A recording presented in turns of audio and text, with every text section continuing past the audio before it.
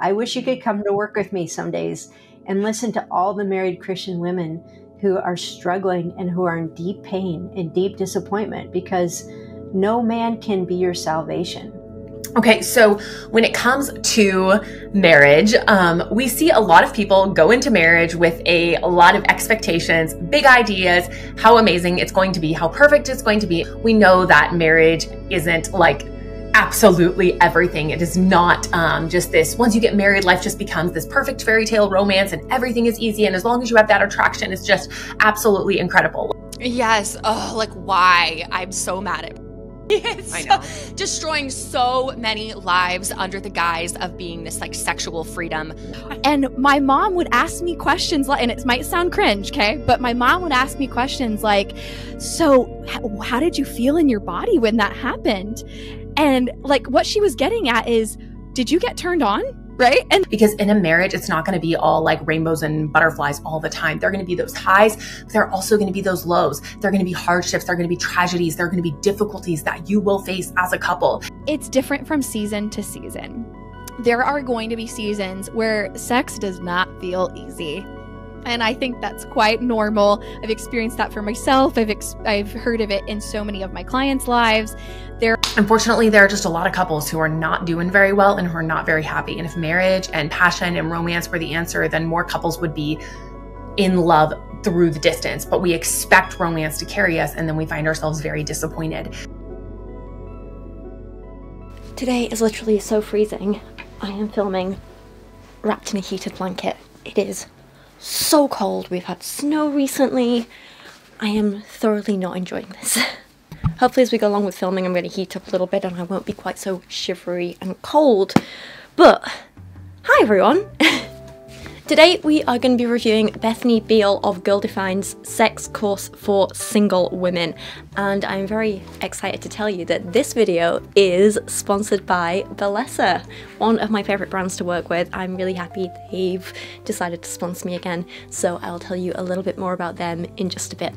Now if you've seen my videos before you may know that a couple of months back I made a big in-depth review of Bethany's first course, her first sex course for married women, and it was something. It was poorly made, it was filled with misinformation or just incomplete information.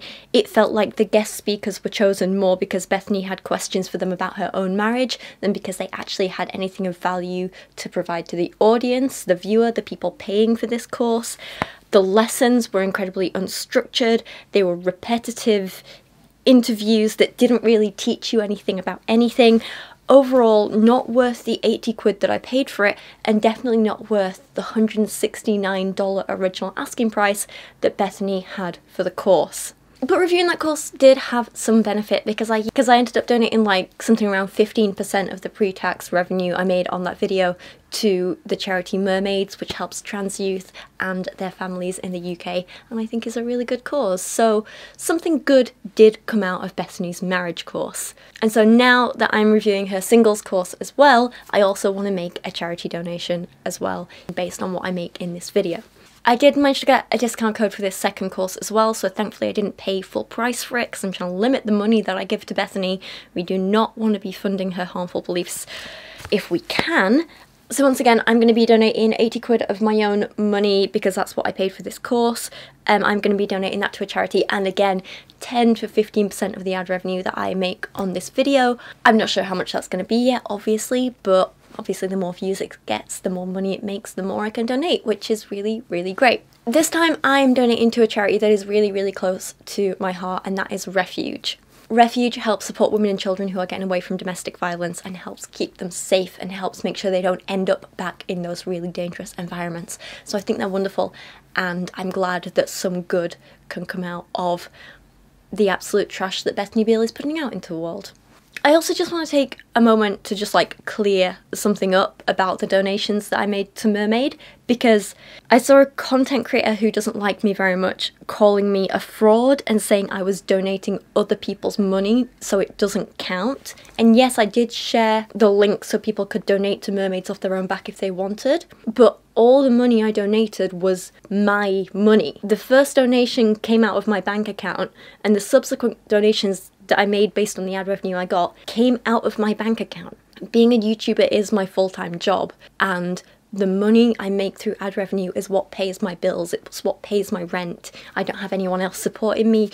This is my life and my job. So, so, my ad revenue is my money that I have to live off. So I took a portion of that and donated it to mermaids. That's not donating other people's money, that's my money. And I'm doing it because I believe it's a good cause and they deserve the support. That's all there is to it. I think I was pretty transparent in sharing my receipts of like what I donated. Like I posted on the video the 80 quid or whatever donation that I made. I posted on my community tab about like a couple of the donations. Like one of them was for like 300 pound I think and stuff like that. So I've been very transparent with it. And I I don't really understand how anyone can have a problem with that, but yeah. I just wanted to clarify that and just keep being transparent going forward. Okay, now all that is out of the way, let's take a closer look at the Ultimate Sexuality Mentorship course for single woman. This two week intensive is deigned to help you navigate God's amazing design for your sexuality and thrive right where He has you as a single woman. Hey, look! It's full of typos already. Woman instead of women and deigned instead of designed. It's funny, there was a typo in the introduction to her marriage course as well. You would think that, you know, in something as important as the title or the introductory sentence, you wouldn't make a mistake, but here we are. And the thing is, like, I don't begrudge people making typos and stuff. I make typos all the time. Annoyingly, in my poetry book, I've seen like two typos in there that I'm like, oh my god, the amount of times I went through that book and there were still typos I didn't catch. It's very frustrating. But the problem is when they're like pointed out to you and you don't change them, you know? There are honestly just so many typos throughout this entire course and all the written material. It's just a little overwhelming. There's not even that much actual like written material in this course. Most of it is just videos. So the fact there are so many typos throughout the text is just like really one thing I will say before we start looking into the content itself is that Bethany kind of made being the single one her identity for so long, like 30 years, that I do reckon she is far more qualified to teach this course than she was her marriage one. So I don't begrudge her that. Hale, I am just jumping in with the little Kubi Bear because we have something really exciting to tell you. So one of the big things I'm going to be talking about throughout this video is obviously the importance of good sex education, feeling no shame and embracing your sexuality. And in the video chapter on lesson 5, I'm also going to be talking in quite a lot of detail about the amazing benefits for our health and our happiness that masturbation has. It's a topic which really isn't discussed openly enough and I hope to be a part of changing that. That's where the wonderful sponsor of today's video comes in, without whom I wouldn't be able to keep making educational videos like this. You might have heard me raving about them before, but Bellesa are a company made by women for women, covering all things to do with sexuality. And just like my content, their goal is to empower everyone to embrace, explore, and celebrate their own sexuality. And they're offering an amazing giveaway to my subscribers in the process. So They've sponsored a couple of my videos this year and they've been lovely enough to send me quite a few of their products to try out for myself. And my two favourites at the minute are these little beauties, the Pebble and the Thump. Now the cool thing about all of Bellesa's toys is that even though we're all very different, we all like different things, we all need different things, we all want different stimulation in lots of different places on our body, Bellesa has something for absolutely everyone. These two in particular are fantastic choices if you want to focus primarily on clitoral stimulation. So look at how ridiculously adorable this little guy is. I swear these are like the prettiest vibrators I've ever seen in my life. This little guy is a Pebble, very, very cute, very small, very discreet, so great to travel with. And look how like beautifully it just kind of fits in the palm of your hand. It's so ergonomic, great. This one, really small, really discreet, but it offers both suction and vibration on this end. And while you can choose what speed or intensity you want it at, there's none of the annoying pattern modes that can be a little bit off-putting sometimes. And then you have the thump. This one offers all the same benefits of the Pebble and so much more. It is a little bit bigger, but again, so ergonomic, fits in your hand beautifully, and it just looks so gorgeous. So just like the Pebble, this offers suction, vibration, and over on this side you have this little guy here with beautiful soft silicone, which offers these amazing natural feeling palpitations for the clitoris, which is like nothing else I've ever felt before. It's so good. Both these toys are waterproof, come in these adorable cases, which are what you charge them in via USB, and also are really great for traveling with because they can be really discreet. You throw this in your suitcase and you don't have to worry. It literally looks like a glasses case. No one is going to think twice. The best part about working with Bellesa though is that they are offering you guys who watch my videos an amazing giveaway. If you check out the link that is on screen right now and also in the description of this video, then you'll see that Bellesa are offering a giveaway where everyone gets something. You have a chance to win a free vibrator of your own or a gift card which you can put towards getting yourself a little something special. I absolutely love what Bellesa is doing and really, really appreciate them helping out me and my channel. So if you'd like to check them out too, please follow the link in my video description or the one that's on screen right now. Once more thanks again to Bellesa for sponsoring this video and now let's jump back into the content. And if you'd like to find out a little bit more about masturbation, the health benefits of it, how it became so taboo in the first place, don't forget to check out the chapter on lesson 5 in this video. Just like the marriage course, the singles course comes with a workbook, which is again mostly blank with just like the lesson titles and then pages for notes and it's almost an exact replica of the marriage course book in terms of like the pages at the end for like setting your goals and stuff, exactly the same as what's in the marriage one, except this workbook is missing the lists of sources that the marriage book had. So it's like the same, but with less. She really has put the bare minimum amount of work into this course. And it's a little disappointing to see. Because, you know, you'd think people get better all the time, learn new stuff all the time, so they're going to go above and beyond and try new things. But no. So the singles course has 10 modules and also a Facebook group you can join again. Just like last time though, I'm not going to join the Facebook group I'm not even going to look at it because the women in there deserve their privacy and to have a safe space. So it's just, it's not, it's not my place to go looking, you know, simple as that. So I will not. Um, what I will say though is that there's currently only 53 people in that group, or at least there was at the time of writing this script. It might have gone up by one or two more since then. So there's far less people who have bought and taken this course than her marriage one. Now, that could just be because it's not been out for as long, or it could be because people are realizing that Bethany doesn't have a clue what she's talking about, or maybe it's just she doesn't really have an audience who are interested in this kind of thing. Who's to say? Overall, to kind of discuss my thoughts on Bethany's switch to sex content kind of throughout all her social media platforms, is that she clearly has a passion for the topics that she talks about. She clearly has an interest in not only sex, but in business and marketing. And she's got that drive that could make her really successful. But what she just lacks is any knowledge either of the subject matter she's talking about or of business or marketing in general. Like I think marketing is one of her biggest issues because she she stumbles at the first hurdle in that she doesn't really understand or know who her target consumer is or what they want. So how can she appeal to them and give them something that provides value if she doesn't know who she's providing for? So, take some of her recent Instagram posts, for example.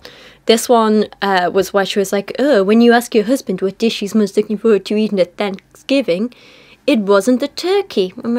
So, she posted this reel everywhere recently. And to summarize, it's a video of Bethany curling her hair while straight up telling us that Dave is gonna go down on her over Thanksgiving. Yeah, now, many of her followers called this out. They said it was making them uncomfortable, and her reply was, Well, this is for married women. If you're not married, you might be uncomfortable. But she's completely missing their point about why they were uncomfortable. As a sexually active woman myself, although not married, but in a long term partnership, I was also made uncomfortable by these posts, not because the idea of sex makes me uncomfortable, not because the concept of oral sex makes me uncomfortable, but because I don't need to know these specifics about someone else's sex life. That is too much information, and this is what her audience were complaining about. It's not the fact she talks about oral sex that's a problem, it's that she brags about getting oral sex on very specific occasions. So now anyone sitting down to Thanksgiving dinner is just going to be thinking about Bethany and her husband having oral sex. That's what makes it inappropriate. Some of her followers told her, Oh, this made me uncomfortable. I'm married and this is TMI. I'm married and I don't want to hear about other people's sex life. That's really gross. Keep it in check and honor your spouse. This is weird. Her stuff makes me very uncomfortable. To make her whole social media brand based around sexual things between her and her husband, I feel it pushes a boundary. I'm all about being sex positive for marriage, but I believe that there are things that should remain intimate between you and your husband. But Bethany seems to think it simply comes down to, well, I have sex and they have sex. We're all part of this sex having club, right? So, of course, they want to hear about my personal experiences, don't they? They don't. No. If sexually active women are following you for your sex advice, give them sex advice. Don't just brag about the fact you are having sex if she actually understood her target audience and how to make content which provides value for them, she could have posted something like, Here are some ideas for flirty lines to initiate intimacy with your partner, how to prioritize your relationship during stressful family holidays, or even ask her audience, What are some flirty comments your partner has made which you liked? These would be giving practical tips to her audience that they can use in their own relationships and to like build intimacy between you know, her audience and their partners and so on. And she can use some of her own experiences as inspiration if she wants, but ultimately, by giving actual advice, she's putting her consumer first and not just bragging, hey, lol, look, I have the sexy sex all of the sexy time. Sex. But instead of all that, she just says, I'm gonna have some fun, spicy humour here and there. If it's not your humour, that's okay. That's why it's my account and not yours. Which I get it, you know, it is her personal account. She can technically do what she wants, but when it's public, you know, it's open to criticism, isn't it? So basically, point is, I think Bethany needs to understand her consumers a little more. Just take a basic marketing course or something, you know, learn how to do a SWOT analysis, learn how to profile your customers. You're providing a service here, learn the seven P's of marketing, that sort of thing, you know? You got this. Speaking specifically about the course though, overall, and I didn't expect this, I find that this course for single women actually has so much more potential than the marriage course in terms of the topics Bethany has chosen to speak about. I think so many of them could offer some really, really interesting discussions, but the problem is she just misses at every single opportunity, which makes the overall course end up being fundamentally worse and more harmful than the marriage course in every single way. It's really disappointing. I didn't think I would have quite so much to say about this, but I currently have something like a 30. Wait, let's find out how many words this is. A 34,000 word script on this course, so let's jump into it. Session one is called Single, Sexual, and Ready for Marriage. And this lesson or session, or as I like to call them, unedited rambles filmed on a webcam with no lighting is just run by Bethany Beal herself and immediately features a dodgy thumbnail with some errors in how it was made and just a lot of laziness here, you know? Let's see what she has to say. What's up, y'all? It's Bethany here, and I am so excited to welcome you to the Ultimate Sex Mentorship course for single women. Now, first up, let's be very, very clear here. When Bethany says single, what she actually means is unmarried. And what she actually means by unmarried is not sexually active. This kind of causes some confusion in the real world because, let's be honest, even amongst Christians and other religious people, lots of unmarried people are sexually active. Lots of single people are sexually active. It's interesting that Bethany would class me as a single woman because I'm not married, even though I'm not single and am sexually active. You know, it's just an odd little thing that I thought was worth talking about. But anyway, let's move on with the course. This really is uh, like the first of its kind. I can't think of any other course, any other like resource like this. And I'm so proud of you for signing up and for joining me with this two week intensive because we need to be talking about sexuality in single women. Unfortunately, sexuality in single women is such a hush hush topic in Christian circles. Yeah, and maybe think about why that is, Bethany. Because of purity culture, which you have been a part of perpetuating throughout your entire career. So much of the content that Bethany and others like her have put out up to this point have made single or rather just unmarried women feel shame and guilt and like they need to repress their sexuality it's really annoying because we've been seeing this for months now. Bethany comes so close to realizing there's a problem and purity culture's bad, but she refuses to really see what is causing it and how she has been a part of the problem before, and to some extent, in many ways, is still a part of the problem. I also did have to laugh at her saying there are no other resources available out there for unmarried women to learn about their sexuality because, one, there are so many, so many, uh, regardless of if you're uh, atheist or Christian or any other religion, there are resources for you to learn about sex. There absolutely are. And if you are looking for resources like Bethany's that push things like abstinence only sex education and purity culture and all that sort of thing, there are still resources out there that teach that stuff, like Pam Stenzel's terrible sex education course, uh, the books by Hayley DiMarco and stuff like that. We've covered a lot of them on this channel already. This isn't new, very odd. And two, Bethany, you've literally made resources like this before. You have. So again, you can't pretend it's new when you've done it before. I j- oh my god. Anyway. Her and her sister Kristen literally wrote a book called uh, Sex, Purity, and the Longings of a Girl's Heart, in which Bethany, as a single, unmarried, non sexually active woman, wrote about sex as a single woman. As a single woman, for single women. So. you know what's really interesting? I mean, you know this, but we, the two of us, wrote a book called sex purity and the longings of a girl's heart during it was during the process of me being in a relationship and getting engaged so i yeah. had the awesome privilege really of getting to study god's design for sex purity just all of that our sexuality like dig into it and really study it because we were writing a book about it and that actually releases in april of 2019 but i think Ooh. that was really helpful because i was yeah. able to gain such a biblical perspective and really kind of like debunk any false ideas that I had, like, oh, sex is bad, or oh, you know, it's gross or awkward. Instead, it's like, wow, this is God's amazing design, and intimacy within marriage is such a beautiful thing in the right context. Now, this here was a super interesting moment because here Bethany acknowledges that up until a few months ago, before she actually got married, she still had these preconceptions that sex was gross and awkward. And how did she learn she was wrong about this?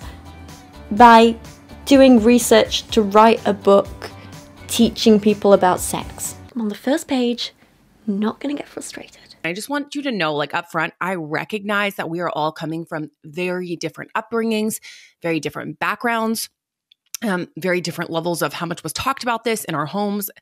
If if it was talked about a lot, if it wasn't talked about at all, um, we have a whole like variety of women coming on from those of you who are mm-hmm. just like in your teen years, just thinking about like, you know, get into adulthood, those of you who have been married before um, and are now find yourself single again. Uh, so it's just a very, very wide variety. So I just want you to know I acknowledge that and I see that you're coming from your own unique place. Now, I do really believe in giving credit where credit's due.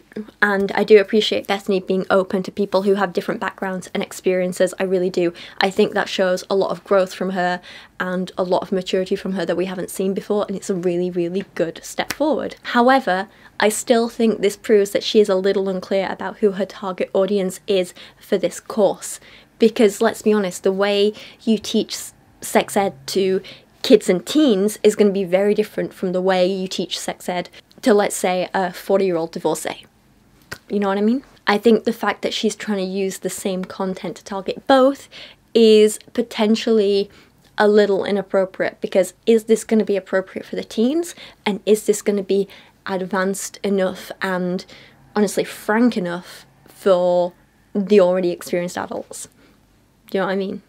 None of us are coming to the table right now with just a perfect life, a perfect, you know, sexual background. And by that, I mean, whether you've had sex or not, we all come to the table with um, confusion, questions, maybe secret struggles that nobody knows about, or maybe struggles that you've been fighting for a long time and you just feel like you can't overcome. Maybe it's a um, an attraction to the same gender that you're like, this is so confusing, or I I know this isn't in line with God's design. How can I deal with this? Um, maybe it's something secretive you did with someone, or maybe it's something that was sinful and wrong that was done to you, and you are just grappling with that. Maybe people know, maybe they don't know. Bethany, we are less than three minutes in. Can you not equate sexual assault with being gay? Do you have any idea how disrespectful that is? Now, don't get me wrong, that is not to say that people who experience attraction to the same gender don't have struggles. They're just not the ones that Bethany is referring to. Bethany implies that the whole act of being attracted to the same gender as you is somehow wrong or sinful or bad and something you should feel shame and guilt for. Which, of course, is a bunch of harmful nonsense. We all know this, right? Or at least I hope you do. But in reality, a lot of gay and bisexual people uh, they actually struggle with things like being afraid to come out because of, you know, persecution or judgment or anything like that, or because it will make them unsafe, or, you know, for any number of reasons. These are things we need to be mindful of and talk about rather than just, ooh, it's bad to have these attractions because it's not. And it's a shame that Bethany isn't focusing on the real problems, which, you know, is the prejudices and the oppression and the persecution rather than, you know, being the one to have those views. Does that make sense? Uh, I'm still brain foggy. And on top of all that, knowing what we know about Bethany and her sister Kristen's history of talking about people who have experienced sexual assault, I'm really not sure she's the right person to be talking about this very serious and delicate topic.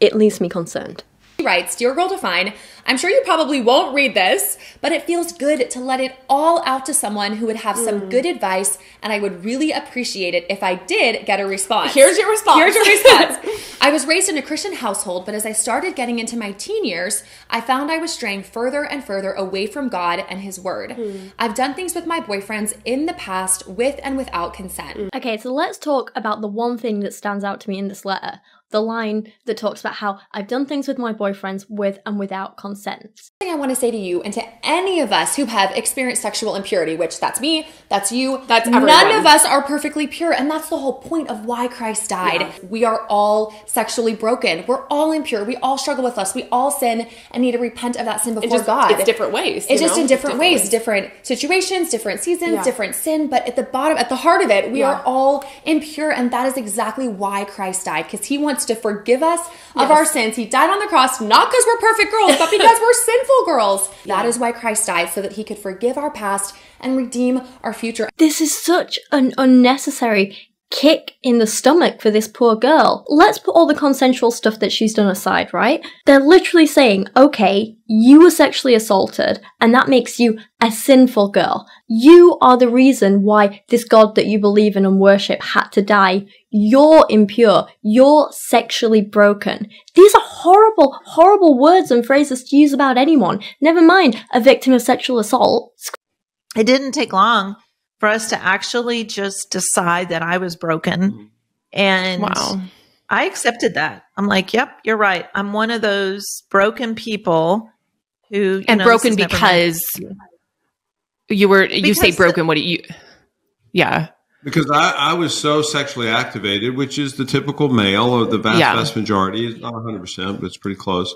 Um, so I was sexually activated far more readily and far more frequently than she was. Got it. So mm. obviously she was broken because she was never, I don't mm. like to say mm. never with yeah. human behavior, but she was never sexually activated. So yeah. obviously she's damaged. She's broken mm. and there's just something mm-hmm. uh, wrong with her. There was not pleasure in it for wow. me. And I didn't mm. actually think there was pleasure in it for any women. This is just a wifely duty thing and yeah. um, there's no one out there having fun in this arena. Mm. And so that's kind of how we functioned. Like I was like, yeah, I'm broken. Like I didn't even think that that was a weird sentence. But she said, okay, what can you define broken? What what are you saying? What yeah. does that mean? And and then I just said, oh well, I don't have a clitoris. Um, what do you mean you don't have a clitoris? And our friend after a, a, bit said, you know, I, I just feel like taking Phyllis in the back room and showing her what I'm talking about. Mm. Well, Phyllis started to stand up. Mm. Uh, and then this other woman said, but I just can't, I can't do that. Our oldest child had been born, uh, which is a l- little girl. And eventually, uh, Phyllis was changing uh, our daughter's diaper, and uh, our friend mm. showed her uh, on wow. um, our little girl, you know, where the clitoris is located, which was huge information mm-hmm. uh, for Phyllis. I know we're in session one, so you're all pumped and you're like, here we go. I'm here. Some of you are live. Some of you are watching this later and you're like, yes, I am here. But what I've seen in running other courses is that when we get to week two, when we get to session eight, nine, 10, we have a massive, a massive drop off of women and your life gets busy and you move on. So this is my challenge to you to commit to all 10 sessions. Why does Bethany always do this? God's sake. She did it in her last course too. She absolutely downplays the quality of her, well, the course is crap quality, so I guess she's just preparing people. But surely if you're trying to sell this course and people paid for your course, you'd hype it up, wouldn't you? You wouldn't tell them all how bad it is. Like in the last course, she was like, it has all these faults. Anyway, keep watching. But in this one, she's like, look, I know people are going to get bored of it, but just like, keep watching, okay? Please, because I want you to. She's like, in the last one, people got bored, and I know they got bored and they didn't finish the course. So for this course, instead of making any changes, I'm just going to tell you to keep going anyway through the boredom. It's kind of ridiculous. Um, she then decides out of nowhere, you know what this course needs? Transphobia! Get out, Bethany. Get out. You will sadly see that this is one of the big themes throughout this course, so please prepare yourself for a lot of harmful stuff going forward. I am so sorry. So, a little bit about me for those who don't know you, just so you know, okay, who's leading this and and what's she all about. Uh, so, I started a ministry, Girl Defined Ministries, with my older sister Kristen about ten years ago, and I have such a passion for equipping women with God's design for their womanhood. We also live in a world where gender is absolutely like up for grabs. Anyone can be anyone. Um, there's nothing special about womanhood. Um, we've kind of tried to erase all differences, and the world have kind of used that as a equality. So unless we're all the same, then you know, and I don't believe that. I believe that God designed us to be equally valuable, but purposely different. And so I'm passionate about women seeing their beautiful, good, amazing, creative design in Christ and learning how to live that out well. Okay, there's a lot to unpack here. there's there's a lot to unpack here. I really do not understand how people like Bethany seem to think that simply accepting that trans and non binary people exist and giving them the respect they deserve and helping protect their rights means anyone can be anyone and that there's nothing special about womanhood and that we've tried to erase all differences. If you really believe that trans men and women existing means they're trying to erase all gender differences, then why do you think so many of them experience gender dysphoria? No one is saying that gender doesn't exist. No one is saying that gender differences don't exist. People are just now more open to acknowledging that gender is a social construct. Gender is fluid. People can defi- people can define and express their own gender in whatever way they want that doesn't mean we're trying to erase all gender. It, it doesn't mean any of these things that Bethany keeps spouting. Even among people of the same gender, there is so much variance in how gender is expressed and displayed, and I think that's a really, really beautiful thing. It's not just that we want everyone to be the same all the time, it's that we know gender is this big, beautiful spectrum, and we should all be allowed to explore it however we like and express ourselves however we like. And when other people come up to us and say, hey, this is who I am, we need to respect that. That's all there is to it. There is a lot more to say, and it is a lot more nuanced than that, but I think you get the idea, you know? I think the problem is that Bethany has grown up constantly hearing trans people bad, talking about gender bad, and so she parrots that without really understanding why people say that why people think she should think that. And on top of that, she doesn't truly understand the experiences of trans and non binary people. And I get that it can be difficult for us cisgender people to put ourselves in the shoes of others like that and understand what they're going through and understand what gender dysphoria feels like and things like that. But if you just listen to the stories of people who do experience it, who do feel like that, it makes sense. You just need to have a little empathy and compassion and listen, you know? So, my point is that Bethany spends a lot of time parroting what she's heard from others without fully understanding what it is she's attempting to critique, you know? I don't think she really understands anything about gender, so a lot of what she says is just empty, harmful nonsense, you know?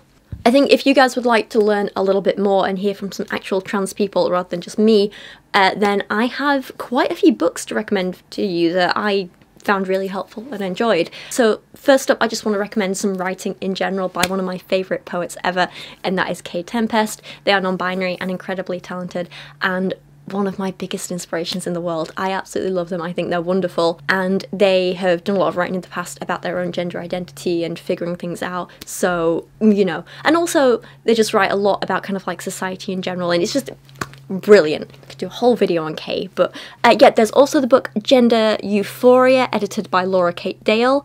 Or if you'd like a more feminist perspective on the experiences of mostly trans women, then I recommend Transgressive, a trans woman on gender, feminism, and politics by Rachel Anne Williams. Or there are some really fun, informative books. I love these. There's Gender, a graphic guide by Meg John Barker and illustrated by Jules Scheele. I hope I'm pronouncing that right. And Meg John also co wrote a great book called How to Understand Your Gender alongside Alex Iantaffi which I also recommend, and I hope I haven't butchered the pronunciation of any of those names. Great books, really recommend them.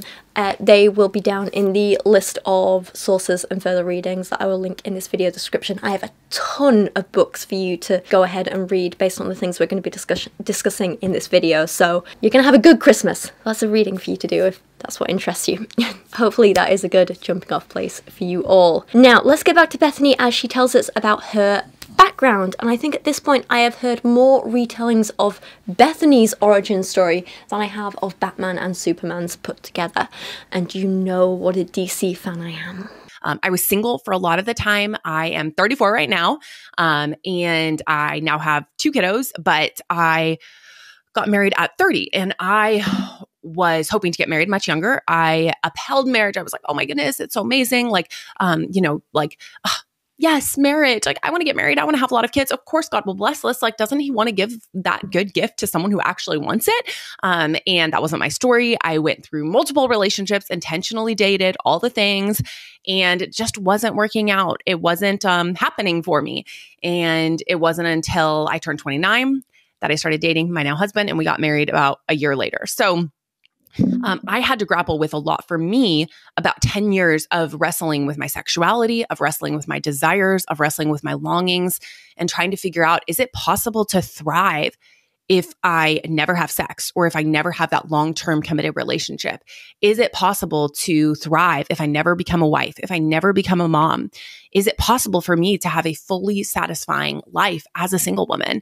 Honestly, hearing this makes me quite sad for Bethany. Like, I do think about how different her life would have been if she hadn't been raised in purity culture, if she hadn't been raised with the parents she has, if she'd actually been allowed to explore these things for herself, if she'd actually had a real sex education and not just.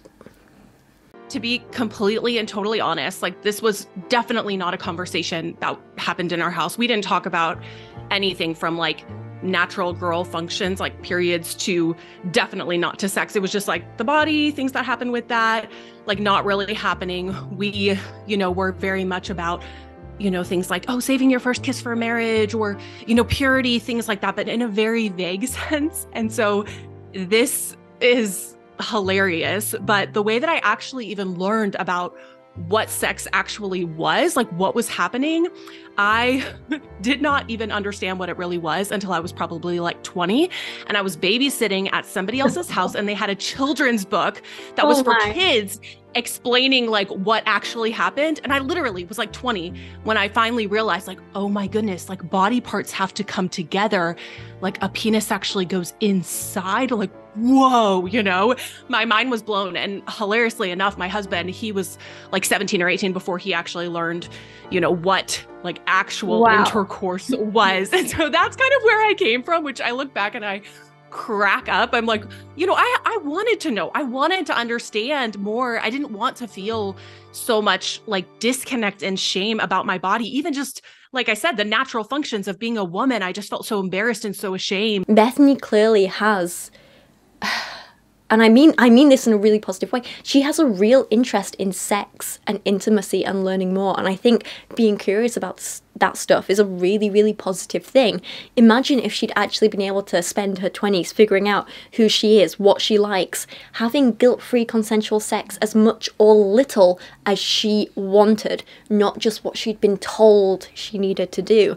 If she'd actually been able to ask questions and explore her relationship with herself, her body, her sexuality, I feel really bad for her. And I hate that she's now trying to paint what was clearly a very difficult and repressive time for her as, lol, that's just how things are. It's fine, and you need to do it too. It's like she was harmed, but she can't see the harm, so she's helping harm others. And I came to a point in my mid 20s um, where I truly was absolutely loving my life and thriving and came to the point of like, you know, even if I never get married, even if I never have sex, even if I never become a wife or a mom, I can totally live out my purpose and thrive and absolutely have an incredible life, even without all of that. Doubt. Come on, Bethany. We were all watching you at that time. We all saw how desperate you were.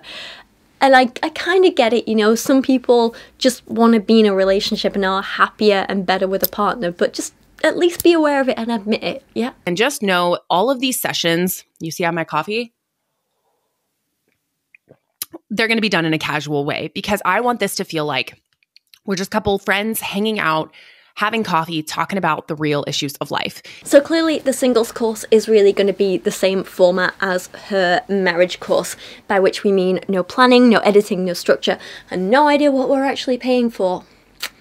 Great. So I want you to think right now. You don't have to like raise your hand or do anything like that, but I just want you to think about what your um, upbringing was, was like when it came to the topic of sex, sexuality, intimacy was this something that was a positive in your home? Was this something that was a negative? Um, was this something that was hurtful, like a hurtful topic because bad things were happening? Um, was this an area of curiosity for you? Was there silence around this topic? Uh, were you someone who got like the talk and then you moved on and you're like, this is so awkward? So I just want you to think about where you come to the table with this topic it's important sometimes to stop and like reflect about where we come from. Not that we have to stay there, not that we have to carry that with us our whole entire life, but I think it is important to acknowledge like where we're at right now and what impacted that. I wish Bethany would do this self reflecting herself. Do you think we can crowdfund so she can take her course herself and then reflect? the thing is about Bethany is that she is so open with her life. She has told us so much about her life that we know your parents messed up. And your parents messed you up and your siblings up when it came to sex. Can you please stop pretending otherwise? Bethany's mother, I believe, helped cover up the sexual assault of one of her sons, which is heartbreaking. Um, I'm just going to kind of like fact check that and bring some clips in here because that's not something I am overly familiar with myself, but other channels are, so I'll bring that in now. Talking today about Michael Mershon, who is one of the Girl Defined brothers. He recently posted to Reddit like a really bombshell um, story about how he was sexually abused as a child and he's saying that his mother knew about this and did nothing about it and then we come to find out quite a few years later she's like sending him these text messages that are very demeaning and disrespectful and just not wanting to take accountability for it. Truth from the oldest Baird child. I am the oldest Baird child, and I don't align with much, if anything, of what my sisters, girl defined, say. They get enough hate and they don't need it from me as well. That being said, much of what they preach is fundamentalist and does damage, but they are just pawns in a larger game. I'm here to speak my truth about the abuse I suffered at the hands of my parents, but specifically my mother. I was raised in the Gothard ATI world. I was homeschooled my entire life and was a victim of ongoing abuse of multiple kinds. I am a survivor of childhood sexual abuse by a female neighbor when I was around seven years old. I know my mother knew about it because she walked in on it happening. It has never been spoken of to this day, and if that were the only time, that would have been bad enough. I was also groomed and sexually abused at around 11 years old by a male neighbor at our next house. I was made to feel like a victim and that it was my fault, which led to repressed memories that didn't resurface till I was in my 30s. It has been roughly five years since I started dealing with my past sexual abuse, and to this day have never received anything close to a sincere apology from my mother. To this day, my mother accuses me of, quote, living in a victimhood mentality that I need to take to God and let Him heal me from. As we've already shown earlier, Bethany didn't even know what sex was until she accidentally found a children's book in her 20s. The Baird family were raised neck deep in purity culture. Their family, I believe, had ties to the IBLP, if I'm remembering correctly. Again, I'm going to bring some other footage in here to just corroborate that because, again, I'm kind of talking off the top of my head and I want to make sure I'm right. In this post, Michael mentions Gothard ATI. If you've seen the Duggar documentary, you know what that is, but if you don't, the Gothard and ATI world is something founded by William Gothard Jr., who founded the Institute in Basic Life Principles, otherwise known as IBLP, an ultra conservative Christian organization. Girl Defined has publicly denied that they were active members of IBLP. Growing up in a homeschool family, um, we were involved in some of those programs. So we did go to some of those conferences, we did attend some of those programs. We were never members, we were never deeply ingrained in the program, we never did any of the curriculum. But according to Michael Mershon, at least through his childhood, this was not the case. And at least in a video, Bethany admitted to meeting Gothard. Did you meet Bill Gothard? Because I remember meeting him yeah. once. Mm-hmm. Yeah. I okay. even meeting the man, you know, who's like the big bad man for this whole thing, like he was kind of a god in that arena. Um, and I remember feeling that, like, wow, for you know, he was the leader of the entire program. Like, it was like meeting the president, is how it felt. Yeah. But Gothard has been accused of sexual harassment and molestation and some of the plaintiffs were minors at the time. He would often place his hands on inappropriate areas. More people than ever have been quite rightly talking about the Institute of Basic Life Principles, or IBLP as it's kind of more commonly known online. The Basic Seminar, a ministry of the Institute in Basic Youth Conflicts. As a high schooler, Bill Gothard was concerned about the wrong decisions that many of his classmates were making. The Basic Seminar offers lasting answers for resolving family conflicts, overcoming feelings of inferiority, removing guilt and bitterness, conquering destructive habits, establishing marriage harmony and this has finally allowed me a chance to make a video that I've been waiting a couple of years to make. I've been wanting to make for a while, and that is looking at the IBLP's terrible homeschooling curriculum and other educational resources. I spent the last however many months collecting new and old copies of the IBLP's Advanced Training Institute's wisdom books. old IBLP seminar workbooks from the 80s, their men's manual, their character studies, their biblical character illustrated curriculum, and basically everything I could find that they have put out as educational resources that I could find online that I didn't have to pay for because I'm not giving them any money. I ended up reading around 4,000 pages of material from Bill Gothard and his little minions, and I have so much to say.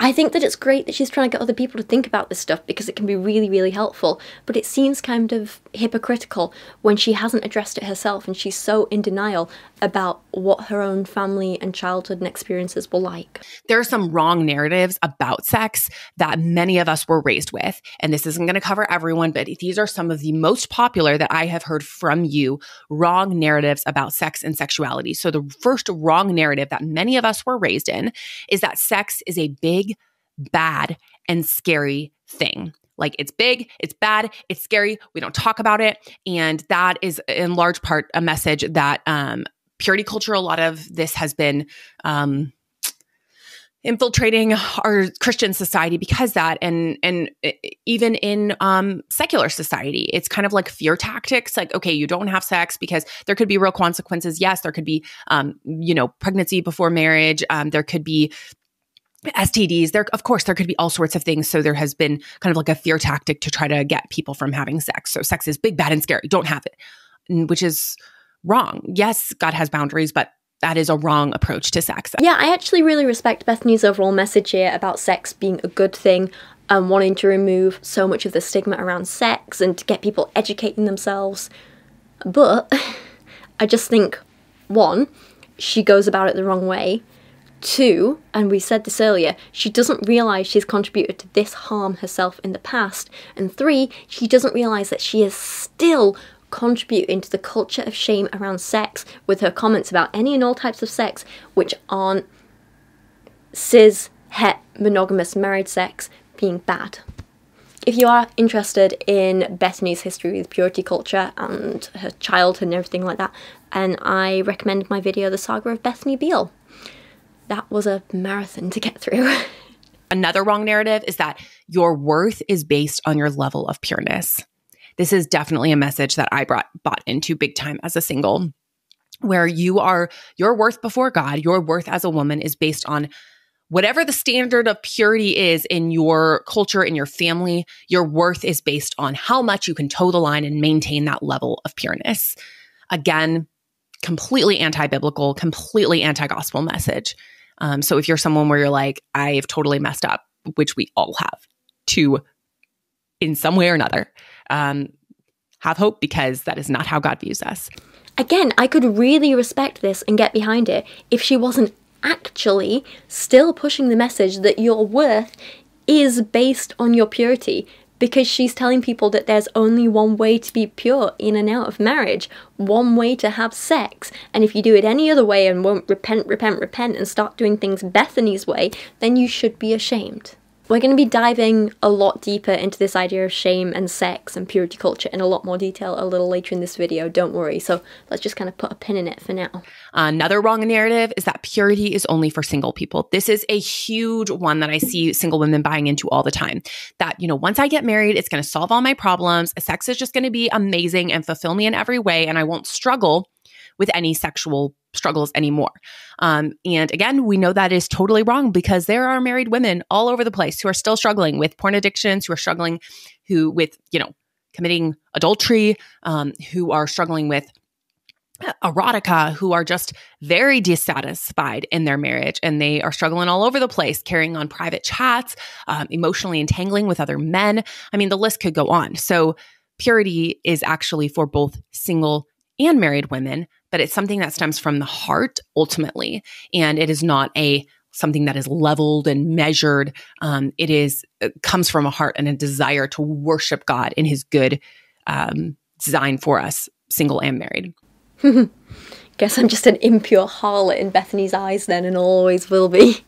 It's no secret that we in our culture are in such a place of deep, desperate brokenness.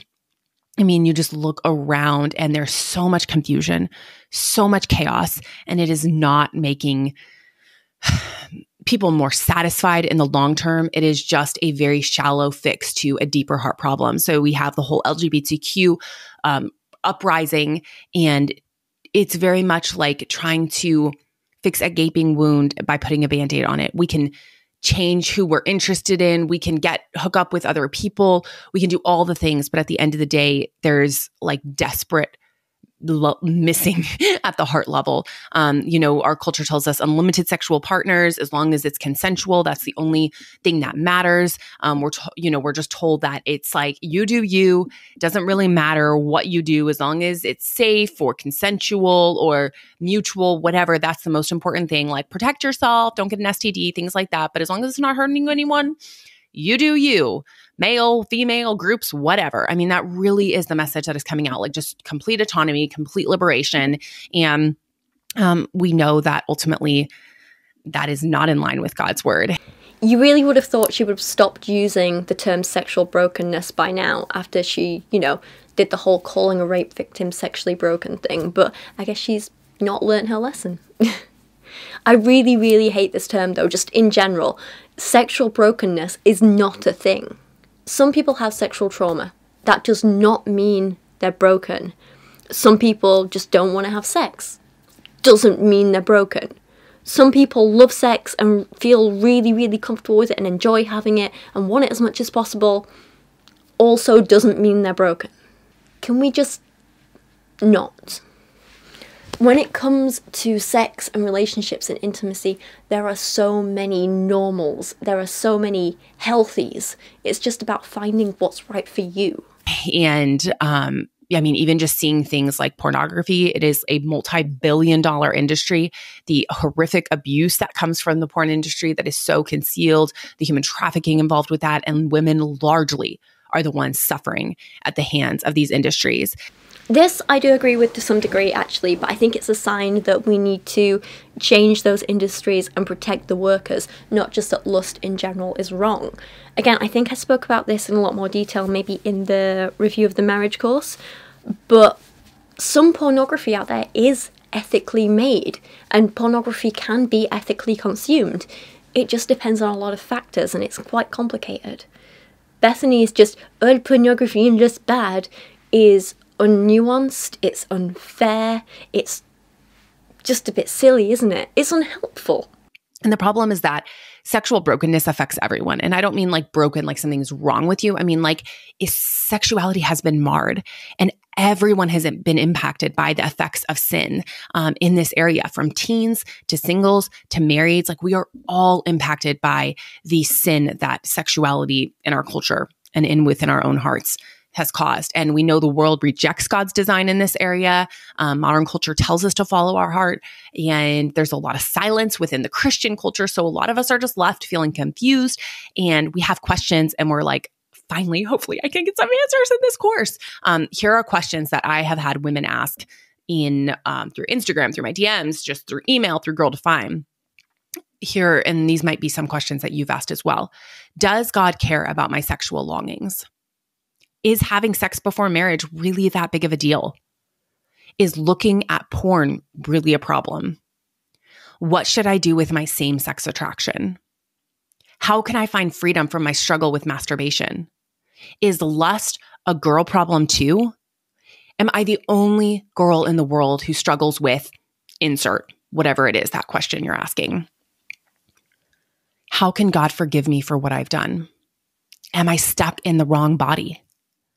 There are the list of questions could go on and on, but those are questions that real women have asked. And yeah, I really can't believe uh, that these are questions she gets asked quite a lot.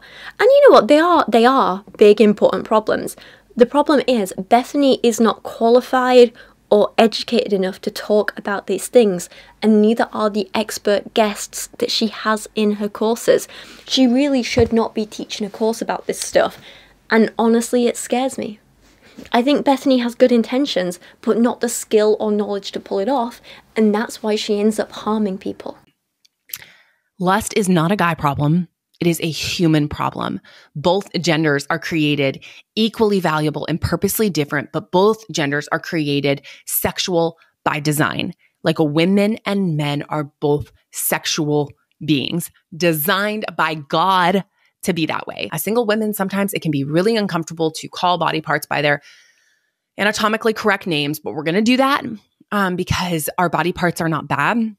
A man's body parts are not bad a woman's body parts are not bad, and we should not be afraid to speak of them with dignity and respect in the way that God created them. So when we think of our own bodies, our breasts, um, our vagina, all of that, we shouldn't be ashamed. There shouldn't be shame attached to using those words. Uh, so I we're gonna we're gonna practice that uh, during this course because there shouldn't be any shame associated with that. Oh, I like this bit. This is really good. Yeah, this is positive. Um, one of the issues I had in the marriage course was a, a lot of the guests felt really awkward, you know, saying words like vulva, vagina, penis, erection. Morgan was Morgan of Paul and Morgan was talking about like fertility treatments and IVF and stuff, and she couldn't even say the word masturbation when she was talking about what the process was like. And it was just, it was very awkward, and it felt like you were listening to teen girls giggling. So I like that you know, I'm not saying Bethany got the feedback from me in particular, but clearly someone gave her feedback and she's learned that, you know what, it's actually really okay to say these words and not be ashamed of them. And I think that is a really positive thing and it's nice to see that growth in her. So good on good on Bethany. Genuinely. The next part of this course is just there's a lot of like, oh, God made us sexual beings. Honesty did over and over. It's like 10 minutes of her saying that.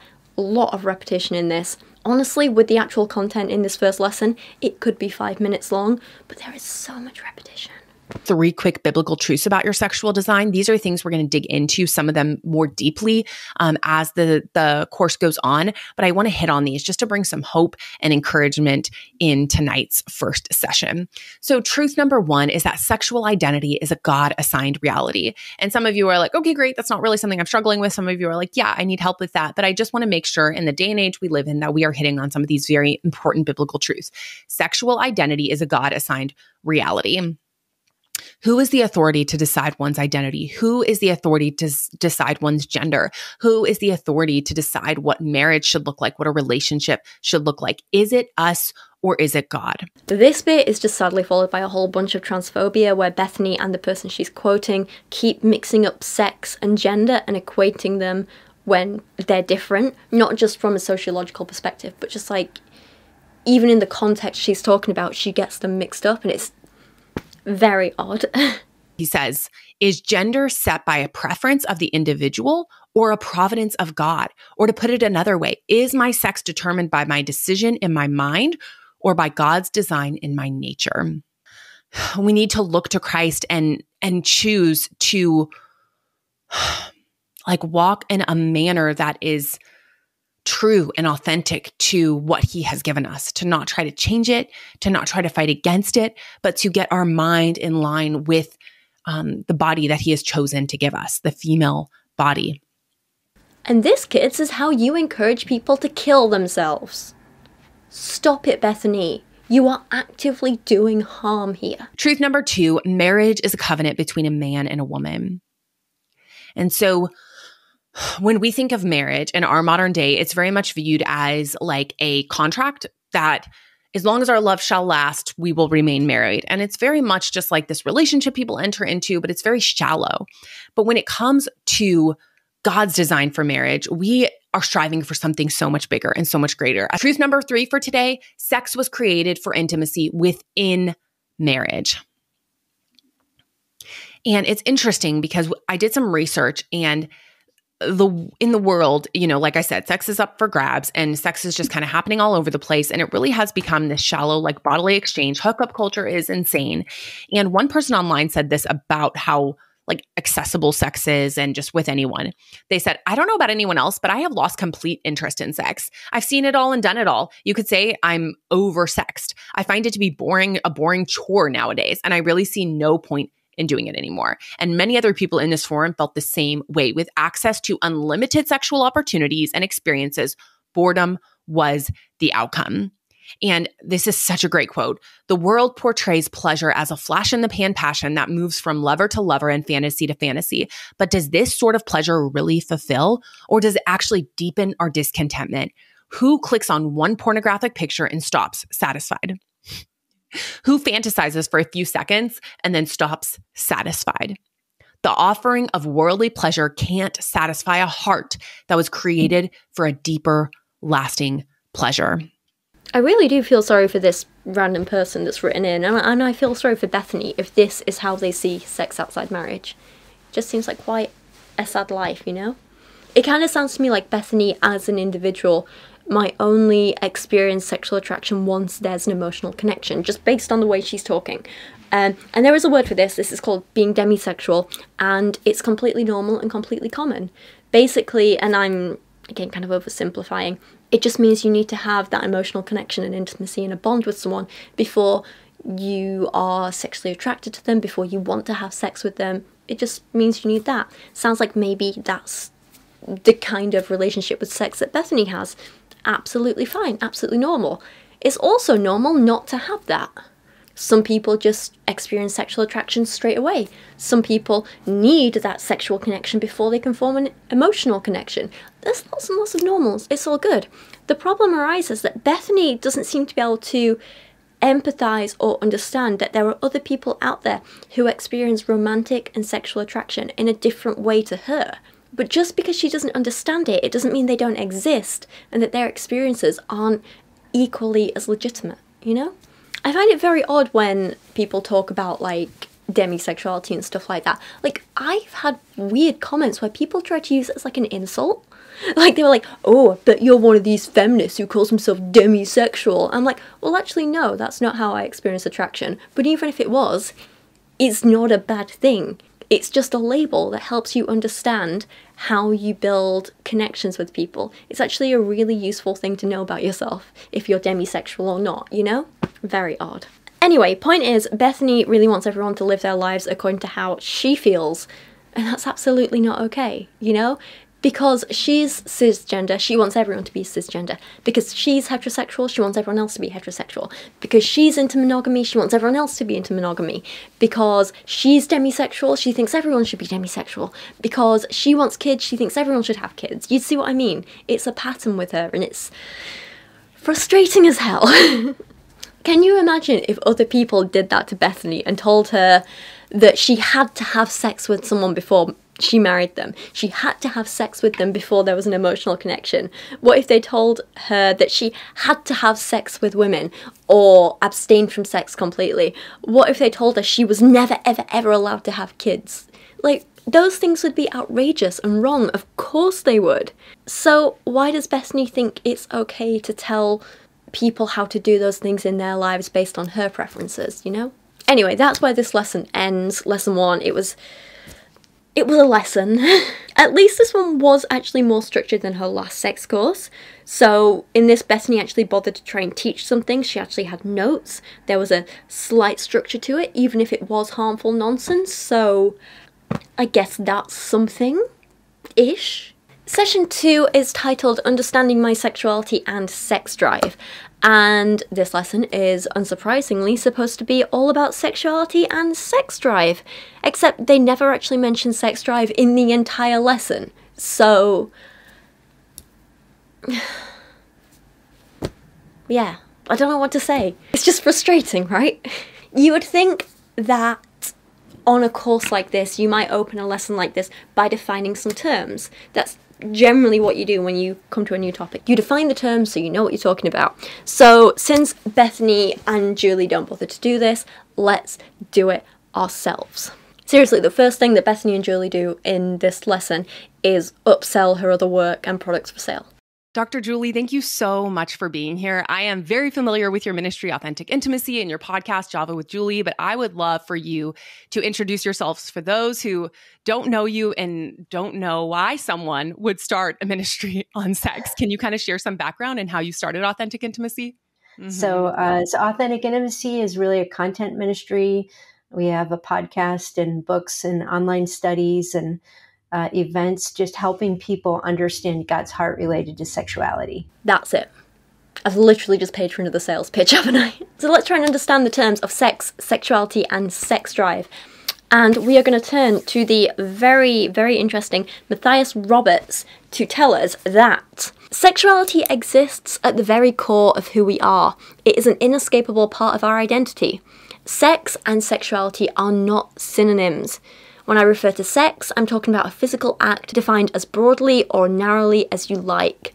Sexuality, however, is broader. It's what gives birth to the physicality of sex and comprises a vast number of elements, including but not limited to our sexual and romantic orientations.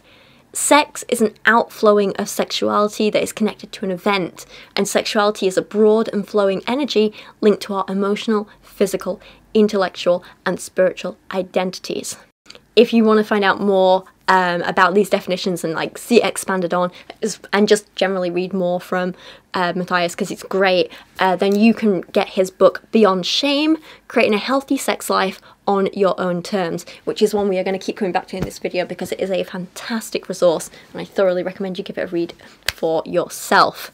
Um, he even brings in some really great discussions about how Christianity, in particular, has shaped our conversations around sex, sex and sexuality, especially in America. He writes that the distinction between sex and sexuality will be familiar to people who have spent any time in conversations about sexuality in Christian churches. Some Christians have used this distinction to make the argument that your sexuality itself isn't sinful, but sex and any kind of sexual thoughts are.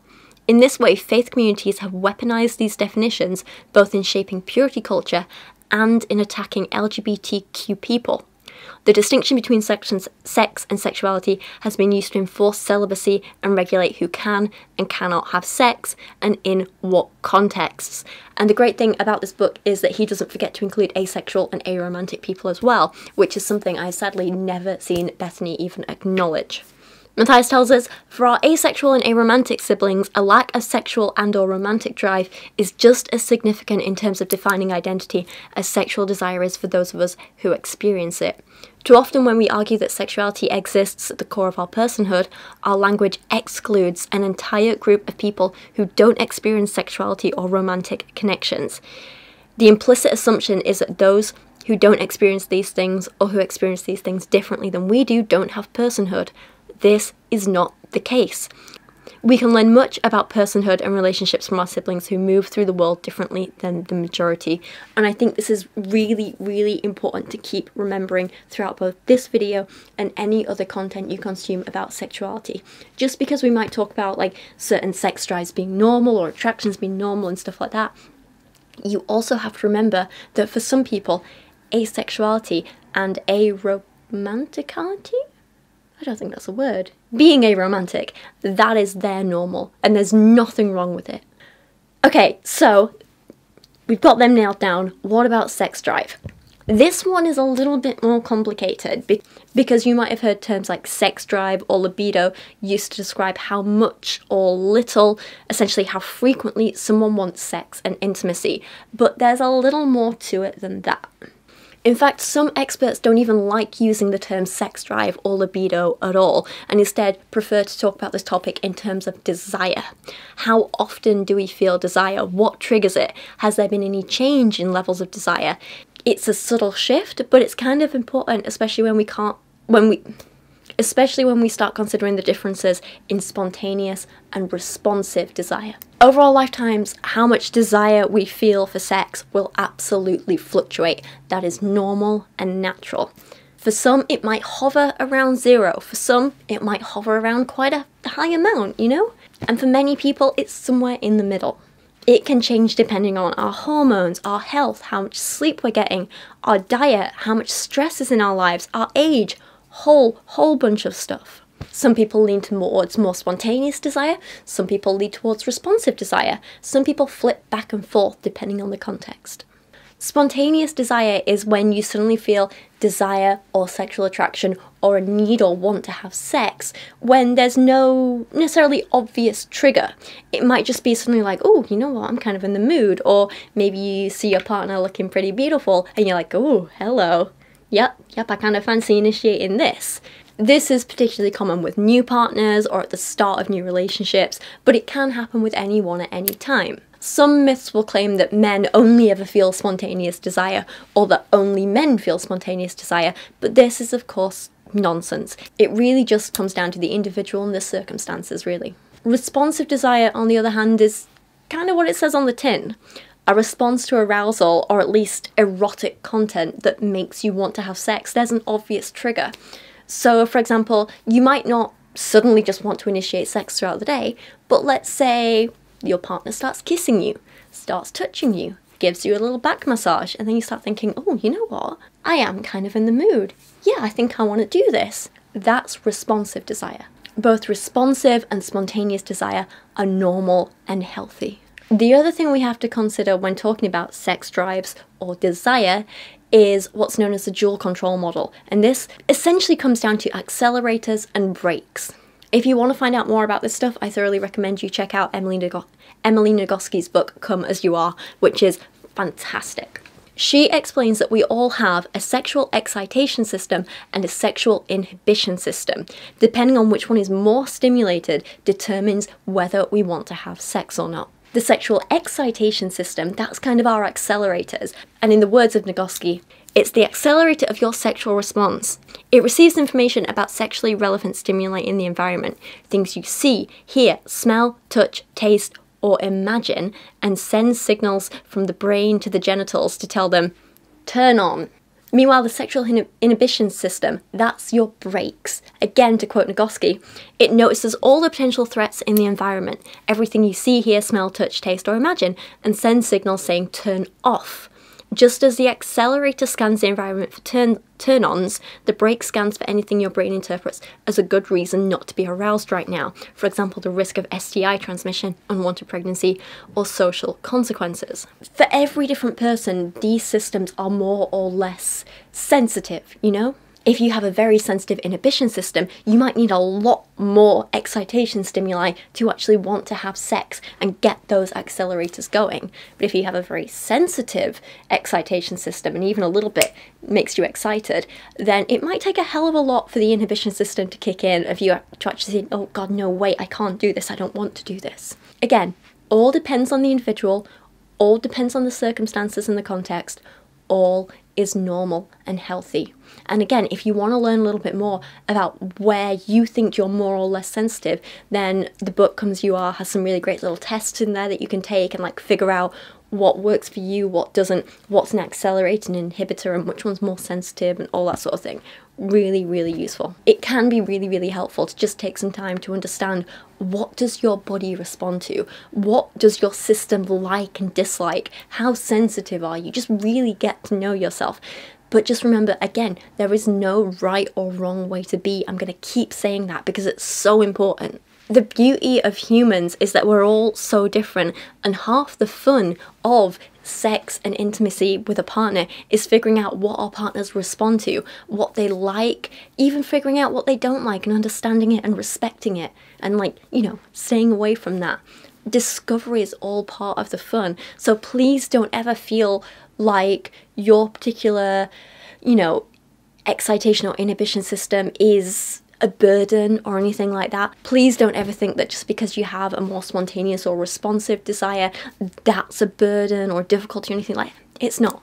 It's an exciting journey of discovery, and you should approach it that way, and it'll be really, really fulfilling. So, anyway, sorry, back to the lesson. lesson. This one is co hosted by Juli Slattery, who is a clinical psychologist with a dozen years of experience since God put the topic of sexuality into her heart. Yeah, let's take a look at some clips. As I'm a clinical psychologist, so I always love to just take God's word and say, okay, how does this apply to difficulties we face in life? But uh, it really wasn't until about maybe a dozen years ago that God really put on my heart this topic of sexuality and just sexual brokenness and being raised in a Christian environment, uh, doing ministry among a lot of Christians, just seeing that this was one area where I felt like all we ever talked about was the rules, mm. and there was no integration of well, where's God in the midst of this. Uh, by nature, I'm a conflict avoider. I like to please people, so I'm like the least uh, equipped person to enter into conversations about sexuality because you're always uh, you're always entering into conflict no matter yeah. what you say. And any conversation about sexuality is likely going to make people feel uncomfortable. At this point my notes just said what? In all capital letters. Why are you even here? I had no patience. Mm-hmm. now i think back to when i was single. So i got married at 30 and i I grew up in a Christian church, grew up in a Christian family, but sex, intimacy was pretty much just not talked about. It was kind of mm-hmm. not so much the idea that like I was a sexless human being, but almost like, okay, I need to kind of pretend I don't exist in that area of my life. And then once I get married, like, okay, I can really, that's when you can really embrace that side of you. But it was hard because it's just, you know, like such a lack of understanding of God's good design and why did he create me as a sexual being? And I've heard from so many other single women who are struggling with that and they're struggling to find answers. And you wrote a book called Sex and the Single Girl which is absolutely amazing and one I wish I would have read or known about when I was single. Like I wish I had a resource like that. So from your perspective why did you think it was important to write a book on sex for single women? Hmm. Uh, some of it is what you just explained there. And I feel like when we have conversations with women about sexuality, it's always within the context of marriage. Mm. And some of our conversations about sex and marriage have been unbalanced and unhealthy too. So mm. I feel like it's not just single women that are saying, please give me yeah. insight, help me. Mm-hmm. But I do feel like within the single population, like you can't even talk about sex. Yeah, like sure. to even ask a question makes you feel ashamed. Like, am I the only one who has sexual desire, the only one struggling? What do I do with my sexual shame? Um, what do I do with the trauma I've experienced? Uh, just, you know, where do I go? The dreams I have, yeah. you know, where do I go for help in dealing with masturbation and fantasy? And so I feel like there are some places where married women feel like they can go even under the umbrella of I'm working on my marriage. But with single women, there are very few spaces where they can even vocalize a question without feeling like they're being judged to ask that question. Yeah, and again, whose fault is that? We spoke about this earlier. We spoke a lot about purity culture in my Saga of Bethany Beal video. And we are going to be talking about shame a little bit later in this video. But again, this whole conversation about like purity culture and shame, this is your fault. You are a part of this problem. I actually, um, after the script was all finished and done, I came back and I want to add in another little part here because um, yesterday morning I saw this video from Bethany in which she is very angry. So let's take a watch of that.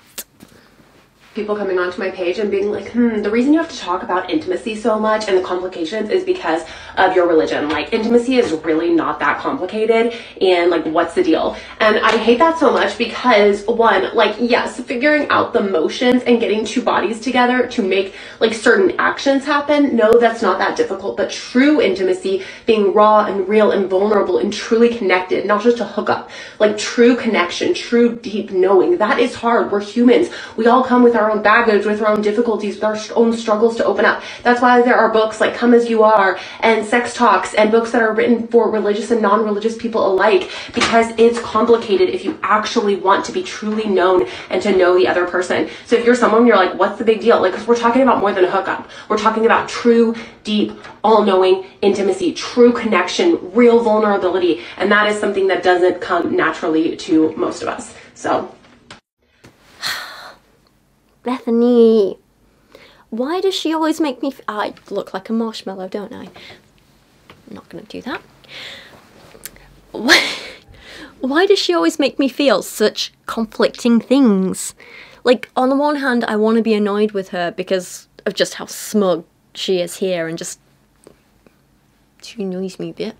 Um, but on the other hand, I just really feel sorry for her and I just want to give her a hug. Like, what? Why do I even start with this? Okay, so let's have this conversation talking only about that level of emotional intimacy with sex, right? Let's leave everything else out of this conversation for now. Casual sex, no, let's leave all of that out, yeah? Yes, some people do find it very hard to be intimate with someone.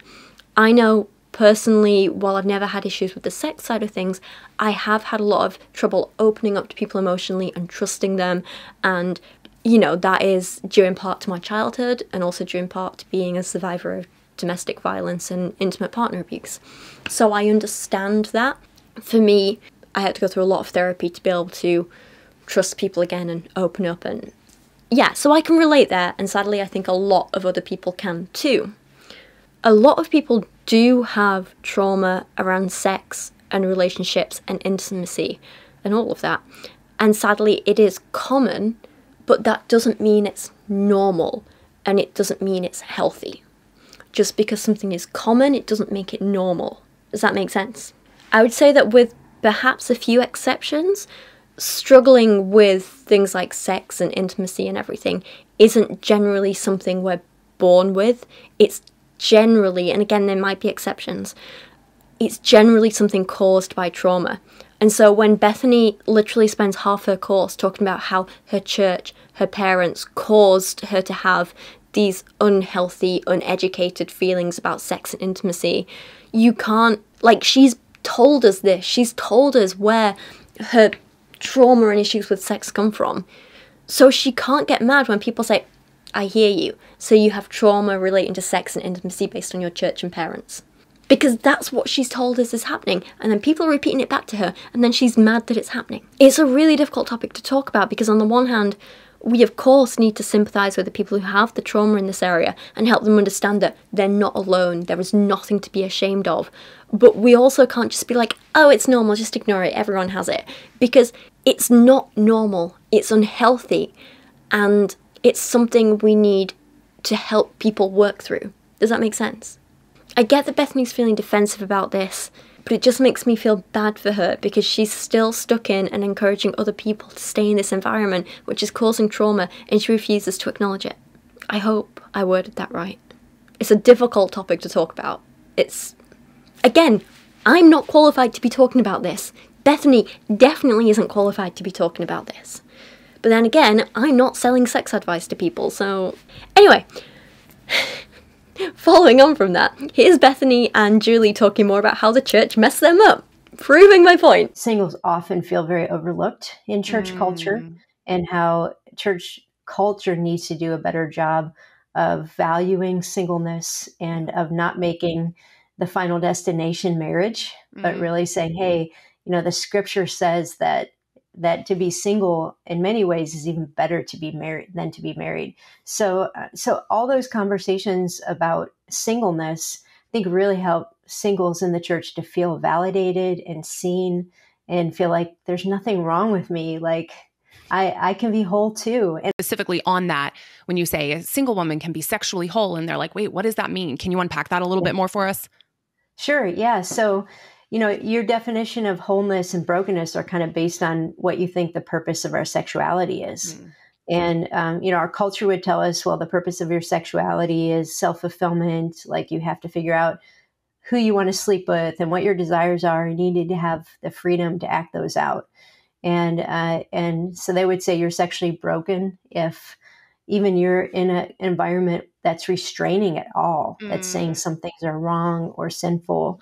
Uh, so that's that's one way of looking at it. I think traditional church culture has said you're sexually whole if you get married as a virgin and mm-hmm. you don't cheat on your husband like that's wholeness so um, so a single woman is like well if i don't get married can i be sexually whole or if i've got if i get married but i'm not a virgin yeah. can i be sexually whole mm. and i think that script would make them feel like they're not whole yeah. but if the purpose of my sexuality is that i might know god more deeply mm and that he would reveal his love to me, then you can be single, married, divorced.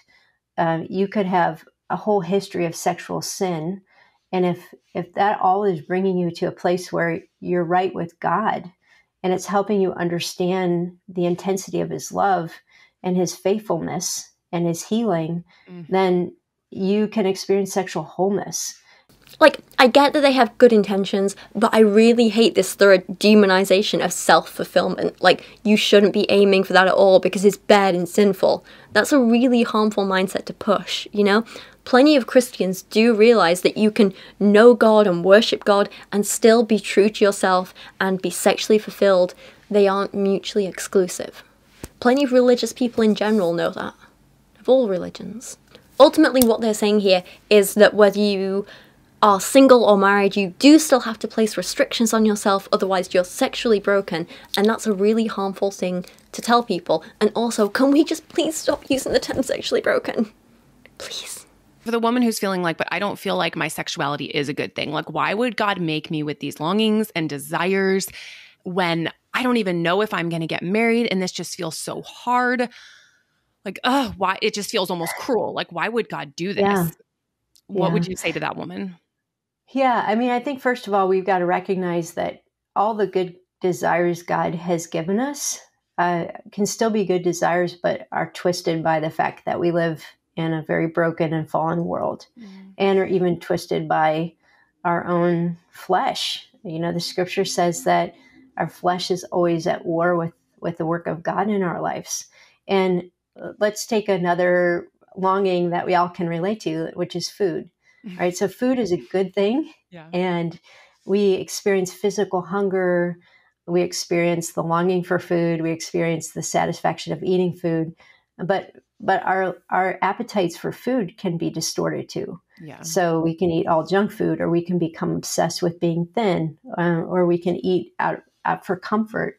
And so something that's good can be misused and misdirected, even from young ages. Yeah. So would you say that a woman who never gets married, never experiences sexual intimacy, is it possible for her, to live like a satisfied and thriving life?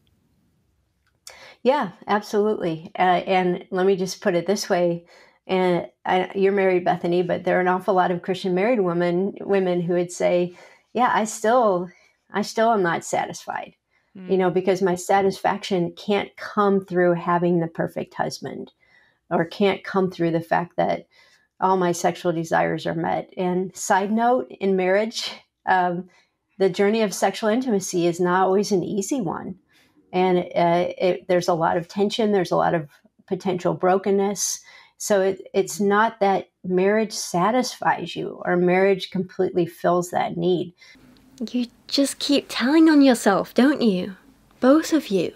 Um, and so, in the same way, like as a single woman, our satisfaction can't come just through marriage and having mm. sex. Like we weren't. One way I put it is, we were not created for sex. We were created for intimacy. Mm-hmm. And so, whether you're single or married, the focus has to be first, do I have intimacy with God? But second, do I have intimacy and community? Mm. Um, do I feel like I belong somewhere? Am I seen? Am I known? Am I loved? Mm.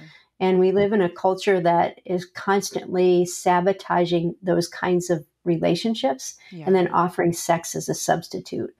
I feel like I've been on a journey of of growing intimacy with God. I, I grew up in the church, mm-hmm. you know, always was sort of that good Christian girl, like the obedient yes. girl that wanted to please God. And that's not a bad thing, but wanting to please God as as a daughter is very different than intimately knowing God. Mm-hmm. This is just nonsense, right? Like she's not actually saying anything of any substance here. It's a lot of words, no content. mm. Mm-hmm. I relate to so much of what you're saying. And there's a specific moment in my life where I was, when I was dating, you know, I really wanted to get married. And so I stayed in a relationship much longer than I should have because I just thought, oh no, I'm getting older.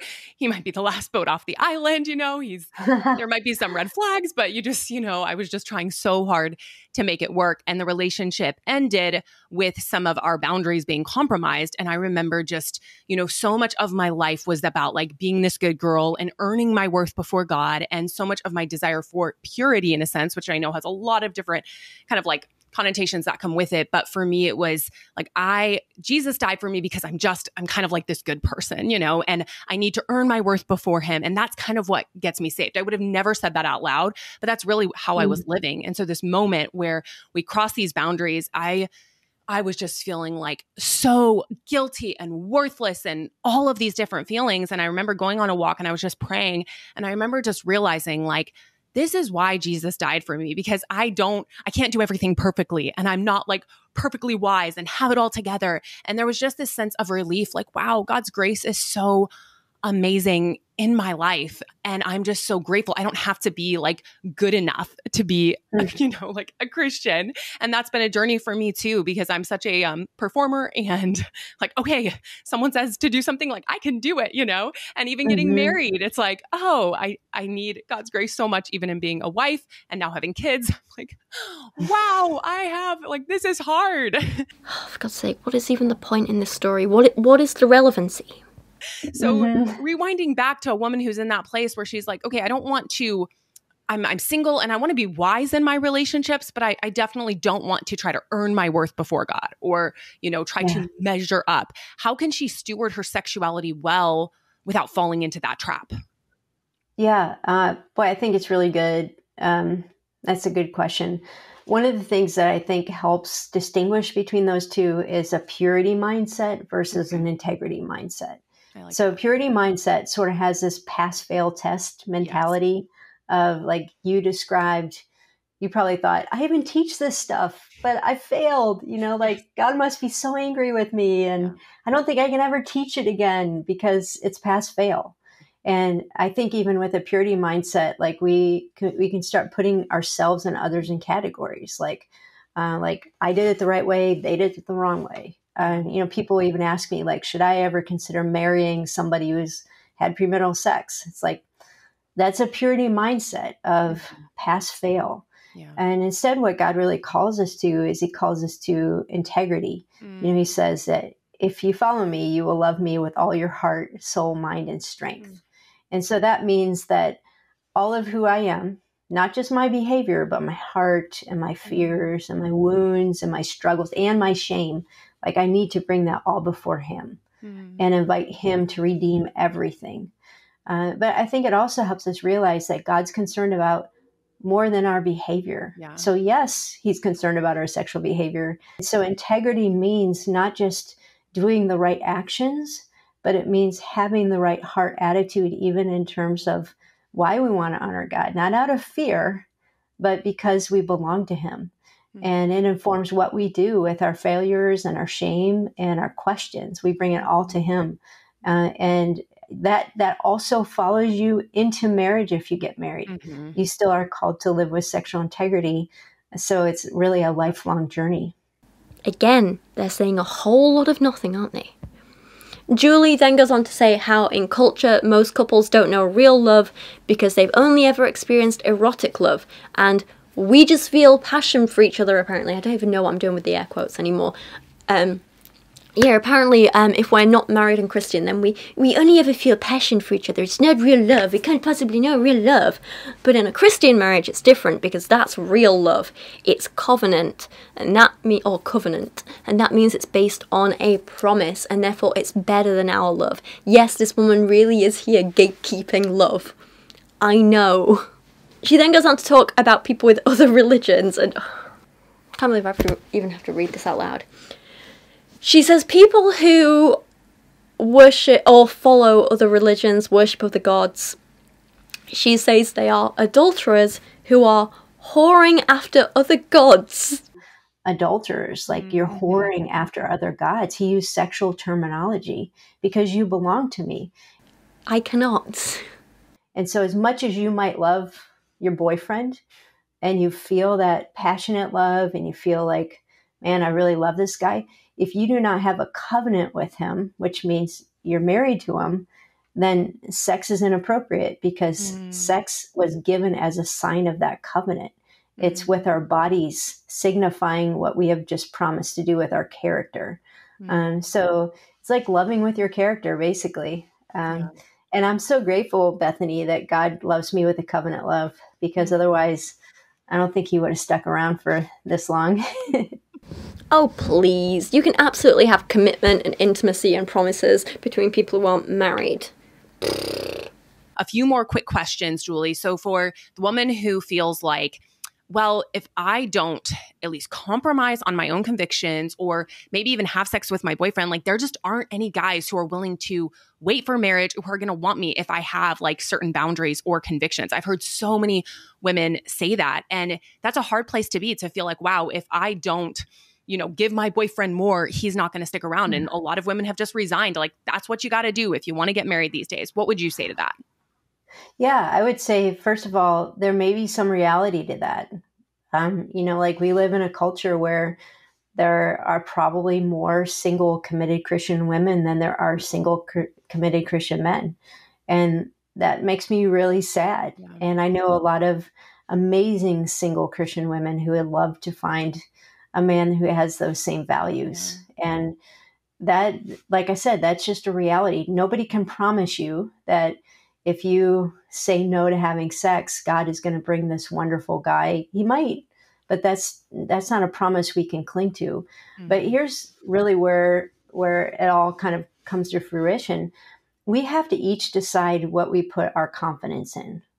So, are you going to put your confidence in finding a guy, like just getting married, in compromising in that. Like, this man is going to save me and he's worth sacrificing my values for. Or are you going to put your confidence in God? Okay, okay. Stop here. Forget all that. The important thing to be telling your viewers here is about consent, respect, and boundaries. You should never ever stay with anyone who does anything to you without your consent. You should never stay with someone who doesn't respect your boundaries. You need to be on the same page as your partner about your core values when it comes to sex.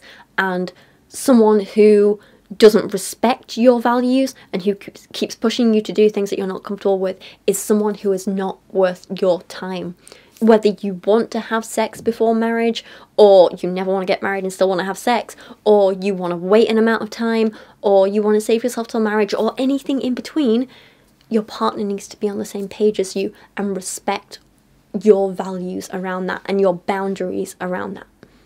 No exceptions. None. Yeah. What am I basing my life on? Mm-hmm. And we live in a culture that will repeatedly tell you that happiness can only come through romantic fulfillment and through marriage. Yeah. It's just not true. I wish you could mm-hmm. come to work with me some days and listen to all the married Christian women who are struggling and who are in deep pain and deep disappointment because no man can be your salvation. Again, you keep talking a lot about miserable married women in this lesson. Like, is everything okay, ladies? Do you need to talk? So there we go, and that's the end of the lesson. Again, I'm confused because they barely actually talked about sexuality. They did not talk about sex drive at all. It's kind of like Bethany came up with the titles for the lessons, picked some guest speakers for a few of them, said, hey, let's have a chat, but then didn't actually bother to plan anything And when she didn't actually cover the topics for like that the lesson title said it would, she just left it. Okay, let's move on to session three, and I've just turned the light on because it is getting dark here because winter. So this session, this lesson, is called Sex and Intimacy Through a Biblical Lens, and this is the second of, I think, five of the ten lessons, which are just taught by Bethany herself. It's interesting she didn't get as many guests on this one.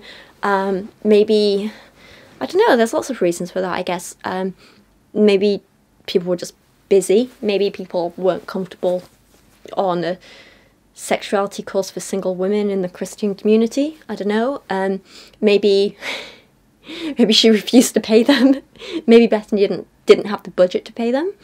Um, maybe some of her speakers didn't want to come back because they didn't get as many sales out of the last one as they expected to.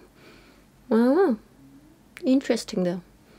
Yeah, but yeah, half these lessons end up just being like Bethany chatting to a camera by herself which is basically my life. So I can relate, Bethany. Yeah.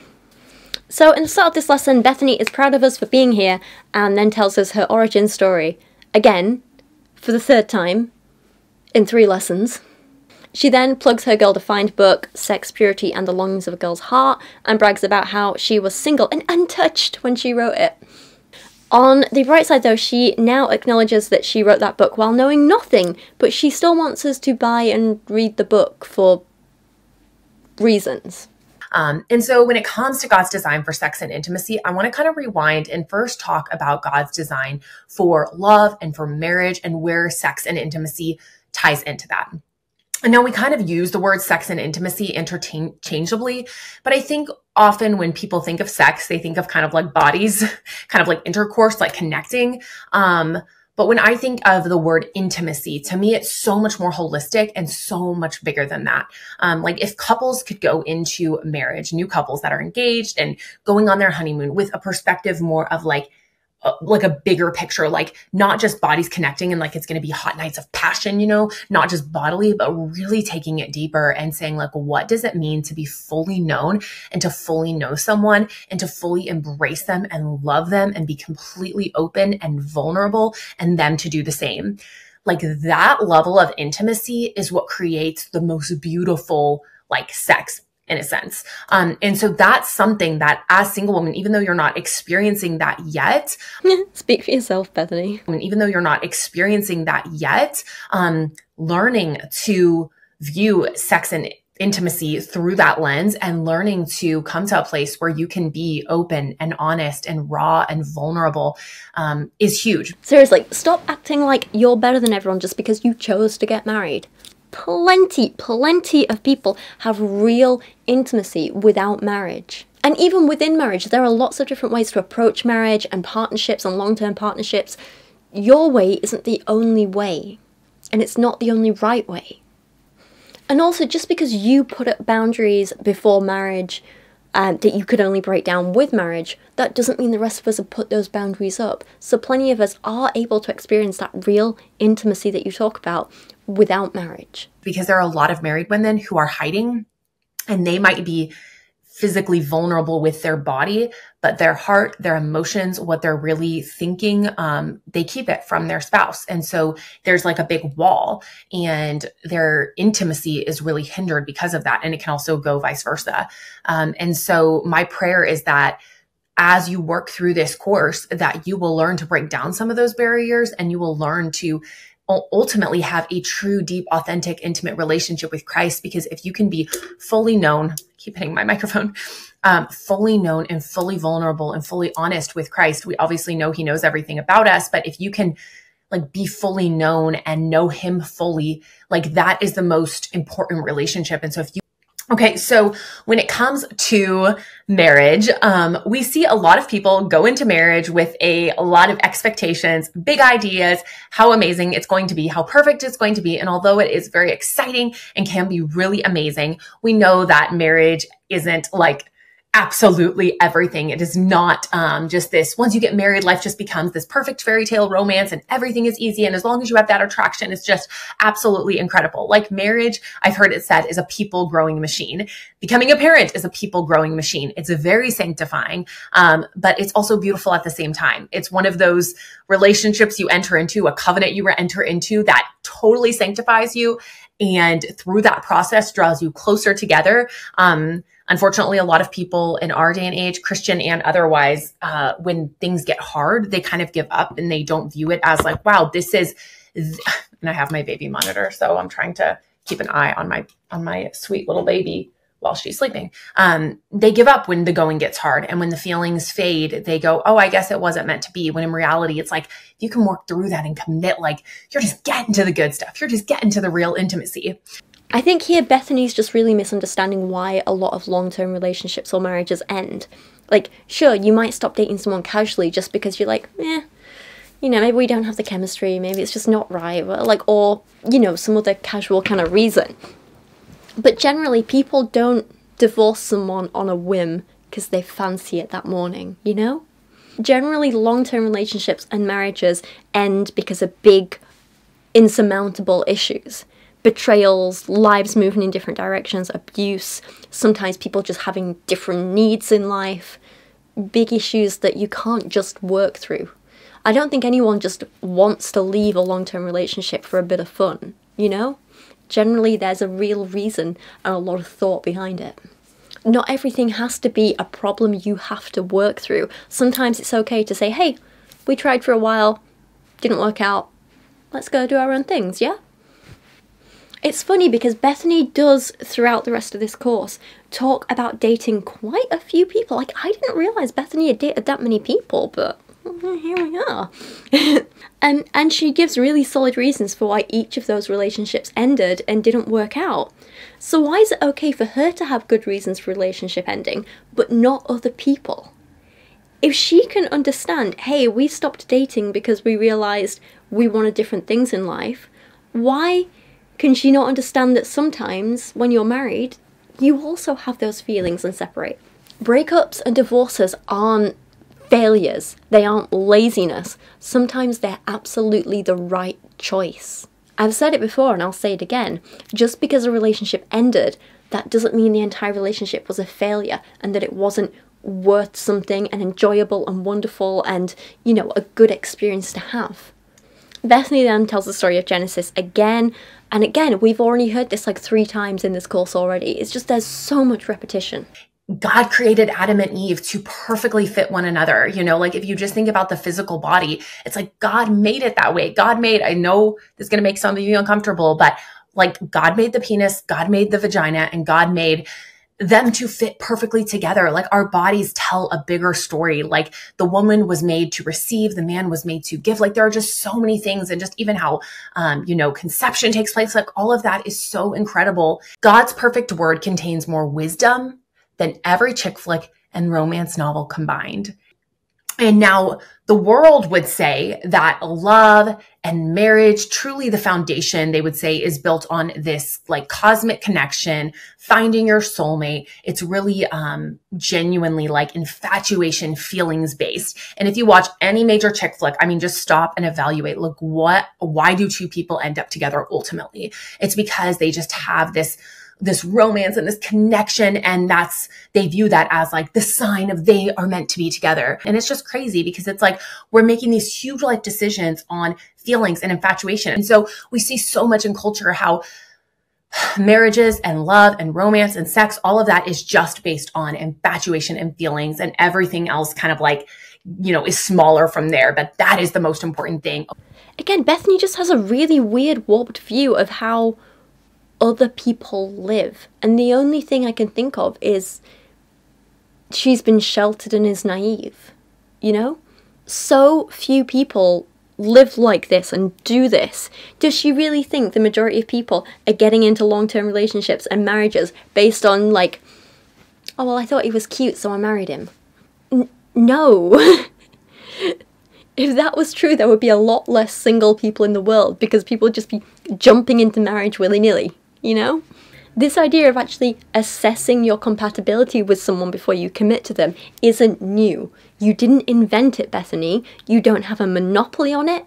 Your church didn't invent it. Your church doesn't have a monopoly on it. It's a very common thing. Even as someone who you would be disgusted by because I'm sexually active in a long term relationship with no intentions of marrying my partner, I'm not just with him because he's good in bed. I don't know, it's one of the reasons. But no, the, the big thing is everything else about him. The way we want the same things in life, how our future plans align, how we have the same core values, how we support each other, how he is so kind and so fun, and we have the same silly sense of humour and so much fun together. That's not just infatuation. I'm not just with him because he's pretty. It's still real love even without us wanting marriage, you know? And lots and lots of couples all around the world also experience that. You really do not have a monopoly on real love. You can't keep gatekeeping love. And we know like that is not what's going to last because we can just look out and see relationships, how they're not lasting, they're not thriving. You know, very attractive celebrity couples are having all sorts of sex and it's obviously not enough to satisfy because most of them are hopping from relationship to relationship. And so I think we need to look when we're watching these chick flicks or these romance novels go, okay, how is this advice actually working out in real life? And if we're truly honest, if we're truly honest about this, we can look and say the actors, the directors of these movies, this isn't actually working in their life they're making this all beautiful and like with all the lights and with all the editing and making this look like this is the way. But in reality, it doesn't work. We need something better. We need to go to our creator. Again, this just screams naivety to me. Like, Bethany, you know films aren't real life, right? It's just a film, it's fiction. It's had certain bits taken out of real life and exaggerated and simplified and it's a film. And again, Barbie, you nearly did a Maya and scared me. One of my last videos, my Maya Angelou Barbie fell off the settee and made me jump so much. Nearly wet myself like a kid. So celebrities, again, she does realise that we can't pretend celebrity relationships are the norm, right? Because they're not. That's not how real people live their lives celebrities are always in the spotlight and have to think about PR and this and this and like no, we can't look to them and say like, ah, this is how people live. And so instead of building a relationship on personal happiness, on personal fulfillment, like that should not be the greatest goal and the greatest motivation of why you enter into a relationship. Personal happiness, personal fulfillment should not be the foundation of your relationship. Attraction should not ultimately be the foundation. The foundation, whether dating or married, should be this. The foundation and the goal is to glorify God, glorifying God. And then once we have that foundation, we can build from there. So what is the next thing that we should look for in a Christian marriage when it comes to viewing this from a Christian lens. So instead of it being all about sexual attraction and that being the most important thing, that does matter. But instead of that being like a foundational piece, the next most important, important thing in a Christian marriage should be to pursue agape love. And the word agape love in the Bible literally means self sacrifice. It's a Greek word used and that's what it means. Agape love is self sacrificing love. It's love is often led by emotions. You'll hear in modern vows, um, instead of saying till death do us part, they'll say as long as our love shall last. So the choice to be in a relationship is really led by emotions, how one's feeling. If they feel like, we our love is still here but like what is love? Agape love is a self-sacrificing kind of love. It's a love that says i choose to be here. I didn't just choose you on our wedding day. I choose you today. And then you wake up the next day and you say i choose you today again. I choose you in your best moments and in your worst moments just like you would do with your children. Um, you know you choose them in their best moments and their worst moments. And just like god chooses us he agapes us. Um, we do not deserve his love, but he agapes. He says, I choose to self sacrificially love you. This whole like, we do not deserve God's love thing, that just makes me really, really sad for them. And then this next bit. Because in a marriage, it's not going to be all like rainbows and butterflies all the time. There are going to be those highs, but there are also going to be those lows. There are going to be hardships. There are going to be tragedies. There are going to be difficulties that you will face as a couple. And if you are just there in the relationship based on feelings, based on emotions, it's going to dwindle and it's going to fall apart. Um, and so you have to decide what kind of love am I going to build this relationship upon? Agape love chooses to faithfully love someone no matter what. When Hollywood says, I love you, it often means I love what you do for me or I love how you make me feel the bottom line is that actually when Hollywood says, I love you, they are saying, I actually love me and I love what you can do for me. And if you stop doing what I want you to do for me, making me feel a certain way, you know, boosting my ego, um, any of that, then uh, I, the, the love is no longer there. Agape love isn't about loving self at all, but about sacrificing self for the good of another. This makes me really sad for Dave, knowing how he's been feeling recently. And again, if you want to find out more about that, go check out the end of the Saga of Bethany Beal video. Dave came out with this whole he's been miserable in his marriage and having suicidal ideation and stuff like that. It was intense. It's interesting though, because Bethany talks here about how special it is to wake up every day and choose to be with someone, and I absolutely agree. That is very special. It's one of the reasons that me and my partner don't want a traditional marriage. We don't want to be married because we love that idea of as long as we're together, it's because we are actively choosing it every day. It makes it more special, more meaningful. It's really, really lovely, you know? And it's, of course, really lovely if Bethany and Dave have that too, and I very much hope they do. Like, it sounds great. The problem is, choosing something is only special when you actually have another option. And it's sad because what Bethany is talking about here isn't actually choice. No one is choosing to stay each day because they could leave but they, they want to stay. No, they don't actually have that option. They're staying out of obligation. They're staying because divorce isn't permitted and they couldn't leave if they wanted to. When you talk about marriage being this covenant and this promise and an unbreakable promise and blah blah blah and divorce bad and meh, meh, meh, it means that you you are trapped in that marriage. Even if you want to be there, it's still a trap to some extent because you don't have the option to leave. So, I, uh, I feel like I'm rambling here. Basically, there's a huge difference between I have an obligation to stay here and I am choosing to stay here. And when you remove the choice, it becomes a whole less mean. It becomes a whole lot less meaningful, doesn't it? I don't know. Basically, I appreciate Bethany's sentiment but in practice, she's not really doing what she preaches, is she? From there, it's the next layer, which is covenant promise. Instead of building your relationship on infatuation, which is a feelings driven sort of love, and that being like an essential step, you need to view it as a covenant promise. And this is specifically within marriage. Covenant is the word meaning a promise that cannot be broken. So as we've been talking about, Hollywood marriages are based on conditions of personal happiness. We see this over and over and over again. It only lasts as long as the couple feels happy, or one person might feel happy and the other person doesn't. It's not going to last. Yeah, see, I don't really see why this is a bad thing. Bethany has still yet to prove to me why a marriage or relationship ending is a bad thing. She keeps saying, oh, this is terrible because look at all these divorces. Why is a divorce bad?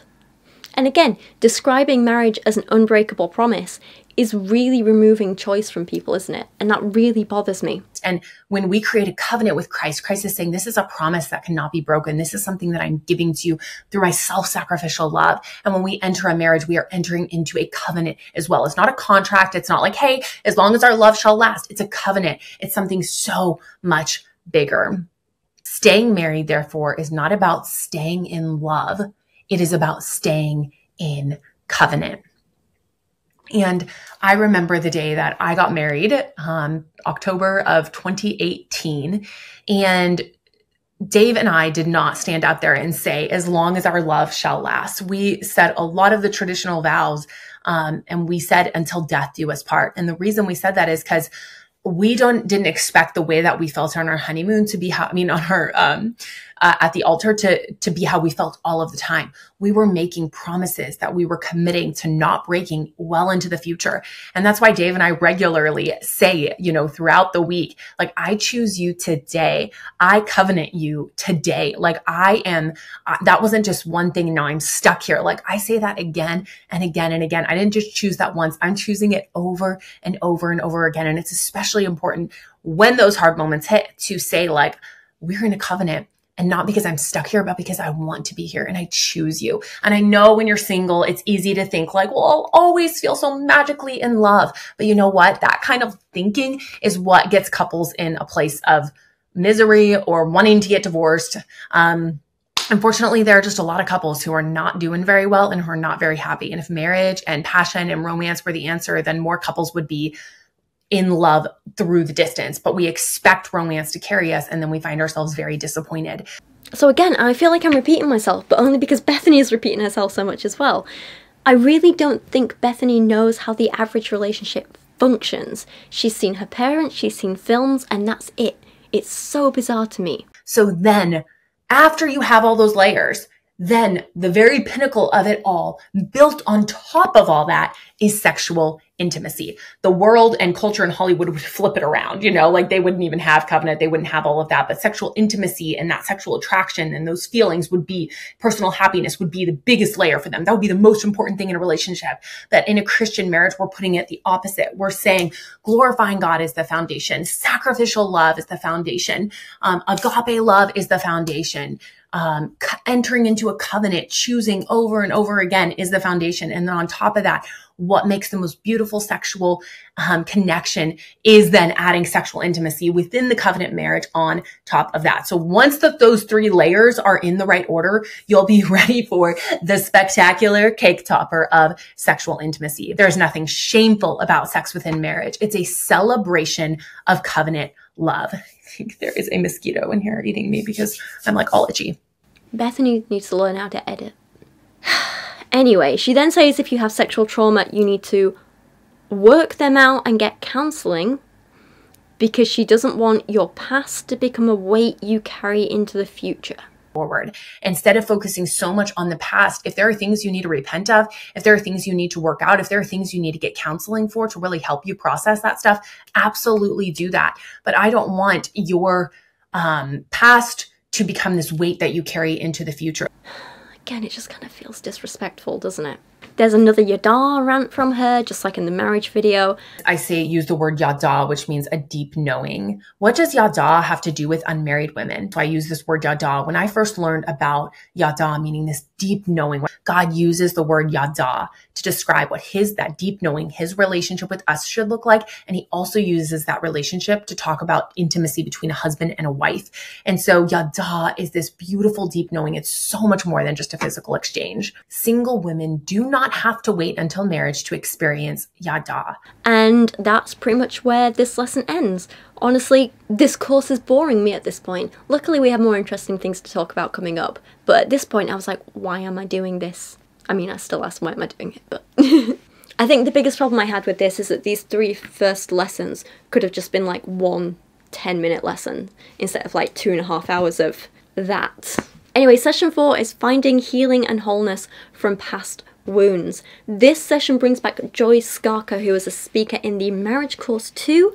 This lesson is about healing from sexual trauma, which is also what she spoke about in the marriage course, kind of their lessons supposed to be about really uh, sexual trauma, but instead she just talks about porn a lot and porn being bad and masturbation being bad and why none of us should do it. The thing is, what she tells us in this video and the session she did in the marriage video, actually, you—they're very, very similar. She tells the same stories in both in the same sort of way. They cover the same topics. I yeah, in terms of her content, there's not much new in this section compared to what she did in the marriage course. But I talk about some new stuff, so keep watching.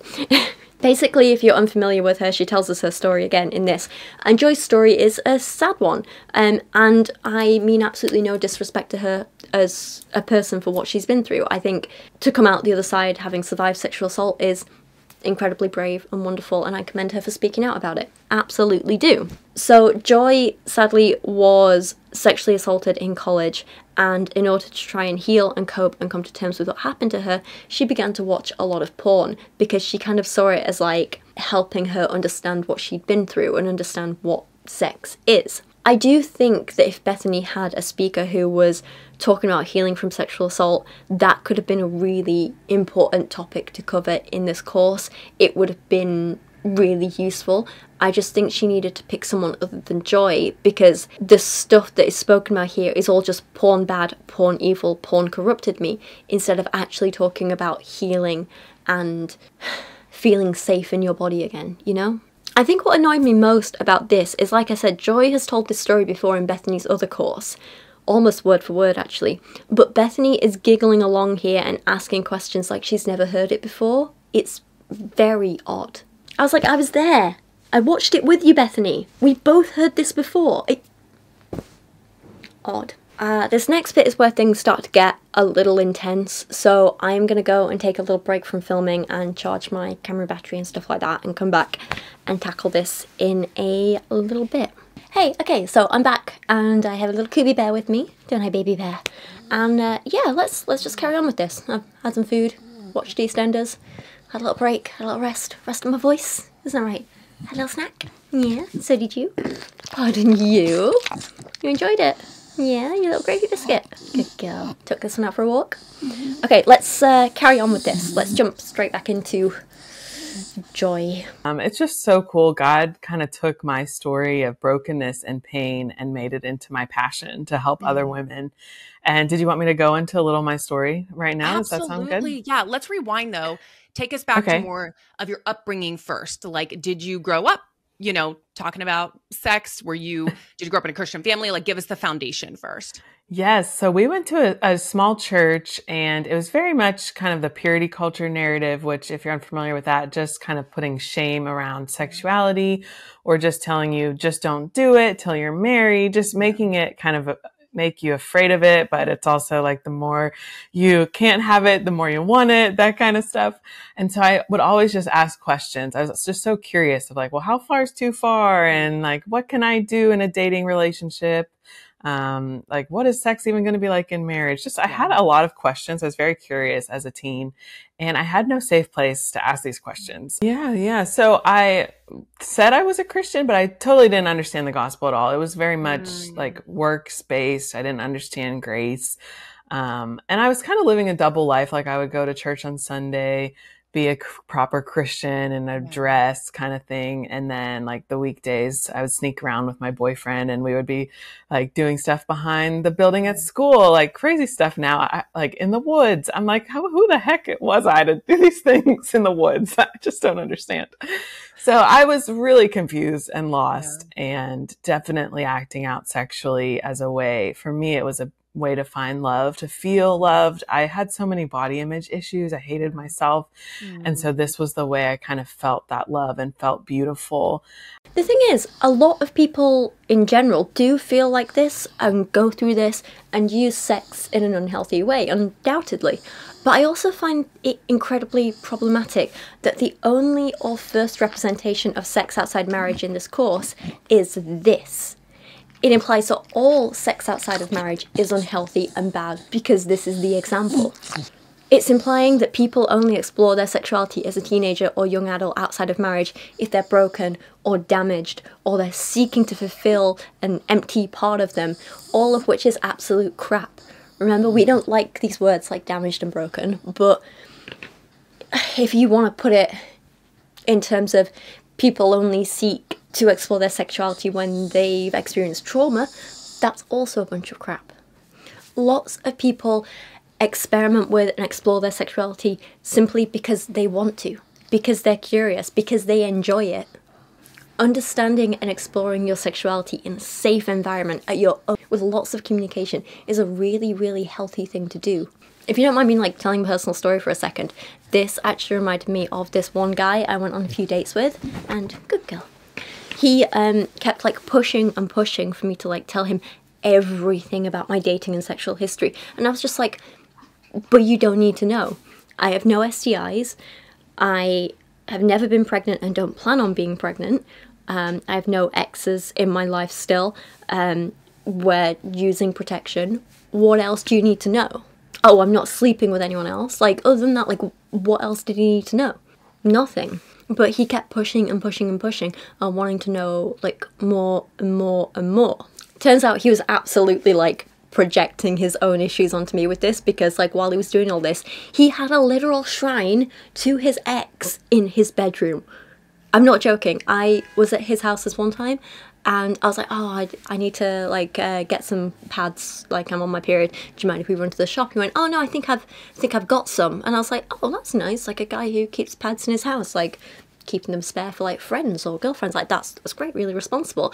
Except except then he took me into his bedroom and and like opens this drawer and he was like yeah my ex left some here and he pulls out like a whole pack of pads with like one missing and in the drawer is also like her pajamas neatly folded and like a whole bunch of her clothes makeup makeup remover some books she'd left like all just like laid out and they'd broken up like two years ago and he'd kept all of her stuff like yeah, it creeped me out a bit, I'll be honest.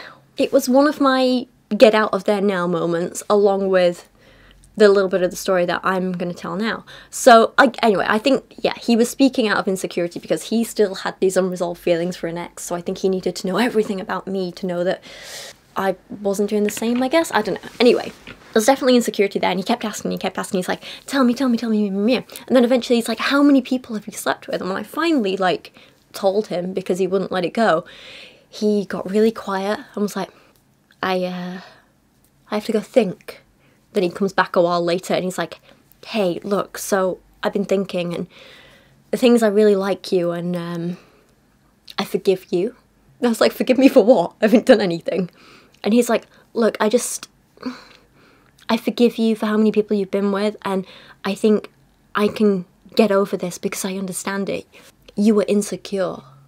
And I was like, what do you mean I was insecure? And he's like, well, you obviously felt insecure about yourself and felt bad about yourself. And so you only slept with those people because you were trying to like fill a void, right? And I was like, no, I chose to have sex with people because I wanted to have sex with people because I thought they were pretty or nice or I liked them. it wasn't an insecurity thing, it was a sex is fun thing. And this ended up like exploding into this big whole argument, and I properly ended things not long after that because I was like, because it was like he was trying to make me ashamed of something that I wasn't ashamed about. And when he couldn't accept that I was ashamed of it, he was like, I don't know, like talking down to me and like pitying it. And I'm like, it's nothing to pity. I'm doing great. I've had fun. I'm not. It was very odd. I tell this story for two reasons. One, because this is why it's really important to have shared core values about sex and its meaning between partners, because if you don't have that, it doesn't work, clearly. But the other thing is, this way that he was portraying sex as this thing where, like, a woman gives it up, or a woman only does it because she has to, a woman only does it because she's missing something from her. Like, it's absolute crap.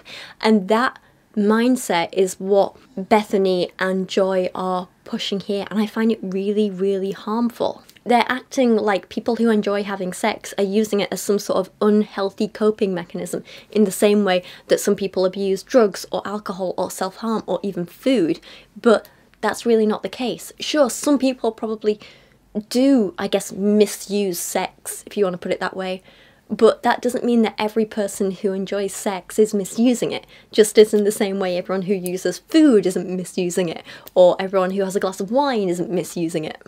For the majority of people, sex is a really healthy, fun thing to do, and it's not something we should be shaming or saying that, oh, people only do it because they have trauma. Sex is really great at being an expression of desire and love and lust and connection and bonding and all these good things, and we can't ignore that. That was kind of high school. So when I got into college, I was pretty lost still. And my third day of college, I met this guy at orientation and um, ended up being date raped by him mm. that night. And oh, so it kind of was a rock bottom moment for me and where I had been turning to sexual things. Like this was my first time having intercourse wow. too. So all the other times I was doing random things, but yeah. nevertheless, like trying to find love. Okay, again, a lot to talk about here. And honestly, most of them I think I covered in the marriage course video. Um, so there's not exactly anything new here, but there are some things I think are worth repeating. So I think the worst part of this is that it really is so victim blamey. She's implying that because she was sexually curious and explored her sexuality as a teen, then that directly caused her rape, which is a horrible thing to be promoting. She implies that if she didn't go on that date, then she wouldn't have been raped. If she hadn't done stuff with other boys, like before this man, then she wouldn't have been raped. That's the implication here, and it's disgusting and wrong. And I both feel sorry for her and angry at her for teaching other people this stuff. Rape is never the victim's fault. I don't know how many times I have to say that whether the person who has been raped was previously sexually active or curious or not doesn't matter. Still not their fault. It doesn't matter if you're on a date with your rapist, still not your fault. It doesn't matter if you had a drink, what you were wearing, where you were, anything. It's not your fault. Nothing Joy did, nothing any rape victim did, caused or led to her deserving to be raped or causing the rape. The only person who causes rape is the rapist. I feel it's absolutely dangerous for Joy and Bethany to be teaching people otherwise. Joy then goes on to talk about how she had a lot of questions after her trauma, and instead of dealing with them or going to therapy or like seeking help or anything like that, she ended up turning to porn and attempted to use it as a sex education tool, which is, of course, a bad idea. Now, when I say this is a bad idea, I don't mean this to shame her. Lots of people try and heal in different ways, and not all of them work. We can't shame her for that, we can't blame her for that. Sorry, it's my computer making noise. Um, she didn't know better, it's not her fault. But I do think it is important to just point out that, yeah, porn is not a sex education tool. And so I had all these questions about what had happened. Like, well, was that sex? Was it my fault? And so I started Googling them. And that's what led me to porn, pornography as a sex educator, which is wow. a bad sex educator. I have learned later. Um, yeah. and so it, it became like all my questions, just searching for answers. And um, it took me telling a few friends for them to be like, no, that wasn't your fault. Like you mm. said no, mm. you, you know, you tried to leave, like different things like that to where I finally was coming to understand what had happened. Yeah. And um, so, yeah, so it started as a, a, like curiosity, wanting answers to my questions, but then it became my coping mechanism to process mm. through the sexual trauma. So when I was lonely, when I was angry, um, when I was just I don't know, like any any emotion really i just found myself turning back to it as a way to cope um, in college so and then in college during this same time i was invited to Cru a college ministry and heard the gospel and so i'd say that is when i officially would be saved or understand wow. what it means to, to have a relationship with jesus yeah. and so that changed everything just like getting into scripture, growing closer to God, falling in love with Him, that kind of stuff. Um, and that's when I started my recovery journey too.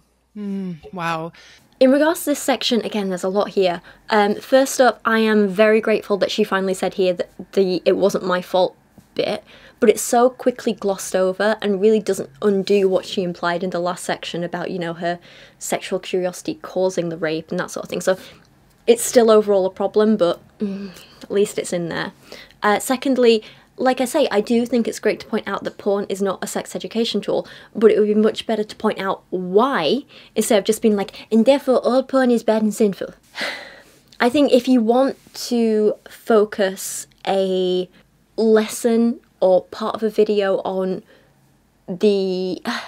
basically on porn in general, I think you should focus on teaching young people, especially, that porn is fictional. It's not real life. It's not a sex education tool. It has fictional scenes, fictional characters, fictional settings.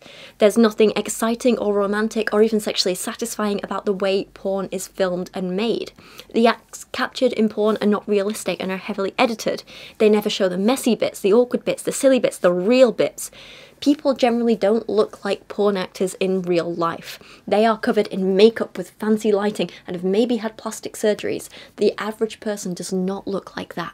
We're all beautiful in our own ways, just not everyone looks beautiful in that one particular way. We all have a lot of different things going on, and it's wonderful. In fact, I think real life's a lot more fun because there's a lot more variety. It's great. You also need to teach people that you can't expect the average person to be able to or want to do everything that a professional sex worker or porn actor or actress can do. To ask that is just completely unreasonable.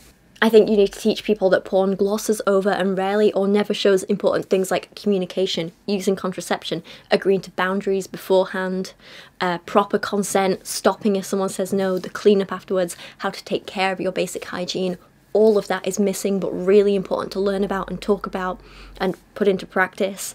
I think we should talk about exploitation in the industry, especially of women and minorities, which has historically been everywhere and still continues to this day.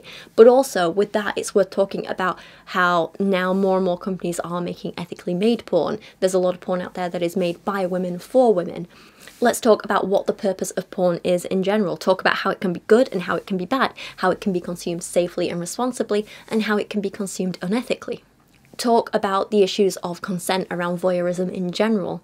With porn, it allows people with voyeuristic, I guess you could say tendencies, you know, people who like to watch, it lets them fulfill an itch in a consenting way because the actors have consented to being filmed and being watched.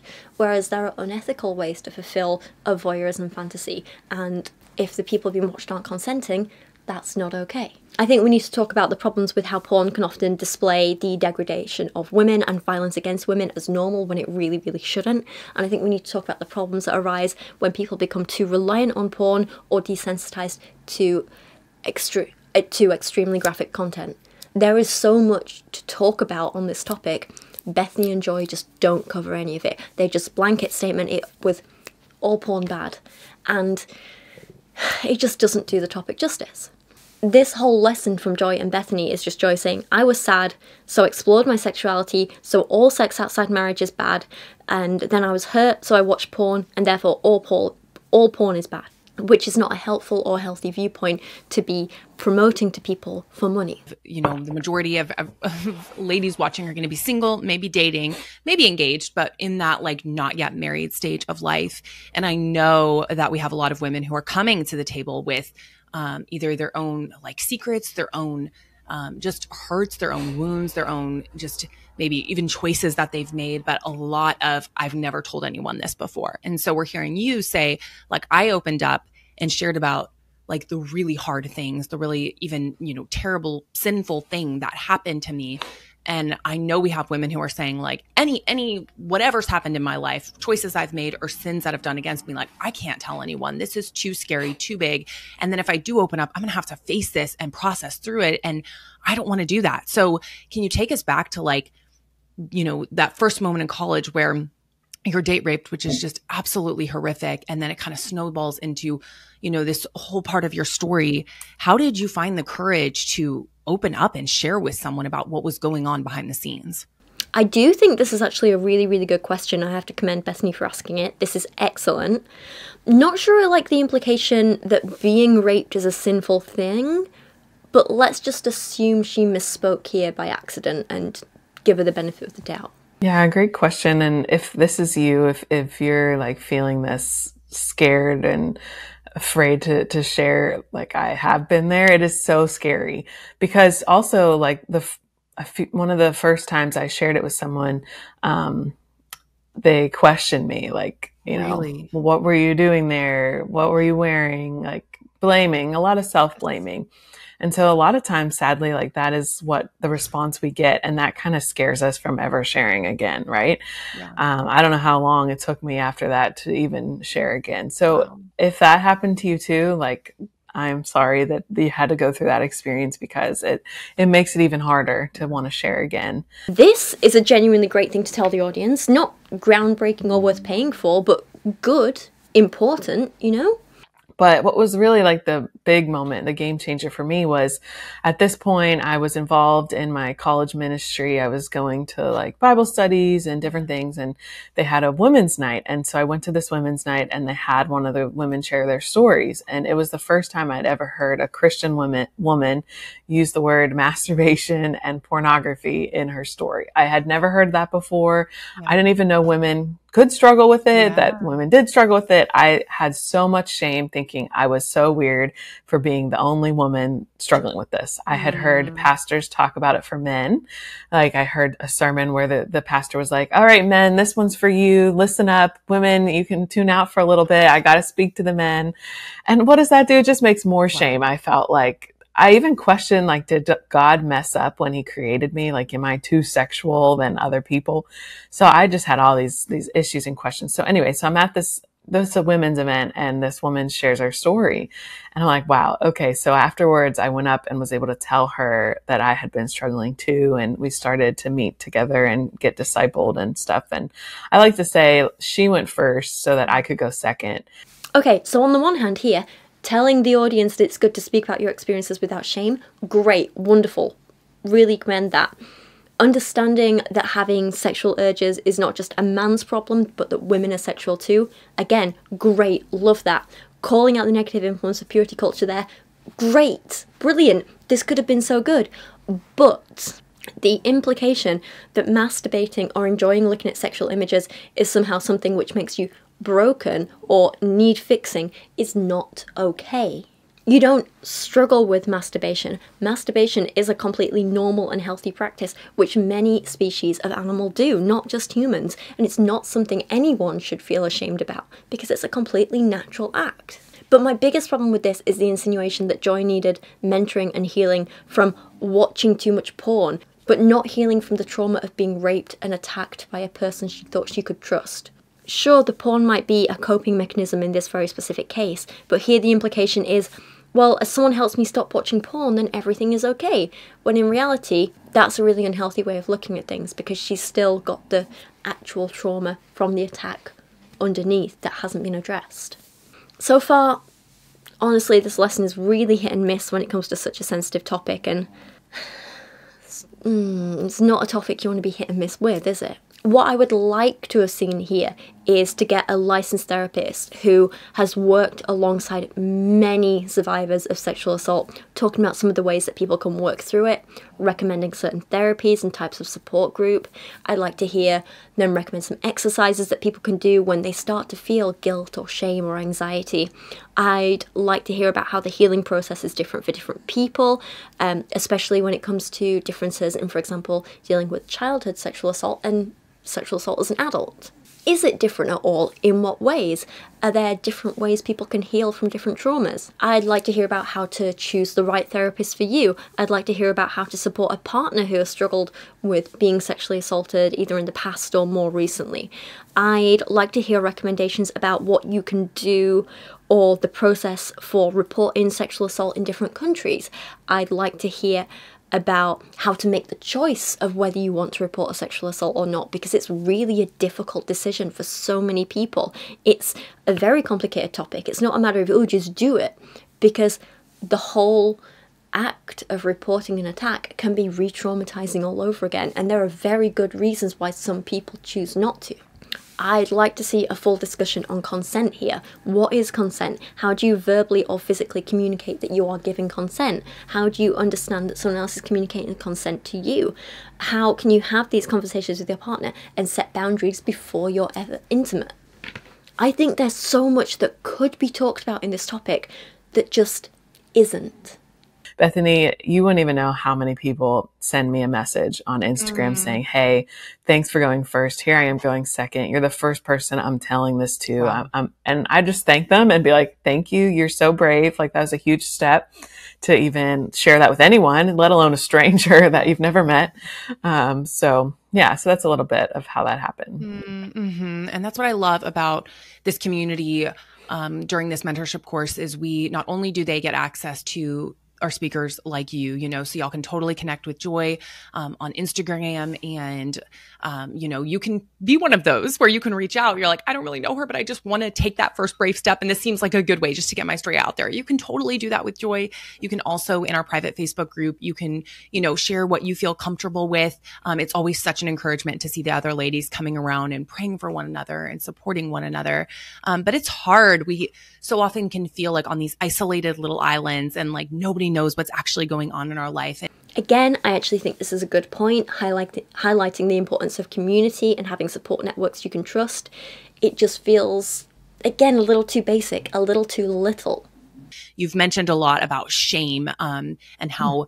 we can just be like trapped in that. Can you unpack a little bit more? Like, what, I don't know, what does sexual shame look like in someone's life? And how can we start to break free from that? I know that's a really big question, but I just feel like we have a lot of shame surrounding our sexuality for many different reasons. Again, good question, but Bethany, you and your Girl Defined content are one of those reasons. Right. Yeah. So let's unpack the kind of the difference between guilt and shame just to have this conversation. So like if we look at my porn addiction, my struggle with porn, like guilt would be, okay, I looked back at porn again. I sinned. I need, I have, I feel like I sinned against God. I did something wrong. So I confess yeah. and like ask God for forgiveness. So shame takes that to a whole new level where it becomes your identity of, okay, I am porn girl. I'll never stop looking at porn. I'm worthless because I look at porn. No one will ever love me. And, and then it even gets to the point where we doubt God will even love us. And some people even doubt their salvation because of this. And so other, other kind of issues around sexuality that cause shame, people like sexual desire. They think I have sexual desire. So that's shameful. Um, same sex attraction. Someone might feel like, you know, I'm so worthless because I struggle with this. Um, no one's ever going to want to be my friend if they knew the true me mm-hmm. kind of thing. Um, so those are just some examples, but the issue with shame is that we feel so alone that no one will ever love us if they knew. Yeah. But the problem is the solution to our shame is community and is being known and yet being loved. And so we have all these women who are isolating themselves because they think, Hey, I can't talk about my sexual yeah. issues. But yet when you step out into community, like I did when I shared my story, when I started being discipled, and now I'm sharing my story and helping others, that's where the true healing and freedom can begin in. So it's just, I, I feel like shame is such a core piece of people stuck in sexual yeah. sin, um, addiction, that kind of thing. Mm-hmm. This is mm, not such a great answer.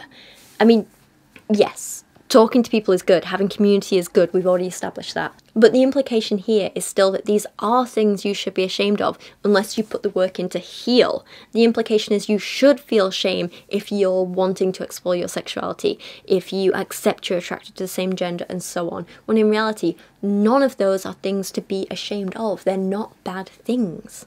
Again, the content I would hope to see discussed here is stuff like what is shame? Why do we feel it? What core beliefs can we find that shame originating from? What things have we been taught in our life that shape our ideas of what is and isn't shameful? I'd like to see a discussion of how we can start to look at these things a little more objectively. This thing that I'm feeling shame about, what are the real world consequences of it? Are these good or bad or neutral? This thing I'm feeling shame about, is it really a bad thing or is it good or a neutral thing? And even if it is a bad thing, does that really mean I have to feel shame for it? How do we start to go about and unpack and challenge the harmful teachings that we've internalized over the years? How do we go about switching up our brain, making use of that neuroplasticity to start seeing topics surrounding sex as neither good nor bad, but just neutral? You know, so on. I think there's a lot to be talked about, and again, it just isn't. It's very, very frustrating. Urgh. Again, I'm no expert here though, I'm just talking about this from the perspective of look, if I was taking this course, what would I like to learn? I'm not an expert myself, so I can't really teach it you, but this is what I'd expect to see if I was paying for this, and I am paying for this, so. Urgh. However, if you would like to hear from some experts on these topics, you can check out a few of my book recommendations, as I've already briefly mentioned earlier. One big recommendation around this topic of shame is a book that I did mention briefly, and that is Matthias Roberts' book, um, Beyond Shame Creating a Healthy Sex Life on Your Own Terms. He wrote this in 2020, and Matthias is a psychotherapist specializing in religious and spiritual trauma, so he knows what he's talking about, unlike some people not to name names, Bethany. Even in just the introduction to his book, he wrote that we need to learn how to recognize shame and bring it into the light. As that happens, we're able to untangle ourselves from the effects of shame, leading not only to better sex lives, but also better lives in general. So the whole book very clearly is about understanding why we feel shame and learning that that shame is not necessary so we can be free of it. Whereas Joy and therefore Bethany approach this in a very different way, which is very clearly learn why you feel shame so you can stop doing that thing right now. Stop it, you sinner. Which is an attitude that all the actual experts say is really, really unhealthy and dangerous. what a surprise! Unless the thing you're feeling shame about is hurting others, for example, having an attraction to children, cheating on your partner, something like that, then the chances are you don't need to actually change the thing you're feeling ashamed about, but simply focus on reframing your mindset. Matthias Roberts writes of sexual shame in particular. Shame targets the very core of who we are and the ways we experience sexuality also exist in those core places.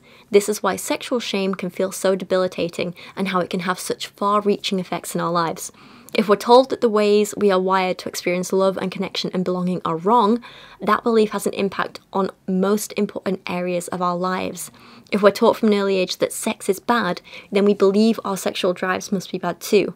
If our sexual drives are bad, and if and if we find that we can't control them, and we can't, then there must be something fundamentally wrong with us. Shame runs freely in these spaces. We begin to split ourselves off, finding ways to manage both our sexual drives and the shame that comes with experiencing them. Things get incredibly unhealthy quickly. Sexual shame ruins us. So, Joy's advice to target the sexual drives and attractions and so on, for example, which gender or genders a person is attracted to, um, that's telling people to change or control something fundamental about themselves, which is, of course, impossible. So, while Joy says and probably even thinks to herself that she's trying to help people feel free of shame, she is, in fact, only making the shame last more long term and do more damage. Roberts goes on to say that he believes it's important to move beyond shame to a healthier, more life affirming view of sex and sexuality, especially in our faith communities. Sexuality is tied intimately to who we are as people, and it influences almost every single aspect of our lives. If shame can establish a stronghold within our sexuality, it can do a pretty good job of mucking up our lives. He continues, shamefulness is based on the presupposition that there is a right context for sexual expression and a wrong, conte- wrong context for it. Any sexual activity outside of that context, whether defined by marriage, commitment, the gender of the person we desire, or other criteria, is deemed bad or wrong. I know I'm reading out a lot to you here, but trust me, it's worth it. He then says, when we are taught the right context for sexual expression, at some point many of us discover that our sexuality, our sexual desire, and our fantasy lives don't exactly fit into such a neat box. We learn that we will have to struggle against our desires. If sex outside the prescribed context is bad, it would seem to follow that our desire to have sex outside that context must also be bad. Now we feel dirty and we can't shake the feeling that there's something wrong with us for desiring sex outside of the right context.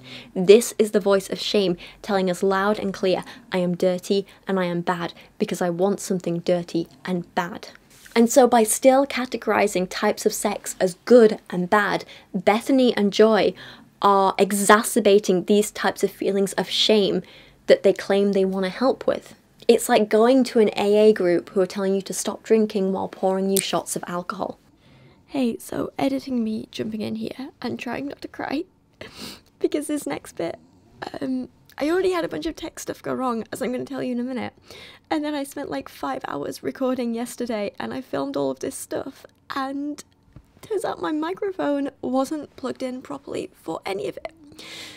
So it all sounds like it was recorded in a dustbin, and I do not have the time or the energy to try and re record it all.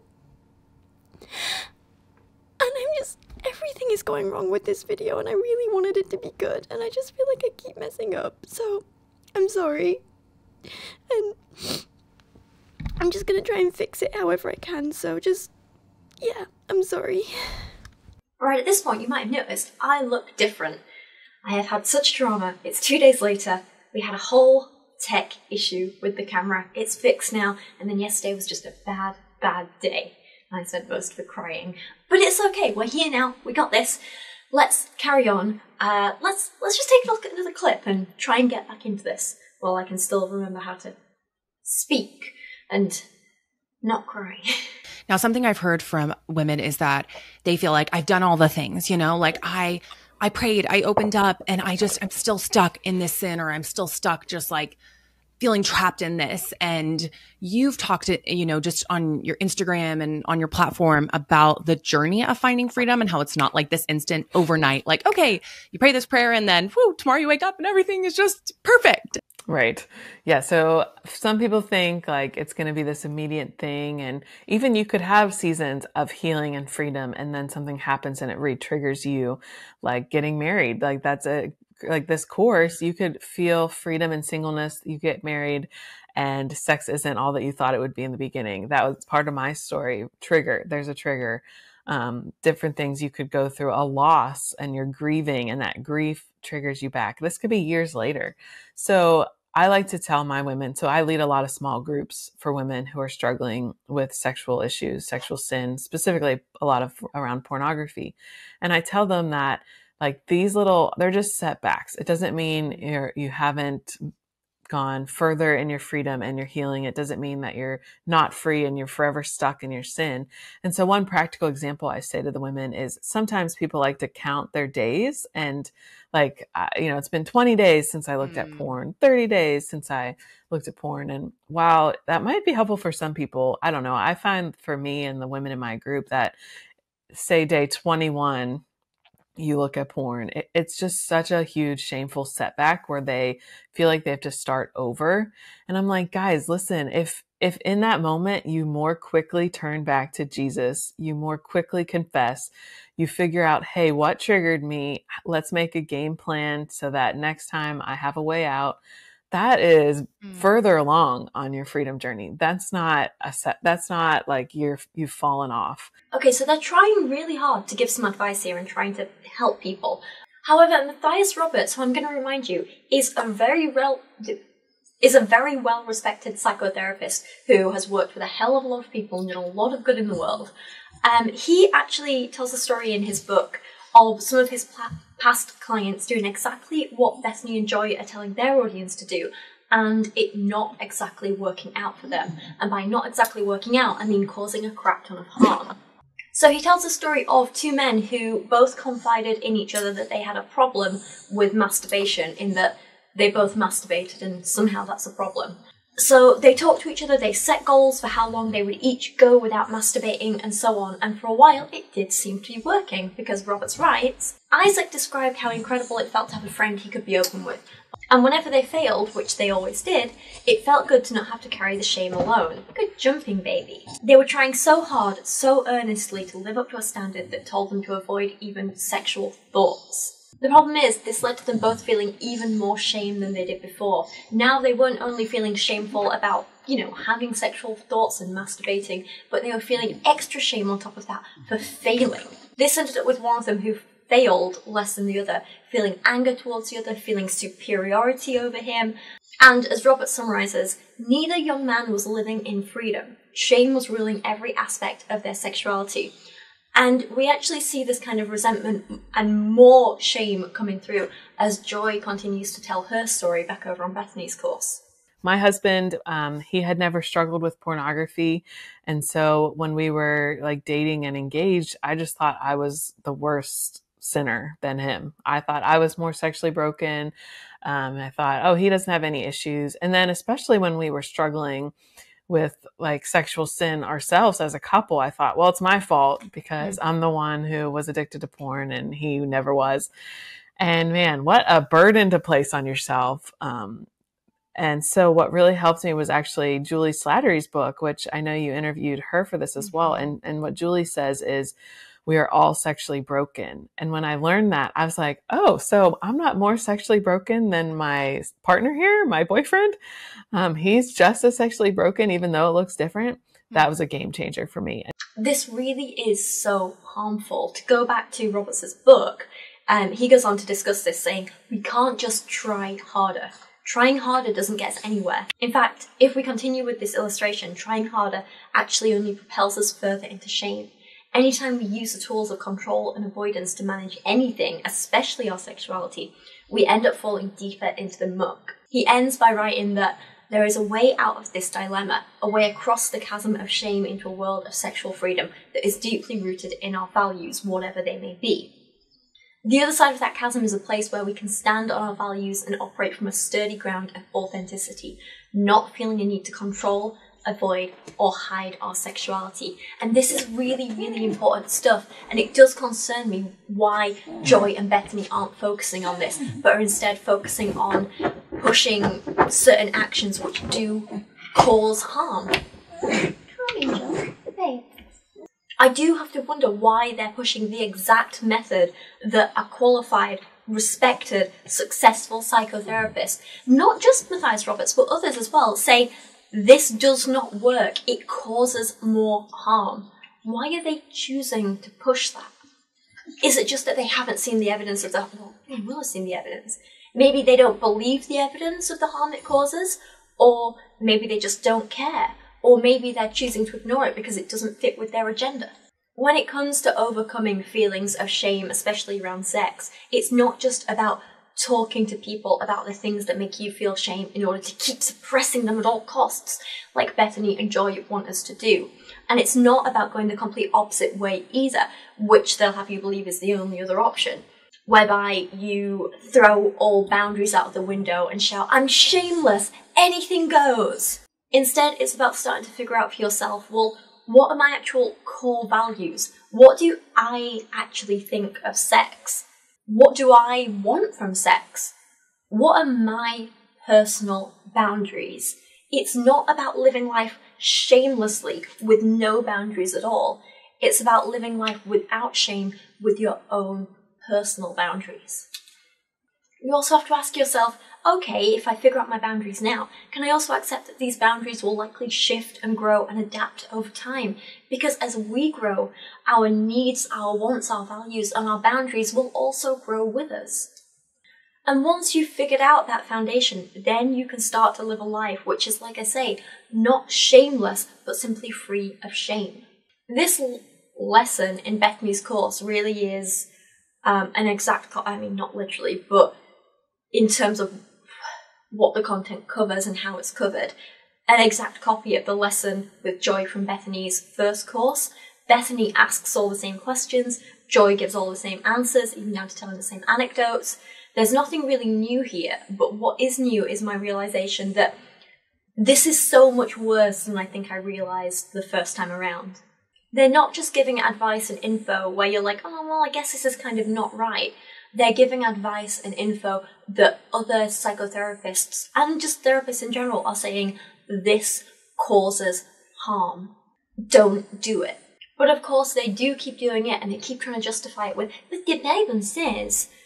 Brilliantly, though, Matthias Roberts can counter this point too. If you are interested in this, I would recommend going and reading, in particular, chapter 4 of his book Beyond Shame, because it offers a great discussion of what biblical sexuality actually is. Matthias Roberts was raised Christian and I believe to this day is still Christian, and he manages to um, reconcile that with the fact that he is a gay, sexually active man, and he has helped countless other people who are to varying degrees sexually active and you know all kinds of different people of different genders and sexualities and everything. So he actually really does know what he's talking about. He kind of unpicks a lot of these passages and quotes that people like Bethany rely on and says well actually let's take a look at what they actually mean in context and how you know the how the Bible was written affects them, and also what it means for today and what we know about human psychology and what's harmful and what's not harmful.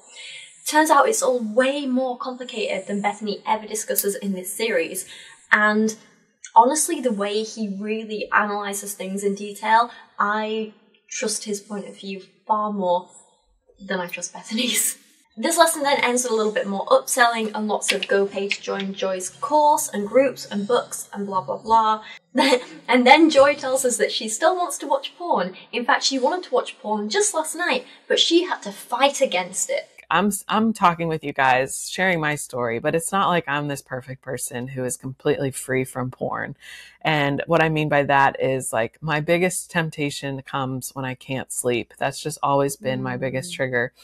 And so last night, my kids like were crying and crying, and I'm like, I just want to sleep, and I couldn't fall asleep. And so that little temptation came into my head of like, oh well, if you just looked at porn and masturbated, you'd fall right to sleep. Mm-hmm. And like I had to fight against it, and I had to pray, God, take that away, and just work through all my different healing um, processes that I've created for myself. And ultimately, I didn't turn to it, and I praise God for that. But like, guys, mm-hmm. this is it just comes back at us. Satan doesn't want us to have victory. He doesn't want us to live in freedom. And so that's why being in community and having uh, all these people who are cheering you on and praying with you is so important in your freedom journey. So mm.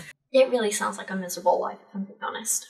Joy then tells people to go buy her book study packs, which are basically just you get sent a book, and then 12 of you, like all just random people, get together on a Zoom chat one evening and discuss it.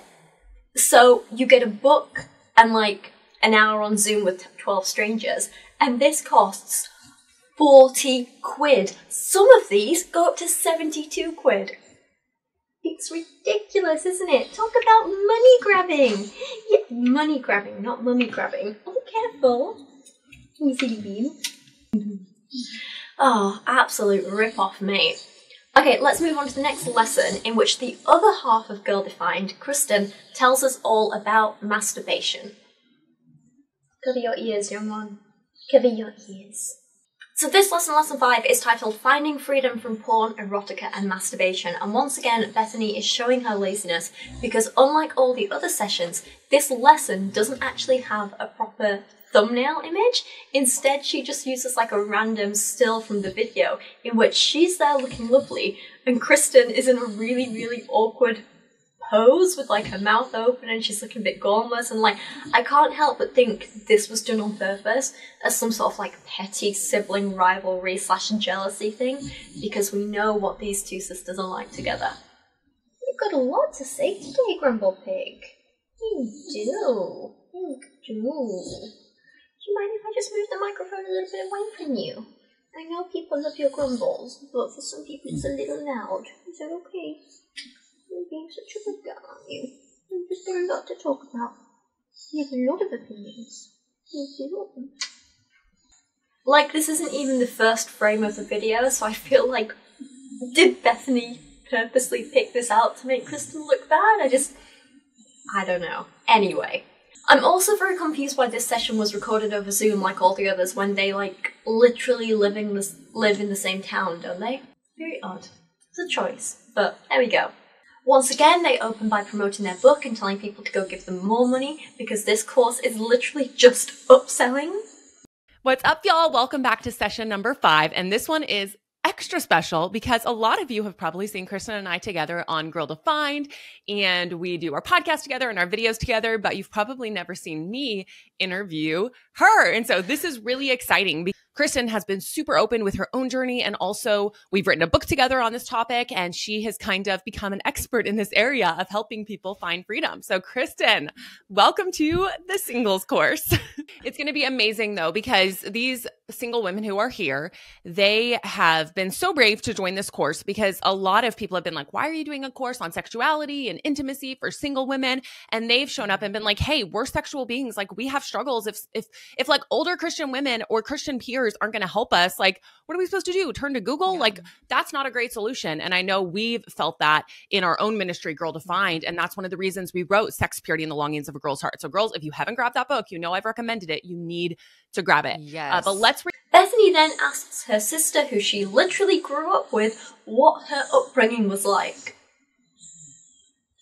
We've literally heard about Bethany's upbringing like four times already in this series, and now we're getting the same story from her sister. Because why not, right? Why not waste more time? Rewind really quick, Kristen, before we get into kind of like your, you know, mid teen years, rewind and take us back to growing up. What was what were your thoughts on sexuality? Did you have what was like your upbringing like with that? I kind of want everyone to set the mm-hmm. stage before they get into more of their story. Yeah, so like you, grew up in a Christian family with parents who loved Jesus. They were first generation Christians, so they were still learning so much themselves of like how to raise Christian children, discipleship, all of that was brand new. And I remember from a really young age having questions about my sexuality. I don't think I really knew I was having questions about my sexuality. It's just, you know, you're a kid, you're curious. You, you know, you have parts, you see boys and you know they have different parts and you're like, what does all this mean? How does all this work together? You hear, you know, the the hush hush word sex every now and then mentioned or you yeah. see it on a magazine and you're kind of like what is that? It's like this big thing but you don't really know. And so in our family i would say that our parents were very well intentioned. They loved us. They they were intentional in many ways to disciple us. But i think for that generation in general there was just a little bit of one they were not discipled yeah. in god's design for sexuality. It was very much a hush hush conversation in their growing up life. And so they, for so many of that generation, kind of took that into their own parenting. And it was a little bit of a hush hush for them toward their children. So I think growing up, I know you feel similarly. It wasn't really an open conversation. Yeah. It wasn't something talked about regularly. So I felt a little bit like I had a lot of questions and I wasn't mm-hmm. really sure mm-hmm. where to go for answers. Google didn't really exist yet. I don't think smartphones, tablets. So it was just kind of like this big mystery. And, you know, looking back, I just wish so bad that I had had more answers, mm. but I didn't. And as I faced some of my struggles, which I know we're going to get into with lust and masturbation, um, I, I didn't understand what was going on. And I just felt a lot of shame and I didn't know how to find answers or how to find freedom. Mm-hmm. And here we have that topic of shame coming back up again in response to purity culture. Almost like a pattern, a causal link, perhaps. What? I wished I would have had a lot of this teaching like before marriage. And I know I did by mm-hmm. doing a lot of research into sex purity longings, but having a community, an open community like this, like when you're still single, like the earlier on you can get this kind of teaching and these sorts of conversations, oh, yes. the better. I agree. But hearing this coming from the same people who say we need to shelter all kids and teens from even knowing gay people exist is kind of ridiculous. I've said it before and I will say it again. Um, I will always be an advocate for kids and teens appropriately learning about their bodies and sex. I think it's a really important thing for them to learn about. It just has to be done appropriately. And you can sniff there. Oh, did you just lick Tommy's paw? You are so cute. So, entering my teen years, those early teen years, actually, this was my struggle was even before that. So, just naturally, as a young girl, young woman, yeah. exploring my body, figuring things out, and going, oh, wow, this feels really good. So, yeah masturbation became a habitual habit for me. And at the time, I honestly was so naive. I didn't even know it was something sexual. Like I had no mm. idea what it was. And totally. I just had no context for it. I just thought, wow, this is interesting. This feels really good. I thought maybe I had yeah. discovered something that the world didn't really know about. Totally. And so as I got older, I started, you know, reading books, some books on just biblical womanhood, biblical sexuality, and started getting glimpses of like, wait a minute, this is actually a thing and it has a name. And I've been struggling and oh, other people struggle. Oh, this is like something people talk about. Like I had no idea. It honestly blew my socks off. And so mm-hmm. my struggle persisted though, and I was just so ashamed. Now, this I found very, very interesting because notice how Kristen didn't feel any shame until she was taught about masturbation from a biblical perspective. That's because masturbation itself isn't a good or bad thing. It's a neutral thing. It is a neutral action. It is neither morally good nor bad. It is very natural. It is found across many, many different animal species. It's found in every human culture and time period.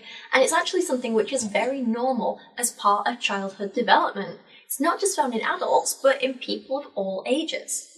There is absolutely no good reason for the shame and stigma surrounding masturbation. Is there? No. In Rebecca Chalker's book, The Clitoral Truth, which I think I've referenced in other videos before and it's great, you should give it a read, she writes that masturbation is as old as life itself and it appears to be innate. She then quotes a report from the American Journal of Obstetrics and Gynecology. I find that word very hard to say, ob- obstetrics.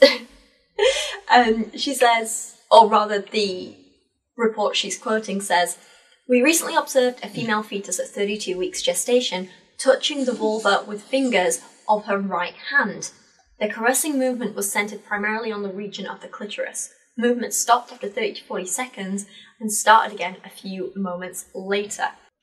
The report literally goes on to describe witnessing fetal masturbation and orgasm. In other studies, uh, male fetuses have repeatedly been seen to have erections and to touch them. Chalker goes on to write that babies as young as three or four months old have been reported to masturbate, and certainly many young children do. Uh, Vic Liu also weighs in on this, adding that for them, masturbation is about sex. It isn't a sexual thing at all. In fact, it's more sensual, sensational.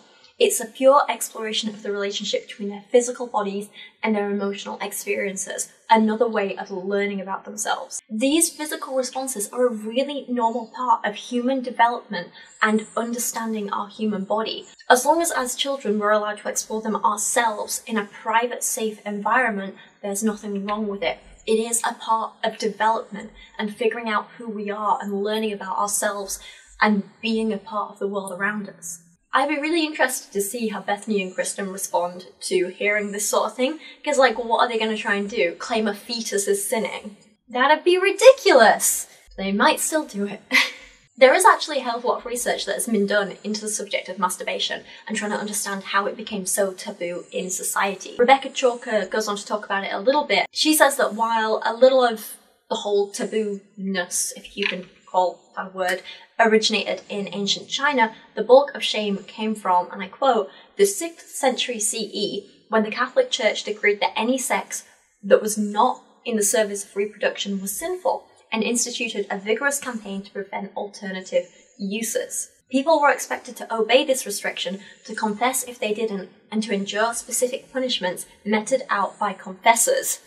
Sound familiar? Both Chalker and the historian Thomas Laqueur write of a book which started mass fear around masturbation in England with a very, very long title. Onania, or the heinous sin of self pollution and all its frightful consequences in both sexes considered with physical and spiritual advice to those who have already injured themselves by this abominable practice and seasonable admonition of the youth of the nation of both sexes and those whose tuition they are under, whether parents, guardians, masters, or mistresses.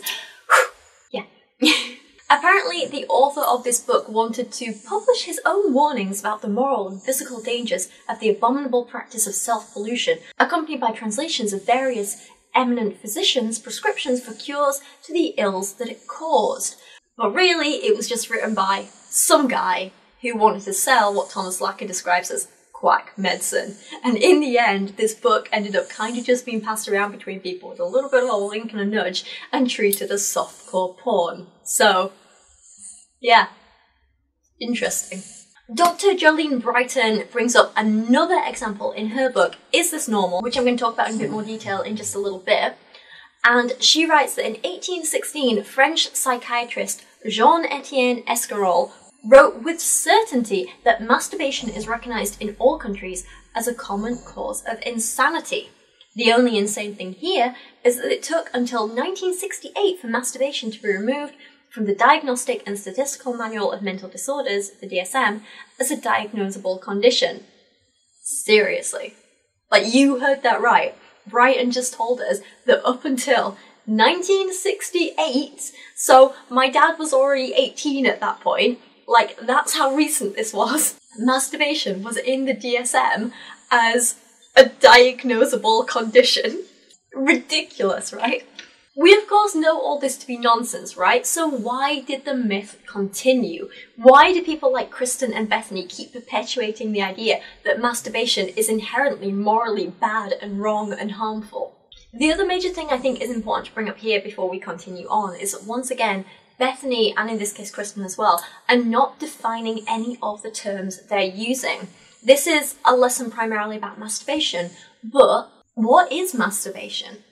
We all kind of think we might know, but if you had to define it, how would you? Don't worry, you don't actually have to answer that. Rebecca Chalker has an answer for us. She writes Masturbation is defined as any kind of sexual stimulation that does not include coitus. That means touching oneself on the breasts, genitals, or any other part of the body in a way that is intended to elicit sexual feelings or sensations to keep masturbation interesting, people not only use hands, vibrators, dildos, or other sex toys, but an astounding variety of objects, including feathers, rubber gloves, whipped cream, and other foodstuffs. cat and nine tails, even whips and instruments and apparatus traditionally used in S&M games. There's also mutual masturbation in which couples stimulate each other with or without having intercourse. What does this mean for lesbians who have very real and sexually rewarding experiences? Or for gay men or even heterosexual couples who do everything but put a penis in a vagina or anus? Aren't they having sex? Perhaps there's no such thing as masturbation, just sex with or without intercourse. Which brings me to a very, very interesting point, or at least a point that I find interesting. If masturbation, by this and many other definitions, is any kind of touching with intent to sexually excite someone without penis in vagina penetration, then how do Kristen and Bethany feel about things like touching yourself during sex with your husband? How they feel about using hands and other body parts during sex with their husbands? Or are they just against sexual touching when they're alone? And if this is true, then what about when in the marriage course, Bethany and one of her guests encourage people to try self cultivation, masturbation. Apparently, you need to self cultivate in order to teach your husband what you like and better understand your body. That is, Bethany, in her last course, literally encouraged women to masturbate while they're married so they can have better sex with their husbands. So here's the breakdown is that we spend a lot of years believing that masturbation is wrong. And so any self-touching is wrong. Don't do it. And there yeah. is no scripture A that says masturbation is wrong. However, there are lots of reasons to be very cautious about what it is to be involved in that act. And so that is for another conversation. But I think self cultivation is what I like to call it, is different than masturbation. Masturbation is touching for like for stimulus and for orgasm by yourself for yourself in a secretive isolated way. Self cultivation is a way to get to know your feminine body so that A, you love it and you think it's good and you like it and you're comfortable with it and you are aware of it and you're educated about what is where and what is down there I had no education about my body, no idea what was down there. I mean, I hear a lot of women get married, they're like, I didn't know I had a clitoris, the husband yeah. doesn't know. And so if you don't know about your body, it's hard to be able to share your body. It's kind of like you have a really special gift, but it just stays in the corner and you never even opened it. And so you can't really share it with anyone because you were too scared of it. And your mm. body is a gift and God has given it to us and we don't have to be scared of it. And so self cultivation is simply just kind of like self education. You can think of it that way getting to know your body. You can touch yourself down there in order to be like, okay, this stroke, this way feels good. And then the point is then you go teach your husband. So, what does this mean for this course now, where Bethany and Kristen are saying that masturbation is inherently wrong in all cases? This is why Kristen and Bethany need to define their terms if they're teaching a lesson on an educational course because otherwise you just get these very, very confusing, unclear questions and things. Oh, boo them, boo both of them. Let's watch more of their terrible lesson. Um, for me, my struggle with masturbation was very much lust fueled, fantasy driven. Mm. Um, my heart was just fueled with a lot of impure thoughts, imaginations, you know, things maybe I had seen glimpses of and I would just kind of extrapolate on those in my mind. And so it was definitely not a pure act that I was engaging in. Um, and so for me, there was just a lot of shame in that, in mm. realizing like, wow, I have lust in my heart and I confess it to God, but then I continue to struggle. And I was too ashamed to tell anyone. I didn't even know who to tell. So here they're very clearly stating that the problem is women or just people in general having lustful thoughts outside of marriage. That's the sin, they're literally placing these boundaries and restrictions on what is a fundamental part of being human. They're saying it is bad to feel desire, it is bad to want pleasure, it is bad to be attracted to even a fictional person or scenario. And remember that this whole narrative that our basic fundamental physical and sexual desires and drives are bad is unhealthy. It causes so much shame which harms us so much. Remember what Matthias Roberts wrote earlier if our sexual drives are bad, and if we find we can't control them, and we can't, then there must be something fundamentally wrong with us. Shame runs freely in these spaces, and things get incredibly unhealthy quickly. And once again, this is what Kristen and Bethany are encouraging. They are basically saying that there is inherent shame in being human, in being animals, in being. Now, again, we cannot ignore that not everyone has these desires and urges, but it is important to remember that whether you do or you don't, it is normal, it is natural, it is healthy, it's a part of who you are, and it's not something that needs changing or controlling or restricting yeah, for so many women listening, I know you can relate to this struggle of feeling like you're on an island. And the mm. longer you struggle with something and you don't bring it into the light, like for me, the harder and harder it is to do, right? Because then it's like, oh my goodness, I've been struggling with this for years. Yes. How can I tell anyone? What are they going to think of me? How do I even bring this up? It just feels so awkward. It feels so weird. Now, this is something I found very interesting because I don't know if you guys noticed this, but um, did you notice that both Joy and Kristen use the exact same language and analogies when talking about this? Yeah? This whole island, boat, blah blah blah, like they both use the same ones. And let's just be real for a moment, the last lesson was meant to be about healing from sexual trauma, but instead it was all putting your masturbation in bad. And then this lesson is all putting your masturbation in bad. It's exactly the same. These two lessons could have just been one for all they cover. There is so much repetition on this course, and it's boring and it's unhelpful, and it's a waste of time and money. Kristen then goes on to talk about how we need community for accountability, which again is exactly what we saw in the last session with Joy, and it's what we saw uh, Matthias Roberts as well says leads to resentment and more shame and more suffering. So both Joy and Kristen and Bethany, or rather all three of them, are all promoting something that is literally harmful. Kristen then tells us that we need to be careful when we confess our masturbation sins to not confess them to a man. I think the implication being that if a woman says, I masturbate, then that's gonna cause some man to have lustful thoughts and he won't be able to control himself, and then you're causing him to sin, I guess.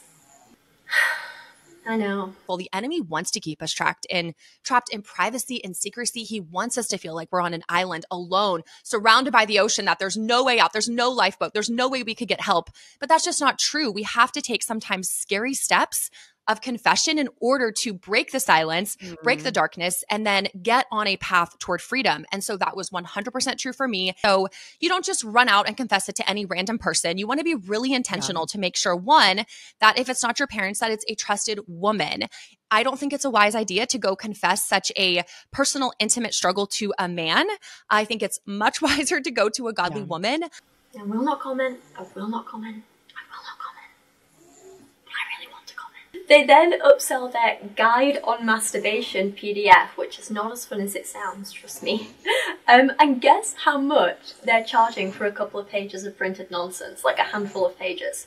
Eight quid! Eight quid! That's more than you pay for the average book. That's half a bottle of decent wine at my local bar's or like Wednesday wine night. That's that's a multi-pack of balls for Kubi. That's a. What can we get you for eight quid, baby? That's a very fancy steak for her. Yeah. But seriously though, like, take the average. Well, actually, I know books seem to be a little bit more expensive in America, I've noticed that. But in the UK, I'd say that your average paperback book costs about what? Six quid? Maybe up to a tenner if you're buying it from a fancy bookshop? You know, and those are books that are well written, well researched, well edited, and generally all the work is done by people who actually know what they're talking about. So you could pay less money and get a better, proper two to three hundred page book instead of Kristen and Bethany's like little what, 10 page PDF. Screw that! if you do want a better way to spend your money, then I really recommend the fantastic book Come As You Are by Emily Nagoski. We mentioned it earlier, it's great. It talks you through the science of female anatomy, desire, sexuality, all the fun stuff. And most importantly, it talks about how understanding all of that stuff can benefit you in actual real life and your sexual relationships with both yourself and other people. Very, very useful. There's also the Come As You Are workbook, which is a great resource to use alongside that book or after you've read it. Really recommend that as well. Alternatively, there's uh, Dr. Jolene Brighten's book, Is This Normal? Judgment Free Straight Talk About Your Body. It's a great resource for telling you everything about those of you who are assigned female at birth, need to know about your bodies, and has a great chapter titled Is Masturbation Normal? And spoiler, it is. And hey, it turns out that while masturbation was removed from the DSM in 1968, in 1972, the American Medical Association finally recognized it as officially normal. I know! Dr. Brighten goes on to list the many, many, many health benefits of masturbation. Dr. Brighten writes of masturbation that it can help reduce stress, improve how long and well you sleep, boost your mood, increase your self-esteem, improve your body image, ease menstrual cramps, relieve headaches, decrease pain, and strengthen the muscles in and around your pelvic floor. Rebecca Chalker added even more to this conversation when she pointed out that numerous studies have shown that for many women, masturbation results in orgasm more reliably than does intercourse, and typically it produces stronger orgasms to boot. It can also help you discover the type of stimulation you like best. You're, you're in complete control of the amount and type of stimulation that you prefer. You don't need contraception or STD protection. It's sex when you want it, which is great because Sexual activity produces a natural opiate, endorphins, as well as hormones that can enhance mood and increase a sense of well-being. And it's not just an entirely solo or selfish thing, as Kristen and Bethany might say either, because as Chalker points out, some people masturbate to increase their desire for sex. So there you go, some good books there. Give them a read. They're a much better use of your money than any girl-defined PDF. However, Bethany goes on to say she wants us to throw out anything, anything that encourages romance, such as books or magazines. Uh-huh. And no matter what you're struggling with, the guide on masturbation, it offers you like such good practical biblical steps. So even if you're like, but I'm struggling with erotica or I'm struggling with porn, the guide on masturbation kind of helps with all of that just because the biblical principles and the mm-hmm. steps to freedom are very similar. And I realized after a while, like, wow, the books that I began to start reading and enjoying became very much like they were kind of like Christian romance novels and they kind of progressed mm-hmm. from there. And I think they were, you know, some would call it like, I don't know, soft mommy porn or something, like kind of, you know, these books that really they as a single woman they weren't fueling pure thoughts in my mind. They weren't really mm-hmm. pushing me in a good direction. They were just kind of fueling this a lot of discontentment and a lot of just like oh where you know imagining what if this were my life? And it just wasn't a healthy place for me. And i remember one time getting a big black garbage bag do yourself a favor and just get rid of that. So, can you give yeah. us some other, like, okay, the black garbage bag, they can throw stuff away. What are some other just practical things that they can do that maybe you did? Yeah, well, you named all of those things you named are a great one. Going through your social media, I would say, is one of the biggest nowadays because back then, you know, we would talk about magazines and like, it's like, do people even read magazines anymore? I don't even know, but we know we're on our phone and statistics show that we are on our phone a lot, especially our generation and younger. We are glued to our phone. We spend hours hours on social media, scrolling, mindlessly getting stuck in all these rabbit holes of content. And so that is one of the biggest places I think today that yeah. we are finding ourselves trapped without even realizing it because it's just what everyone does. It's just so natural. And so I would encourage you to specifically take inventory of what is happening on your phone, what kind of content you're scrolling through, what kind of content you're looking through. Um, and, and then in tandem with that, I would say the other huge thing that is all the rage today is just binging shows on Netflix, yes. on Apple TV, you know, whatever it is, yes. the binging and just like a Friday night, like I'm going to watch half the series. And there are so many fun things. My husband and I love, you know, shows and enjoying things together, but we have to be careful because what used to be considered scandalous and like X rated is now seeping into all mainstream content. Yeah, shows 100%. that are considered just mainstream shows that everybody's watching have so many sex scenes, so much raunch, so much yeah. nudity.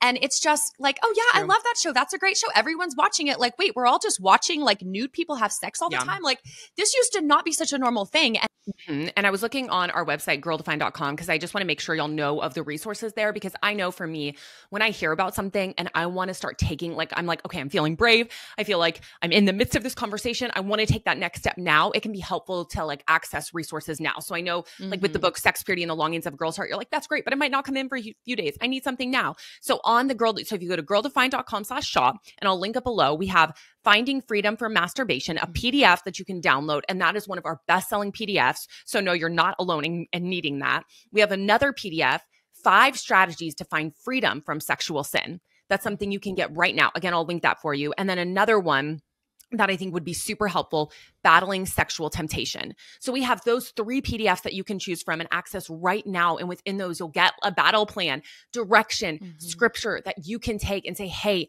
I can start working on this right away. Again, it's crazy that Bethany is just using this course to upsell everything else. She's like, go buy our other resources because they contain this and this and this. All the stuff that I advertise is on this course, but isn't on this course because I'm just using this course to sell you more stuff.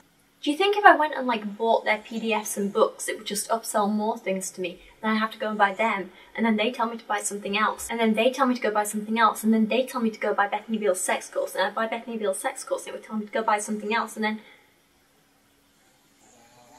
I did conquer my struggle of masturbation. I would say like my later teens and and I did believe the lie that once I got married, you know, like Lord, please help me get married one day. Like I was just so hopeful to get married and like don't, you know, I hope the rapture doesn't come before I get yes. married. like random thoughts like that. Like I was just so hopeful for that and thinking that when I get married, all of my sexual dreams will come true, will be perfect, blissful, will have no problems and you know, I'll never struggle with any of these like lustful thoughts again wrong. Um, yeah. Getting married was a wonderful and beautiful gift, and sex within marriage has been an amazing, wonderful thing. There has been a lot of like journeying even in that with my yeah. husband, a lot of ups and downs. But one of the things that really surprised me that I was not expecting was that once I was married, my struggle with not masturbation per se, but with allowing all of those fantasies that mm-hmm. had fueled masturbation in singleness were starting to come back into my mind like a hundred miles per hour in my mm-hmm. marriage. And I remember having moments of beautiful intimacy with my husband and then being bombarded by all of yeah. these thoughts that I had allowed to train my mind to stimulate my body with in my yeah. singleness. They were coming at me and I'm like, trying to battle these tempting thoughts. Like that's, I don't want this in my marriage bed. These thoughts, these fantasies about other people, other situations, yeah. that is not bringing holiness into my marriage bed right now. I know this isn't honoring my husband or God. Mm-hmm. And so I remember having to battle with this for years. Yeah, Kristen, it sounds like your sex life is super beautiful and fulfilling when you can't stop thinking of other people. oh, her poor husband. But no, seriously, um, sexual fantasies, again, are normal. It's okay, everyone has them, and yeah, occasionally people's minds wander during sex with a partner. That's pretty normal and natural, don't worry about it. But, in my non expert opinion, I would say if you find you're with your partner and you're regularly thinking about other people more than you're enjoying the moment and thinking about your par- partner and what's happening there and then, then that doesn't really say good things about your relationship and your sex life. And that's maybe something you want to think about and figure out why you're thinking of other people and scenarios so often. And maybe that's something you could discuss with your partner and try to sort out between you, you know? I just I can't get behind this whole sex is always a battle narrative because it just sounds so unhealthy and misery inducing. I cannot imagine how exhausting it must be to live that way godly single men live in the same world that we do and they're bombarded by all these you know mm-hmm. movies and you know all the stuff the internet. And it can just sometimes feel like okay how do i approach dating? Because we have a lot of single ladies looking to date um, in such a pornographic world. And yeah. Like, when do we bring up those conversations? What if a guy you find out you're dating him and you're like, he is struggling with porn? I mean, this isn't a core part of this conversation, but just mm-hmm. give us like a little bit of direction, maybe even a resource, um, just because I know that's going to come up in there as they're watching this. Yes. Oh, like why? I'm so mad at pornography. It's I know. destroying so many lives under the guise of being this like sexual freedom, yeah. pleasurable act, but it is just destroying so many people. Um, so it's just so sad. But it is true that women struggle with pornography, men struggle with pornography. Um, the numbers are still higher for men, but a lot of women struggle as well. But as you think about dating, um, I think it is so important to realize that because it is such a dominant struggle amongst people everywhere and especially high numbers with men to not mm-hmm. assume going into a relationship that that struggle isn't present you don't also have to assume that it is but that's why asking good questions early on in the relationship will reveal what's really going on we have yeah. an amazing resource again at girl define that we just released um, it is a question box that is incredible mm-hmm. and it's i think 170 questions is that yeah. how many it is now 170 questions 170 questions Mm-hmm. And it is the cutest little box It's like a physical box that has all these little cards in it. and it's something that, oh, there it is, a little picture. It is a brand new resource. release. Oh, look, again, more upselling. This time they want you to go and buy their £12 question box to take on a first date. I looked this up on their website. Uh, this box of cards includes questions like How important is it to be part of a small accountability slash support group? What is your view of debt? What do you tend to do in your spare time? Are you a virgin? If not, please explain. What is your attitude towards pets? Indoor? Outdoor? I'm gonna say now, if you need a box of cards to ask each other these basic questions on a first date, then are you sure you're ready for dating? But hey, if you don't want to buy a £12 box of cards, then you can buy another overpriced PDF instead with all the same questions on, but just printed out on like three pages or something. That's also 8 quid like most of their PDFs. Here we can actually get a preview of more of their groundbreaking questions, such as Is there anything you would like to know about me? What are your favourite sources of news? What is your involvement in sports? And of course, what are your thoughts on alternative medicine? And what are your thoughts on immunisations? You know, actually the last one I get, because I went on this date once and the guy turned out to be an anti-vaxxer and I cried and the bartender gave me a free shot. Yeah, that's actually probably a good one to ask. I wish I was joking, that actually happened. worst day ever. Actually, no, that's the worst thing. It wasn't even the worst day ever. It was quite nice up until that point. Um, I just want to wrap it up here and end on a word about the heart and about just like worship mm-hmm. because we can do all the right actions but i know it really comes down to the heart and like having a true heart of worship before god so can you just close us out and give us just a picture of what like i don't know what how true freedom is found in having a genuine heart mm-hmm. of worship yeah, well, you know, the old saying goes, some saying. It's like you can't you can't worship God and worship something else at the same time, yeah. right? Like you can only fully and truly worship one or the other. And so if our hearts are fueled by lust, you know, driven by sin constantly, that's what we're engaging in, we're not even trying to battle, then the true worship of our heart is not going yeah. to be centered on the Lord. It's not going to be centered on his glory. And then they just end with a prayer and that's it, nothing new great. Again, I feel like a course about sexuality that has a session on masturbation could actually be really useful and helpful. However, if I was making a sex course like this, the topics I'd want to cover in an episode like this would include things like discussing the differences and similarities between solo and partnered sex, how to make sure you're staying safe. So this includes things like encouraging lube when you need it, making sure you keep any toys you're using clean and how to do that, not using items which weren't specifically designed to be sex toys internally because that's how a lot of people end up in A&E and making sure you're using the right lube with the right toys. Because you know if they're made of certain things and you're using for example like a silicone based juice it can cause damage and irritation and all sorts of things like that. Damage to both the toy and you. So it's important to know what you're using and what everything is made of I also think they should cover topics like talking about the variations in how often people do or do not masturbate, talk about how there's lots of different kinds of normal, there's no one right or wrong way to do things, or no one right or wrong frequency to do things, um, talk about how to overcome the shame and stigma society has made us feel about such a normal and natural act. I'd like them to talk more on the physical and sexual health benefits of masturbation. I also think it would be really important to discuss the pleasure gap amongst the disabled community and how to fix it because I think this is a topic that is really, really important but not talked about enough. So, according to Dr. Brighten, some surveys suggest that 56% of disabled people reported difficulty self pleasuring, with 63% citing hand limitations as a primary challenge.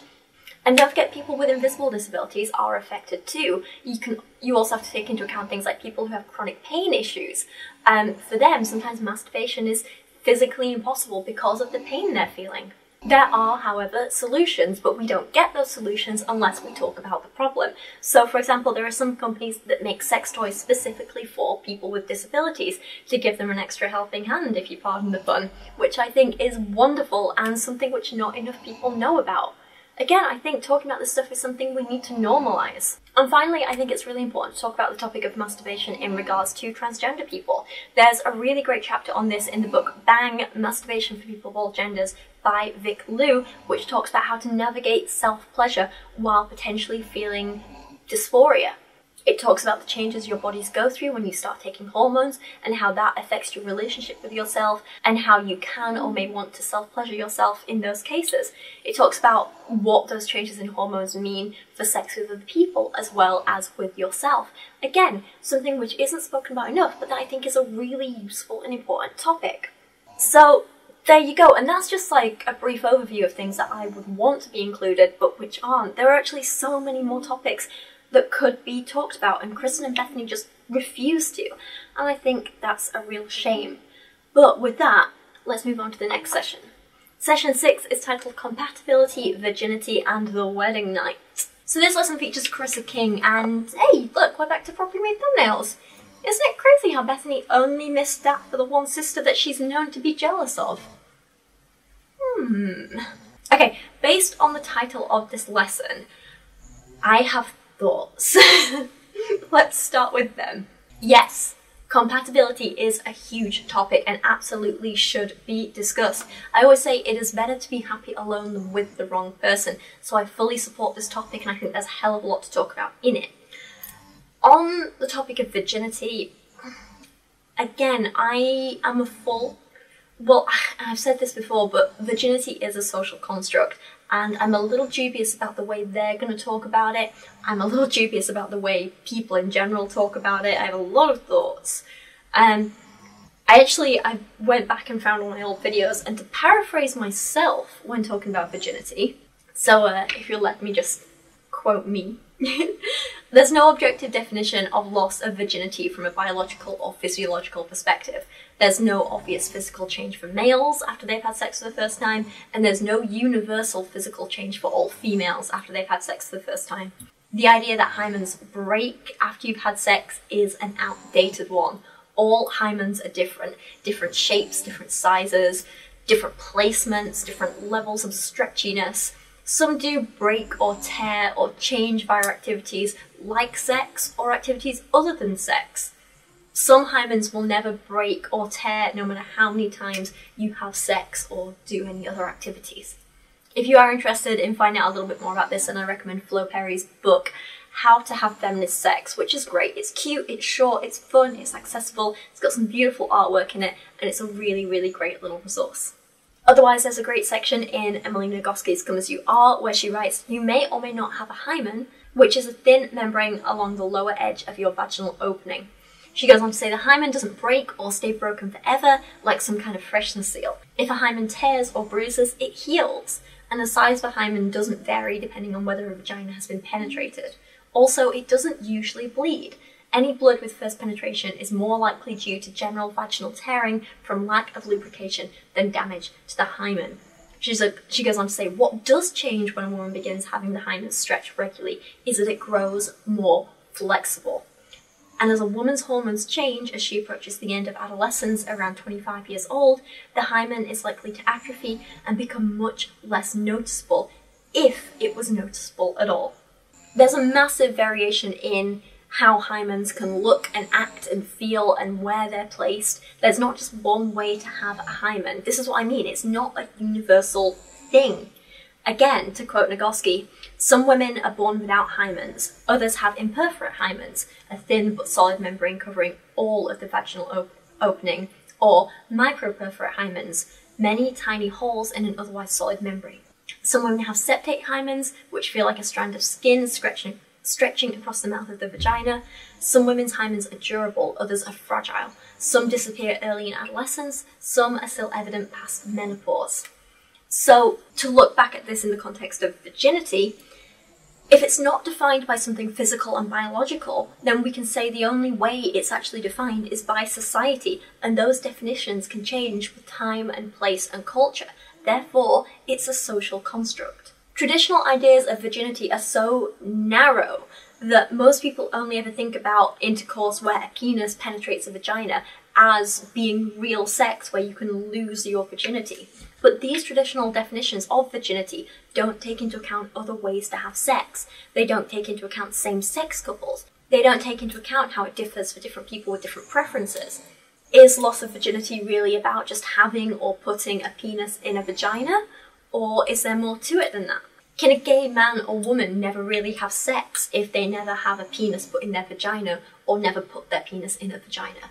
Even if they're regularly having sex with other women or anal sex with other men. In terms of both genders, where does anal sex fall into this discussion? If you're a woman who has had anal sex but not vaginal, are you a virgin or not?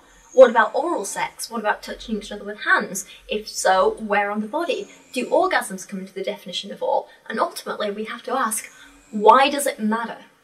Why do we need to talk about virginity at all? Why do we put value on virginity? And maybe we should stop. As Ricky Bergen writes, virginity has been used as a marker of purity and morality, but neither of these virtues were necessarily strictly about the girl in question. They go on to discuss how a sexually active girl was seen as a disappointment to her family and as a sign that her father couldn't control her. And let's be honest, the idea that a person lacks morality if they've had penetrative sex is so bizarre and unfounded, right? I think instead of considering things in terms of am I a virgin or am I not a virgin, we should be looking at more important questions and considering them for ourselves and our own lives. For example, am I ready to be emotionally and physically intimate with someone? What does that really mean? What are my boundaries? What would I like to try? What would I like to wait to try? What would I never like to do? Is this the right person to do this with? Do I have a time frame in mind for when I'd like this to happen? Can I effectively and safely communicate my needs to this person? Can they effectively and safely communicate their needs to me? Have we discussed consent and boundaries? Are we being safe? Are we using condoms? Are we using other contraception? Have we had STI tests before being intimate? Have we discussed these things at all? And after a sexual experience, you might want to ask yourself, well, how do I feel now? Am I sexually satisfied? Do I still feel safe? Do I still feel comfortable? What did I like? What didn't I like? Is there anything I wish went differently? And so on. And the important thing about these questions is that these aren't ones you just ask the first time you ever have sex. These are the kinds of questions you can keep coming back to with every single sexual experience and every single sexual partner. If you look at sex this way, of always asking, is this the right person? Am I feeling safe doing this? Am I comfortable doing this? Have we discussed these important boundaries and safety issues and so on? Then that's going to be far more, I guess, useful to you and your partner than just, am I a virgin or not? You know? And finally, to go back to the video title on the topic of the wedding night, I think they mean the first time having sex, which again, I think is something worth talking about and preparing people for. But I extend that to include all forms of physical intimacy. So, not just the first time you have sex, but the first time you're emotionally or physically intimate with someone. Let's talk about how do you get ready for that? How do you know you're ready? How do you prepare for that? And so on. And again, I think it's worth noting that this should be something you do when you're ready to do it, not when society says you should be ready. So, yeah, they're my opening thoughts. Do I talk too much? Absolutely. Is there anything we can do about that now? Potentially delete all my footage, but I'm probably not going to do that, so let's move on. I want to just, you know, tell the girls who are watching right now, the young women who are watching about that because I know a lot of them are hoping one day that they'll, if they're not already dating, that they will be dating and really hoping to get to marriage soon. That's kind of the phase of life that they're all in. So they hear dear young married couple and they're like, yes, please, I want to be a dear young married couple. So- I'm not. Anyway, now we get another sales pitch. Again, I again I can't believe I'm paying for this. I'm paying to be advertised to. what am I doing with my life? If I donated one pound of my own money to Refuge every time Bethany and her guests try to upsell me something in this course, I would be bankrupt by the end of it. Oh, yeah. So many wonderful things to look forward to. And I am going to link all of that, girls, in your workbook. And I think it's really important for single women to get answers to their questions. Because if we, as Christians and women who are a little bit older than them, don't, aren't willing to open up and share, you know, they're going to turn to Google and who knows where they'll end up. So, one yes. of the biggest questions I get from single women is about compatibility, sexual compatibility. How important is sexual compatibility in a marriage? So let's kind of zoom out a bit on this question and just start with compatibility in general. It's really the world's idea.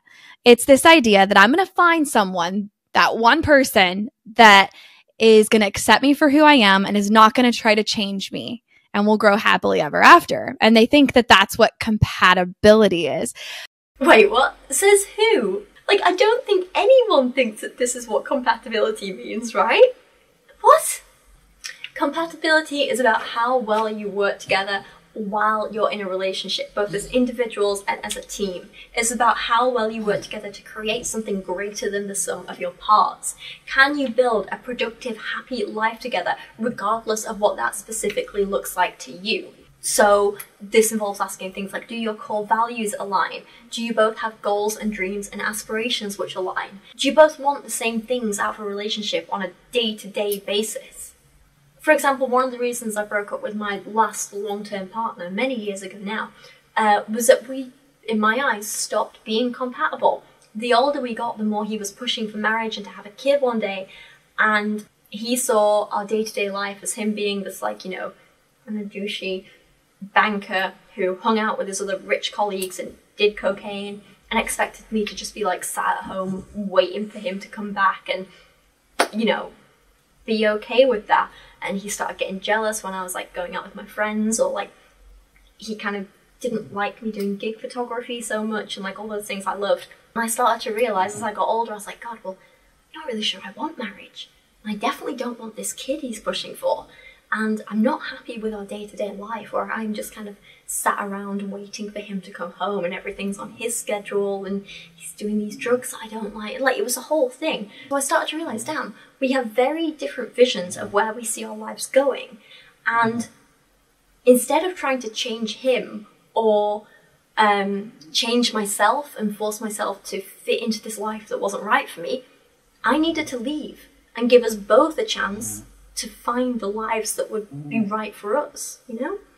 So I did, and while I don't regret being in that relationship while I was, I think leaving at the time I did was the exact right choice for both of us because we stopped being compatible. I don't think anyone in the real world, like this is an absolute straw man from Bethany, I guess. I don't think anyone in the real world really thinks compatibility means happily ever after with no problems. That's just unrealistic. But it is important to not go into a relationship thinking one or both of you mm. needs to change your core values or behavior to make it mm. work, because that's just unfair on everyone mm. involved. So that's why when I started dating again and I met my partner now, I focused on finding someone who matched with those core values of mine. So someone who didn't necessarily want to get traditionally married, someone who didn't want to have kids, someone who was fine with us both having our own personal spaces and being quite independent, but still being there for each other when we needed each other, you know? Thinking about compatibility is, in my opinion, and in the opinion of many relationship experts, one of the most important things you can do when you meet someone new. I don't understand where Carissa gets this weird strawman argument from here, but I'm not going to let her keep getting away with spouting this nonsense. And trust me, as this lesson goes on, it gets worse and worse and worse, and I just have no patience for it. Um, when in reality, God made marriage to change us uh, marriage is about sanctification. It's about mm-hmm. becoming more and more like God. And if He brings this person into our life who uh, functions as a full length mirror in front of us and says, Whoa, buddy, here's where you need to change, that's a good thing. This sounds horrible. This sounds absolutely horrible yeah, when you're in a long term relationship with someone, you'll likely both change over time. Ideally, you're going to grow and change together, but that might not realistically happen, you know? But going into a relationship in the first place and saying, I'm going to point out your flaws and change you, and you are going to change me, feels incredibly unhealthy, you know? We're three minutes and 50 seconds into this lesson, and I already hate this woman. This, in my opinion, is the worst lesson in this course, and I'm not sure how much of that is because the content is bad and how much is just because I honestly cannot stand Carissa. I, I'm probably a bit biased here. I find her very, very annoying. So I just want to start with compatibility. Let's kind of narrow that down now to sexual compatibility. Mm-hmm. Um, if God designed marriage to change us and gave us a spouse to help us change and become more and more like Christ, I believe that applies to our sex life too. It's not that we need to, you know, know ahead of time exactly who I am sexually, and you need to know who you are sexually so that we can test it out and find out if we're sexually compatible. It's just not something we see in scripture. Mm-hmm. Yeah, there's a lot we don't see in scripture. Doesn't mean it's not important. As Matthias Roberts said earlier, and I'm paraphrasing here, our sexuality, our sexual preferences, our desires, our likes, our hates, our needs, our wants, our action, our attractions, our turn-offs, it's all such a big innate part of who we are. And so many parts of that are things that we cannot change.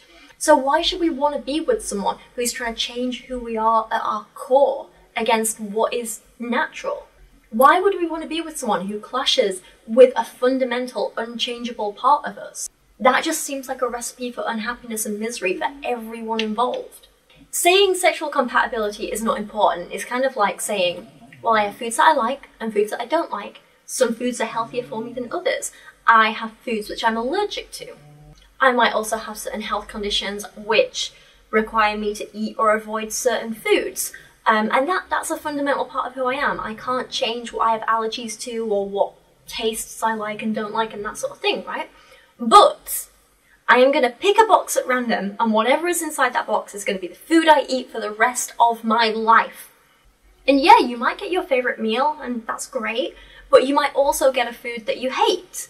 You'll still get nutrition, but you'll never really enjoy a meal again because, you know, it's something that you don't like and you'll never really like the taste of, but now you're stuck eating it every day. Or you might get a food that you're allergic to, and now you're stuck with that every single day. So your choice is nothing at all or it kills you. So in this analogy, if I was in that situation, I have a choice between I can look through a menu, sample the food, and then make my decision, or I can take the risk and potentially end up with the shellfish platter. I'm allergic to shellfish and mollusks, so that would kill me. If I'm faced with that choice, then I know which one I'm choosing. I want to check out the full menu, sample the goods, and then make my decision, you know? And it's the same with sex and sexual compatibility. Sure, you can take the risks of an unknown and it might pay off, but it also might not. Some of us, obviously not all of us, but a lot of us, like to make educated choices and understand ourselves and others and weigh up our options before we make a choice. So let's say um, there's a sex act that you really, really, really do not like and never want to do, and it turns out that your partner it's their favorite thing in the world. They absolutely love it. Why would you risk ending up with someone where you might end up clashing over something like that that's so big and it's going to impact your lives together when you could just find out beforehand before you commit to them whether you clash or not? And if there's a clash, you each go your separate ways. You know? Sexuality is such a wide spectrum. You can be attracted to all kinds of genders or looks or body types or personalities. Uh, you can have certain tastes sexually. You can want to do some things and not others. You can have different styles. You might be more dominant or more submissive. There are so many variables, and it can be really helpful to find out if you're on the same page as someone before you commit to them for life. You know? It is much better to end up with someone who likes the same things as you do, who is attracted who is as attracted to you as you are to them, who can fulfill your needs as much as you can fulfill theirs. How is that a bad thing? And how can you deny that that exists, that kind of sexual compatibility with someone? So when it comes to like getting married and say they've decided to save sex for marriage and then they go on their honeymoon and they're like, "Oh my goodness, this is not at all what we expected. This is actually kind of maybe they're like, this is kind of disappointing. And they start, maybe she starts having doubts like, did I marry the wrong person? Like, what? If a woman ends up in that place where it's a struggle from the beginning and she's just like, this is hard, what can she do? What should she do in a situation like that? Yeah, I, I think I got all of your question. It cut out there for a minute, Bethany. So I don't know what you want to do in terms of editing? Absolutely nothing. She does absolutely nothing. But I think I understood the question.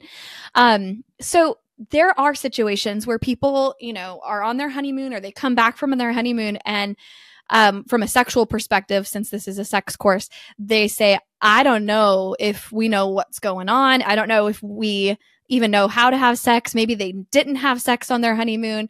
I've had couples where they haven't consummated their marriage even for years at a time. It's very rare, but that happens.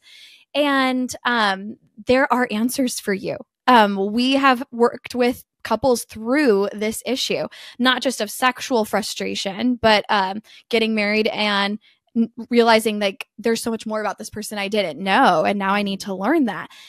Hey, you're going to keep learning about your spouse. They're a living, breathing, endless book to be read. And that's going to be some frustrating parts that you read. And that's going to be some really cool, exciting, exhilarating parts that you read.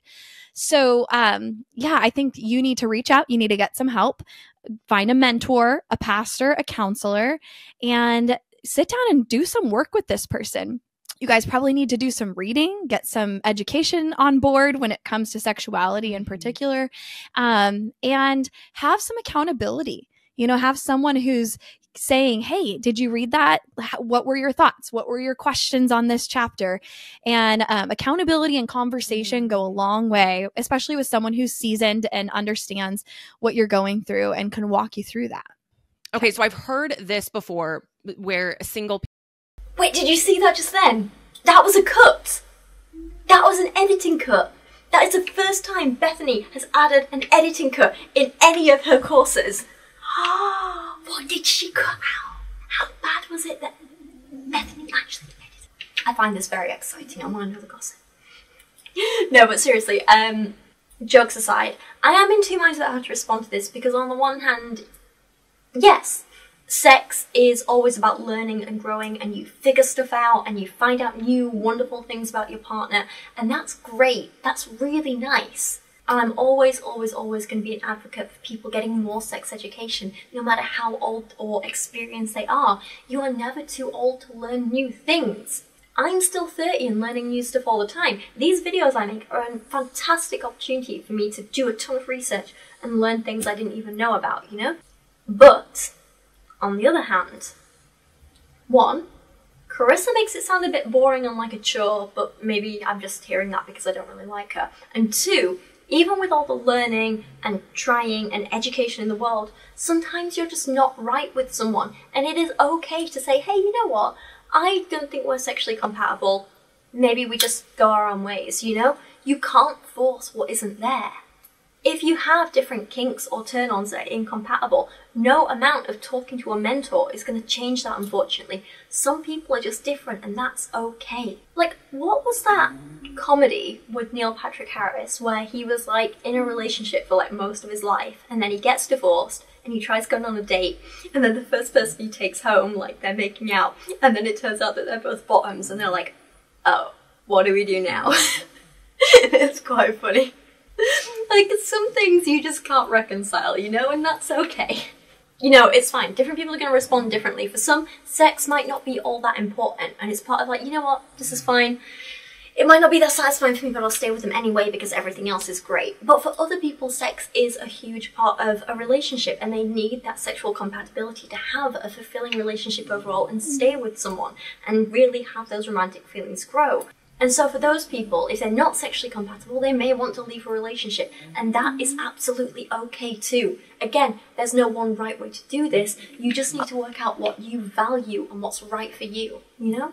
But please don't let Carissa fool you. Sexual compatibility is a real thing, just like general compatibility in a relationship is a real thing single people have said like um, you know biologically there are certain people sexually that just fit better together. Like they can have an enjoyable sexual experience and if you end up with the wrong person like biologically you're just no matter how hard you try no matter how much you work at it like biologically your body's just they operate a little bit differently. They have they just don't have the right makeup to really have a thriving sexual experience together. And i've heard people say this and say so if you end up with someone where you don't I guess, jive biologically, you're just either going to have a lifetime of disappointment or you need to find that person that you jive with. And, and, you know, maybe that's why you need to test drive it before. And so that's a concern for single people. I was, I'm just curious what you would say to that kind of argument. Yeah.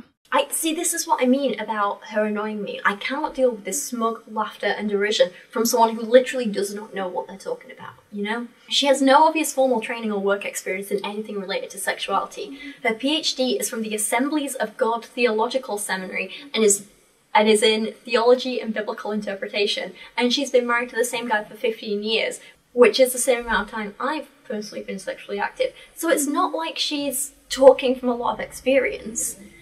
So I just feel like when you don't have the education or the life experience to back it up, and then on top of that, when you don't have the research to back it up, and you don't have the work experience to back it up, and you're personally profiting from telling people sexual compatibility doesn't exist because you're charging $900 for two hours of counseling, I don't trust you. She doesn't have any experience that actually backs up what she's saying that sexual compatibility isn't real. But she benefits from telling people that sexual compatibility isn't real because she can charge them nearly a thousand dollars for two hours of her hmm. time. So yeah, I don't trust her. I don't.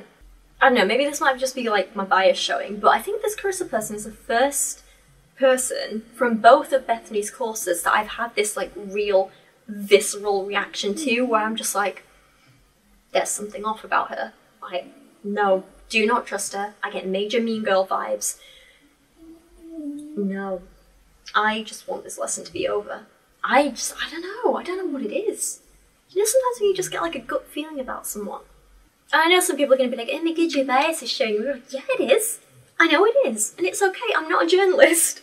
I don't need to be impartial. I am an opinion and social commentary channel. I give my opinions and commentary, and my feelings come out, and they are a part of this.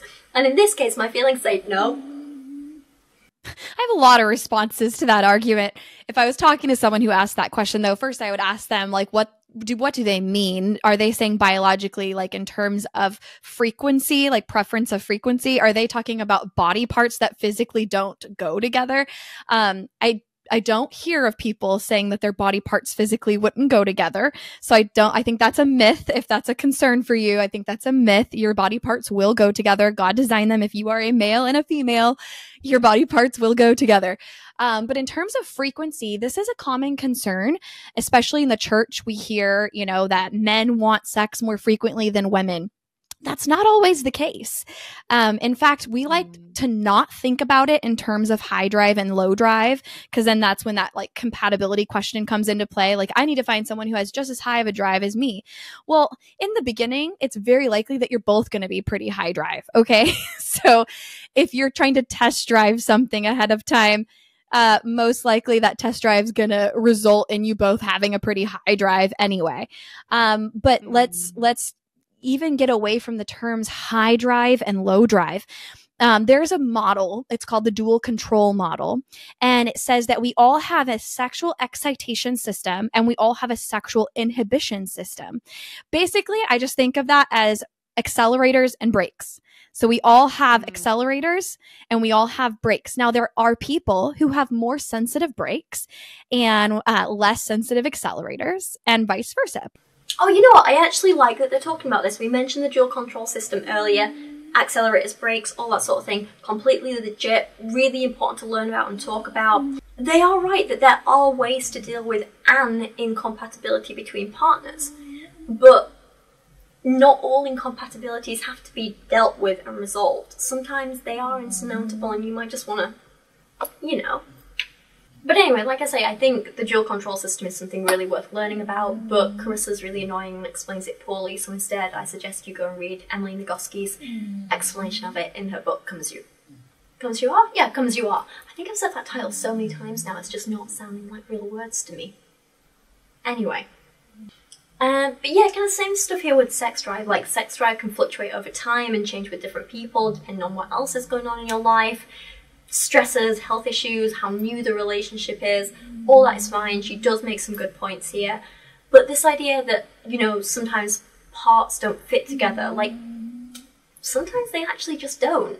And the fact that, like, she hasn't had any work experience in this field nor personal experience, I can see kind of her naivety showing here. So I think it was Emily Nagoski who wrote, was it her? I might be wrong, but it, it was someone like Emily Nagoski who said that most sex therapists have to go through um, a certain kind of training, basically, kind of like desensitizing them to everything and getting them really familiar and comfortable with basically anything their clients can throw at them in, re- in regards to sex. So, this is to make sure they don't seem shocked at anything a client says, make sure they don't judge anything a client says negatively, to make sure uh, they know what normal is and what isn't. And so, part of this is things like looking at thousands of images and videos of penises and vulvas and you know, sexual body parts to know what they should look like, what's normal, what isn't, what's healthy, what isn't, when they should tell people to go to the doctor, and when they should reassure people that, hey, no, you're absolutely normal, don't worry about it, you're fine. But I think when you don't actually have any training in that field and you don't have any personal experiences yourself with a variety of different body parts and experiences and stuff like that, then I'm not saying you need both. I'm saying like it can kind of be an either or. But like when you don't have that, I can understand why she might just be like, oh yeah, well in theory, everything should fit with everything. It's all fine. But in reality, that's not the case. It's not. I think I said this in my video on Bethany's marriage course, but all vaginas and penises are different, and some people have preferences for what they like in others' genitals over others, and that's absolutely fine, you know. And I think as long as you're not shaming anyone's body and you're not being disrespectful, it is okay to someone. It is okay to say to someone, hey, like, this isn't really what I'm into. I don't quite think we're compatible in this way. Let's find other people, you know? Because some people, like, they cannot stand an average or larger penis. They need something smaller because that's what feels good and that's what doesn't hurt them, you know? Some people will want a slightly larger penis because a small one maybe doesn't quite satisfy them the same.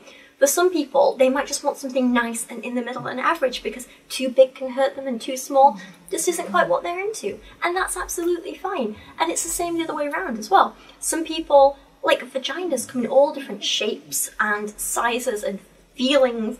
And it's okay for someone to say, you know what, this isn't quite working for me with my body. It doesn't quite feel as good as I would like. It doesn't do this for me. This is okay, you know? Don't worry, you're lovely down there anyway. You just, mm. you know, need to find a different person than me. That's all. Or maybe a different penis than me. Point is, yeah, sometimes people aren't physically compatible and it happens, and it's sad that it happens, but it does. And it's reality, you know? I also really didn't like the not so subtle homophobia in here with her line of like, well, as long as you're male and female, sure. But she's also just discounting so much here because it's not just about shapes and sinus, sinus, sinus, because it's not just about shapes and sizes of genitals. Like I said earlier, tastes and kinks all play a big part in compatibility. Two extremely submissive people who aren't willing to play the other role if they want a more dominant partner aren't really going to be too compatible long term, are they? Someone whose main thing is being into feet isn't going to be too compatible with someone who hates feet, their feet being touched or hates touching other people's feet, you know? And they're just like a couple of examples. There's so much more to it than that. It's extremely complicated. But overall, it's okay to not be sexually compatible with someone. And when it comes to things like sexual boundaries, that's not something you should ever, ever have to compromise on. Like, imagine you've never discussed this and you get married and you're like, well, I hate anal, but you love it, so I guess I'll do it on Sundays just for you, babe. Or, oh, what's that? You love being spanked. Mm-hmm. I'm not really comfortable doing that, so I guess you just have to never experience that again, yeah? Compromise, babe. Just compromise. You know, just find someone who can give you what you need to the extent you need it, right? Mm-hmm. Not everything in life has to be a compromise. And yeah, you're not gonna find someone who wants exactly the same thing as you all the time. Of course not, that's unrealistic. But you're not looking for that. You're looking for overall compatibility, overall ease of being together, and overall similarity. You know, it is possible. You just have to be realistic about it. So, as someone who, like you, has counseled so many couples, so many individuals, has been married for 15 plus years, what would you say is the key to a really enjoyable, passionate marriage and sexual relationship within marriage? Talk about sex before, during, and after sex. This is key because people think it all has to do with the bedroom. It doesn't. Mm. If you're talking intimately, you're connected throughout the day, and you're talking both about sex and not about sex, but you're communicating well, you are going to have a more passionate sex life. Yeah, as much as I don't like Carissa, I do thoroughly agree with her here, actually. She is completely right, and for once, I have nothing snarky to say. I think for some of our viewers right now, they're thinking, okay, well, that's hard to imagine like being so open and comfortable talking about sex because that's like intimacy. Like that's really knowing each other. And I, you know, I am maybe it's a woman who's saying, like, maybe I've had sex before, but I'm hoping to save it for marriage now, or I've never had sex before. And I just haven't like that. Ha- this hasn't been a topic of discussion. It's kind of just been a personal thing. I, I haven't had a lot of people, a parent or a mentor, someone talk about sex in you know, in any depth or in any detail. So it feels really awkward and uncomfortable. Yeah, I can see that. But the thing I always, always, always say in my videos is if you can't communicate about sex with your partner, then you shouldn't be having sex with them, you know? And I think this is true whether it's your first time or your hundredth time or whatever, you know? Pretty much all the experts say that if you can communicate openly with your partner and communicate well and understand each other, then that's how you're going to have the best, most fulfilling relationships, both in terms of your everyday stuff and your sexual relationship. And yeah, talking about it might be difficult at first, but it's something that does get easier with practice. And you just have to like get over that first little hump, and you'll both start to feel far more comfortable and at ease with each other. And talking about this stuff does get easier with time. One of the big things is that you shouldn't be afraid to name body parts. Like Bethany actually said way back at the beginning of this course, you know, you shouldn't be afraid to say these things and say, you know, name your vulva, your clitoris, your, you can talk about your penis and your testicles in these different areas and, you know, be open to saying to your partner, I like this. I like when you touch me here. Hey, can you do this to me, please? But also, you should be prepared to say, oh, I'm not really a fan of that oh, do you mind if we change up to something else? Or, you know what, that was maybe a little too hard for me, let's try it a different way. Then, in a shocking, shocking turn of events, something completely unexpected, um, instead of Bethany trying to upsell her guest's products, the guest upsells Bethany's. I know that you didn't see that coming, did you? Carissa tries to sell Bethany's book. Wild.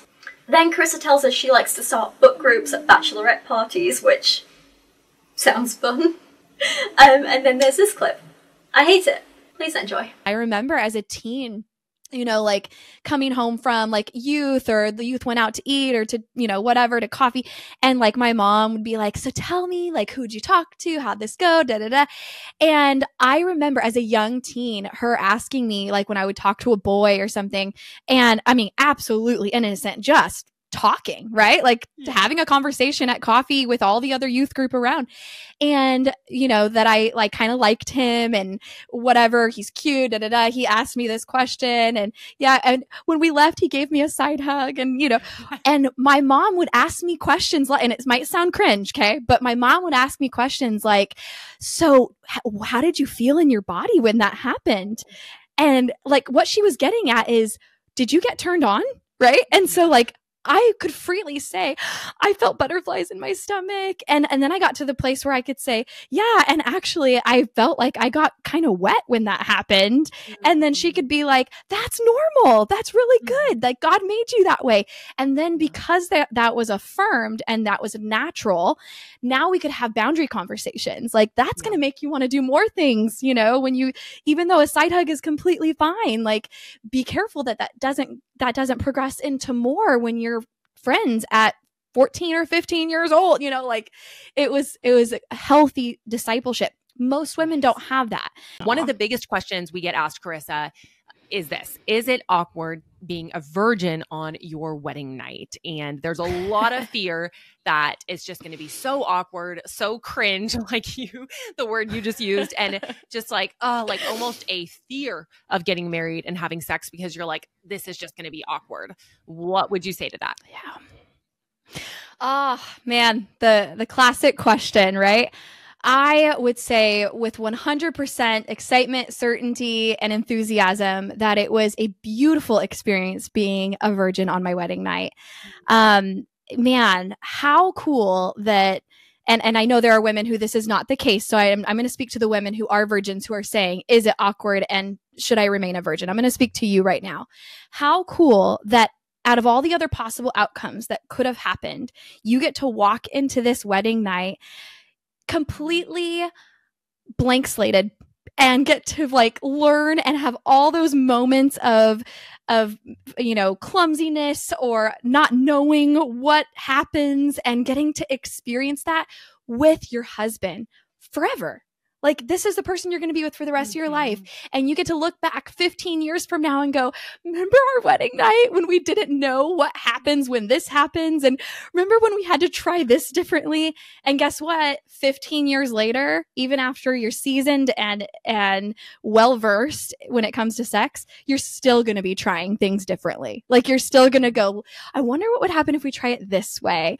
And that's beautiful. I love that you get to experience this with your husband for the rest of your life and how cool you get to start on your wedding night. And that's that's what happened for us and I would say it was not awkward. It was exciting and it was special and sacred and beautiful. Honestly, talking about first times is kind of hard because for a lot of people no matter when it is or who you're with, it will be awkward for a lot of people, and that is fine and that is normal. For Carissa, it wasn't.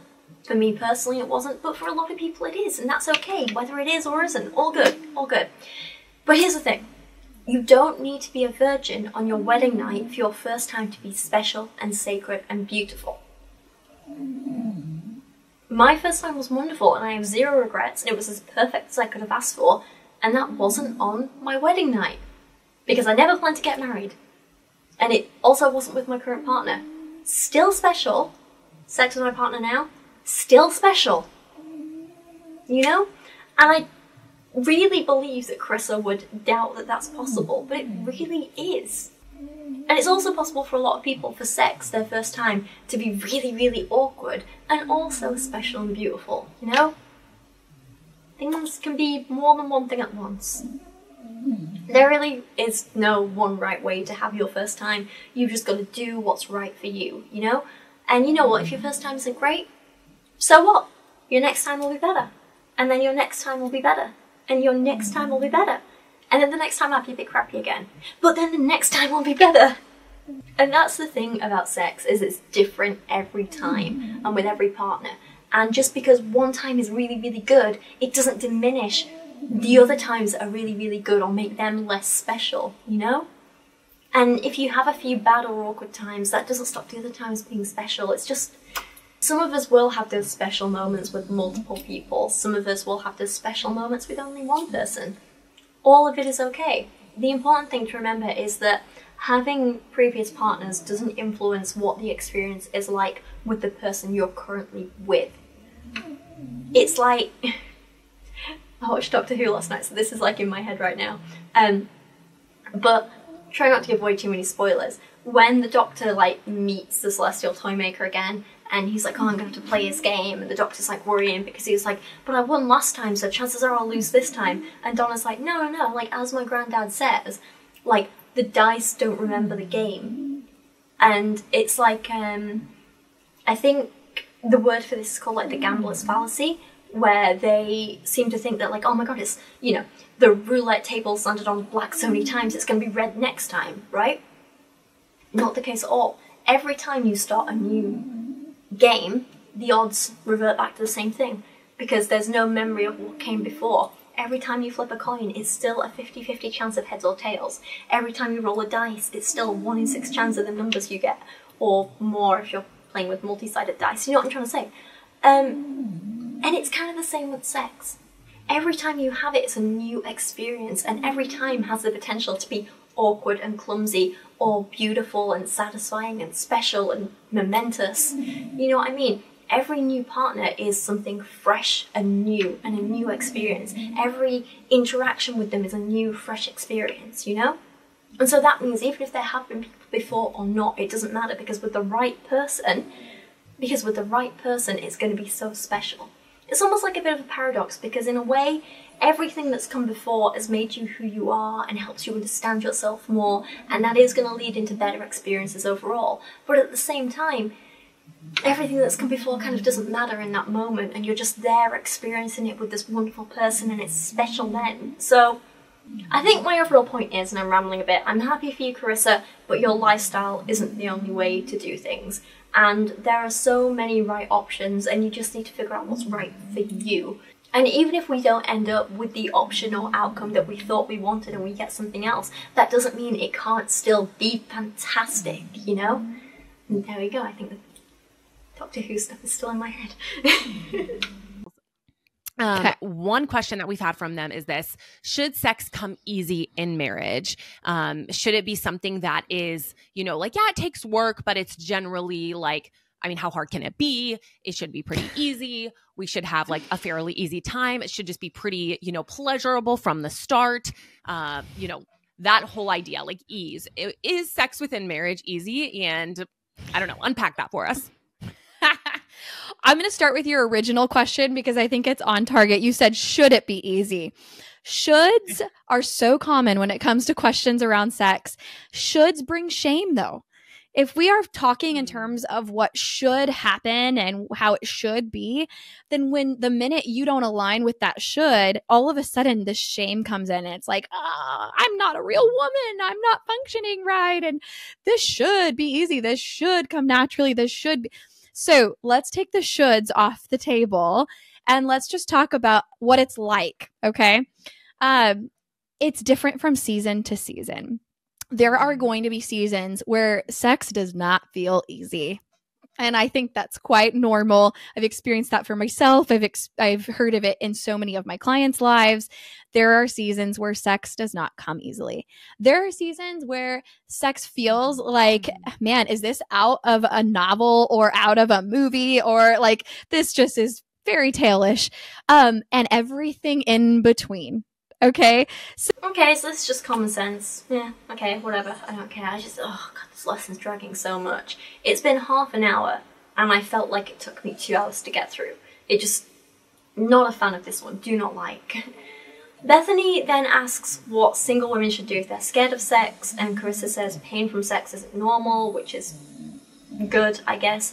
Then she doesn't really say anything else that's useful. She doesn't give any practical advice about, you know, like using lubrication and relaxing and blah blah blah and all of that stuff. I think we covered most of that in the marriage course, so I'm not going to go into it too much now. Um, she just says things like, expect good things to happen. Okay, I guess. And then, of course, get mentorship. Do it. Which, again, is fine for her to say because she's selling that mentorship for a lot of money. This lesson was the longest 34 minutes of my life. Now, let's move on to the next one. You know what, I've just had the exact same camera problem as I had two days ago and I'm thoroughly annoyed where my camera battery said it was on three bars, like full bars. Full bars? I don't know, whatever the full bars is. And then out of nowhere, it just absolutely died on me and I lost the last 10 minutes I filmed. And it is very, very frustrating, isn't it, Koo? Do I come for a snuggle? Mama needs it. I do. Hi. Hi, gorgeous. Come here. Come to Mama. Come to Mama. You want? You want me to come to you? Yeah, my little lazy bones. My little lazy bones. Oh, hello. Should we try this again, baby? Yeah? Should we try this again? Oh, no, you're off. Goodbye. Goodbye. Session 7. Single and surviving or single and thriving. This one is taught by Bethany by herself. So I do have to say I agree with Bethany's premise here. One of the big things uh, that I say over and over in my videos, and I've probably said in this video a lot too, is that it is better to be happy alone than with the wrong person. And I'm a big believer in the idea that the best relationships are the ones where both or all parties are generally satisfied with their lives on their own and have other stuff going on outside of the relationship. So I'm not saying you have to be perfect before you even think about dating, but you do at least need to be content in your own life if you want a relationship to be good and fun, you know? A relationship isn't a magic fix to all the problems in your life, it's like a lovely bonus on top of everything else. I've used this analogy before, but it's kind of like a nice meal, you know? You need to fill up on your main course first, which is your important stuff. You need your proteins, your minerals, your fats, your carbohydrates, and all that good stuff. Um, and you need to get all that stuff in life first. You know, your health, your self-esteem, your having friends, having hobbies, having a career or a job you don't hate. You know, you need that contentment in life. And that's that's your main meal, that should be your main focus. And if you're still hungry after that, you can go and get a pudding. Now, some people like pudding more than others, some people want pudding more than others, and all of that's okay. Some people find they can eat lots of pudding, some people don't have room for much pudding at all. And don't even get me started on the kinds of pudding you can have. Cake, trifles, cheesecakes, pies, tarts, mousses. So many options depending on what you like. If you haven't guessed it, the pudding in this analogy is like a relationship on top of everything else. It should add to your life, it should make it better. Just like a pudding makes a meal better, but it's not the main focus. It would be unhealthy to constantly skip your main meal and jump straight to pudding, and it's the same in life. It would be unhealthy to skip looking after yourself and focus everything on a relationship or to sit around waiting for a relationship or to think, hmm, things will only be good once I get in a relationship. You need the main bits first and the relationship is just the excellent pudding on top of an otherwise fulfilling main meal, you know? It might sound easy for me to say because I've always been quite an independent person. I love doing things for myself, by myself, living by myself. I have more hobbies than I realistically have time for, but I still found that even though I thought I had my main meal down and sorted and was good, I was actually still missing one of the little veggie sides, you know? And I hadn't actually worked on my self-esteem. And my best relationship only came after I'd worked on building up my self-esteem and started realizing that, hang on a minute, I don't just need to settle for anyone who'll want me because turns out that's not really that rare.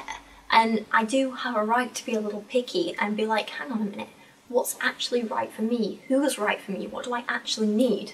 You know, so once I'd done that work on myself, only then did I end up in a really, really good relationship. My sister though, it was really different. Like she'd been in a relationship for, I don't know, 18 odd years when she found out her nasty, nasty now ex-wife um, had been cheating on her for years and it was really difficult for at first going through that breakup and losing that relationship because this was the first time in her adult life she'd been alone and she didn't quite know how to cope with it. She was like 40 years old and I remember her calling me up in tears because she was trying to return a pair of jeans to a shop in Meadowhall and she was like, I don't know how to do it myself. I'm scared to go in there alone. I've never done this without Charlotte. Like, what do I do? And it was completely understandable, you know? She'd always had a partner by her side for all those little things in life, and she was so worried now that she didn't have that. And she was like, Well, how do I do it alone? What if people think I'm weird? What if I mess up? She had so, so many worries, and she had to work on that for herself before she could even think about getting into another relationship. So, in that scenario, I sat with her on the phone, I helped calm her down, I talked her through the next steps, and she was amazing. And she went in, she returned those jeans, and it was just a small thing, but it was a big step towards independence for her, and it was huge. And then after a couple of years of pulling herself together and starting to realize how brilliant and incredible and wonderful she was on her own and starting to see that amazing side of her that I'd always seen. And then she finally met someone else. She got her main meal sorted. She was back to being herself again. She was back to being fulfilled. And then she went, maybe, maybe I can fit in a little pudding. And that's when she met Karen, her now wife, who is one of the most amazing people I've ever met. And love her to bits. She's like another sister, yeah? And it's great because, again, Karen isn't her main meal. Sarah Jane's got plenty of other stuff going on in her life, but, but Karen is that little extra pudding at the end of the meal that really brings out the best in her and makes her so happy, and I love that for her.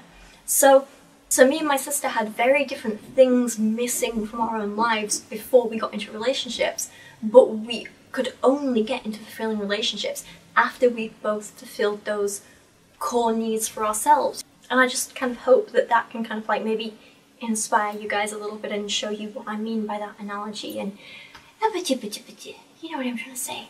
And this isn't just true for women as well. Absolutely, the same can be applied to men and non-binary people as well. Absolutely. Like to use my partner as an example, he's a cisgender man, but um, I'm actually the first person he's ever been in a serious relationship with. Like he's casually dated before. He's like been out with a couple of people a few times, but up until I think he was like 27, I think he was when we met, he was just very focused on himself and getting his life to where he wanted it to be. So he worked really hard in uni. He cultivated this amazing group of friends who are the loveliest, most wonderful people. He got a job working for like one of his dream companies and he's doing some absolutely amazing things. Um, and I am so, so incredibly proud of him. Uh, he moved to Leeds, he got his own place, he properly sorted his life out, and then he thought, you know what, I'm in a good place now, maybe I should think about dating again. And a couple of weeks later he met me, and we just clicked, and everything worked. It was wonderful. And honestly, this is like the easiest, least traumatic relationship I've ever been in, because I think we've both done so much work on ourselves individually before we met, it really was like the relationship with each other was just this little extra added bonus on top and it's been great. Been really great. One book which really helped me and my sister when we were between long-term relationships was was uh, Catherine Gray's The Unexpected Joy of Being Single and I really recommend that book. It's great. It's part personal memoir and part pure inspiration for why life can be so incredible when you're single and free and really embracing all of that and I recommend it to everyone. I really do. Also, on a completely unrelated note, I also really recommend her book, The Unexpected Joy of Being Sober, which also really helped me just reevaluate my own relationship with alcohol and helped me understand a few of my sober friends on like a whole new level. Like, I've never had an issue with alcohol, um, and I wasn't even like worried about my relationship with it, but it was really nice to just evaluate and like now just sometimes think, hang on, like, well, why am I drinking in this social setting? Do I need to? Am I doing it because I enjoy the taste of this or because I'm anxious about something? And now I can kind of reevaluate and there are certain times, like I've now been to like whole parties where I've been sober and it's really, really nice to just kind of reevaluate and be like, oh, I can do this. It's nice. Anyway, completely off the point. Just thought I'd throw that little recommendation out there. Anyway, let's get back to seeing what Bethany has to say. Most singles find themselves either in a place of survival and just kind of hoping to view their singleness as a season to get through until real life begins, or a season of thriving where they're like, Yes, I don't know what the future holds. I'm trusting God, but I am thriving in this season. A lot of you may find yourself in the survival season, but wanting to move to the thriving season. And my prayer for you is that you won't just strive to survive these years because the truth is, we don't know the future. We don't know God's plan. Yeah, this is actually all fine. You know, good, good job, Bethany. No complaints here. I don't want you to leave this course and to stay where you are. I want you to leave this course with new hope, with new direction, with new purpose in your singleness. Whether you have been single for your whole life, you've never dated, whether you've dated before, maybe some of you have even been engaged and you're like, I was so close. So today I'm actually going to share a little bit more about my story. Um, a lot of you heard it kind of in the beginning, but I'm going to go into a little bit more depth um, just to give you hopefully some encouragement in the season that you're in. So, a lot of you know I got married at 30. I'm 34 now, have two kids, but I imagined myself, like many of you, probably getting married in my early 20s, and that I just assumed, you know, like if we have a good desire, like if we desire to get married, if we desire to be a wife, if we desire to have children, these things that God calls blessings that He literally encourages us as women to do, like surely He would provide a godly husband and make that happen in my life. And so I remember I didn't date throughout high school because I was really committed to like intentionally dating, being an intentional relationship. And so when I turned 19, I went to a singles group and met, I was actually going to meet the guy that my friend was really into. And they were kind of like talking at the time. And his best friend and I really hit it off. So neither of us were, there like for the purpose of meeting each other. We were there like with our friends who were like each interested in each other. And then the two of us ended up hitting it off. After like almost a year of being friends, we ended up dating. And I was now 20 at this point, And I just thought, honestly, I was like, oh my goodness, like my life is working out exactly the way that I had hoped. And I 100% thought we were just going to get married. And I just thought, like, okay, here's my future. Here's my life. We're going to get married. We'll have kids. Like, this is what life is all about. And the relationship did not end in marriage, obviously. Um, he actually broke it off. He felt like we were just two different people going in two different directions. And looking back, I definitely agree with him. But as a naive 20 year old, I just thought, oh, things will just like work out. Like, it's all probably just fine, you know? And in reality, like beliefs wise, Christianity wise, I guess, like we were, we were on two pretty different pages, but I just, I, I was very naive at 20, 19 and 20. I had a very um like fantastical view of the world. I I was just very naive. You know, Bethany, we've heard your stories again and again and again. but honestly, like, how horrifying is that? That Bethany could be planning on getting married and spending her entire life with a person before she even knew what the act of sex was. I do find that slightly terrifying, you know? And that that's not a comment on Bethany herself. That's a comment on how awful her parents were at educating her. They failed this young woman so much, and they failed all of their children repeatedly, and it really does make me angry. It really does. I think it's like Bethany's brother Michael said, you know, Bethany and Kristen are just pawns in this bigger game. They're not really the bad guys here, but they're being used by the bad guys in a really unfair way. That said, they're in their mid 30s now, so, you know, at some point they do have to take some responsibility for the harm that they're causing. And we have to realise that, well, you know, it's not like they're naive children just parroting their parents. These are grown adult women who are doing the same thing. So, it, mm, difficult. difficult. And so that relationship ended, and I was devastated because I'm like, what am I going to do with my future? And if you've been in a dating relationship, some of you know, like when you awaken those feelings and you start to imagine that you're going to be a, you know, married woman by the next year, it can be hard sometimes to take that step back and go, whoa, I'm now in a season of singleness. And so I just let myself mourn the loss of that relationship. It really, to me, had almost felt like I lost my best friend. I lost like this whole dream and this future. It was also really hard for me because I felt like the direction my ex boyfriend was going in wasn't like a good direction. and he kind of entered like the party scene again and it was just like like kind of like back to college days but he was not in college um, and it was just heartbreaking in that sense too so there was just so much i was processing so much i was mourning and i just let myself like for a long time just let myself cry and be sad about it i do find it really interesting that throughout all of this bethany has not spoken about the possibility of women or even men i guess uh, but like mostly women in this case wanting to stay single long term. She's acting like marriage and kids are a goal for everyone when really they are not. Not at all. Um, I'm personally sort of in the middle. You know, I love my relationship and my partner, but we don't want a traditional marriage and we don't want kids. So I guess by Bethany's logic, I would be counted as single forever, but I'm not really single. So, mm-hmm. but there are plenty of people who do just want to be single forever and yeah, Bethany doesn't seem to like really realize they exist. But I guess I guess it just kind of makes sense. There is this myth perpetuated today that, um, and it has been for a really long time, that all women want and crave and just can't do without romantic love. And yet, more and more of us are starting to realize that this is absolute nonsense. And the change is slow and stressful, but at least it's happening a little bit, I guess. Um, in her book Spinster, A Life of One's Own, Kate Bolick writes, Whom to marry and when it will happen. These two questions define every woman's existence, regardless of where she was raised or what religion she does or doesn't practice.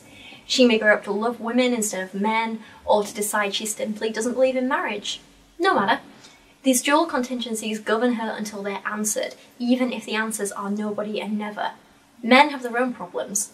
This isn't one of them which to me really highlights the double standard that so many of us women face today. But Bolick goes on to write, the single woman has always been stigmatized as a lonely old spinster with too many cats, for example. Perceptions of her have fluctuated so wildly across the decades that she's never merely a living, breathing being, but is also a lightning rod for attitudes towards women in general. She's selfless, Lady Liberty, Florence Nightingale, Mother Teresa, She's charmingly eccentric, Mary Poppins, Holly Golightly, Auntie Mame. She's powerful, Rosie the Riveter, Wonder Woman, Joan of Arc. Which is to say that in spite of her prevalence, a single woman is nearly always considered an anomaly, an aberration from the social order. Jenny Taitz also talks about this in her book How to Be Single and Happy Science Based Strategies for Keeping Your Sanity While Looking for a Soulmate, in which she reminds us women get the brunt of this pressure to couple up. There's still no acceptable female equivalent to a confirmed bachelor in our culture. Ages ago, older women who weren't married were looked upon as old maids, a concept that's never entirely left our psyches. Even the most well-intentioned family members and friends can make uncoupled women feel like there's something wrong with them, with comments like, don't worry, you'll meet someone, as if that's the only way you'll be okay.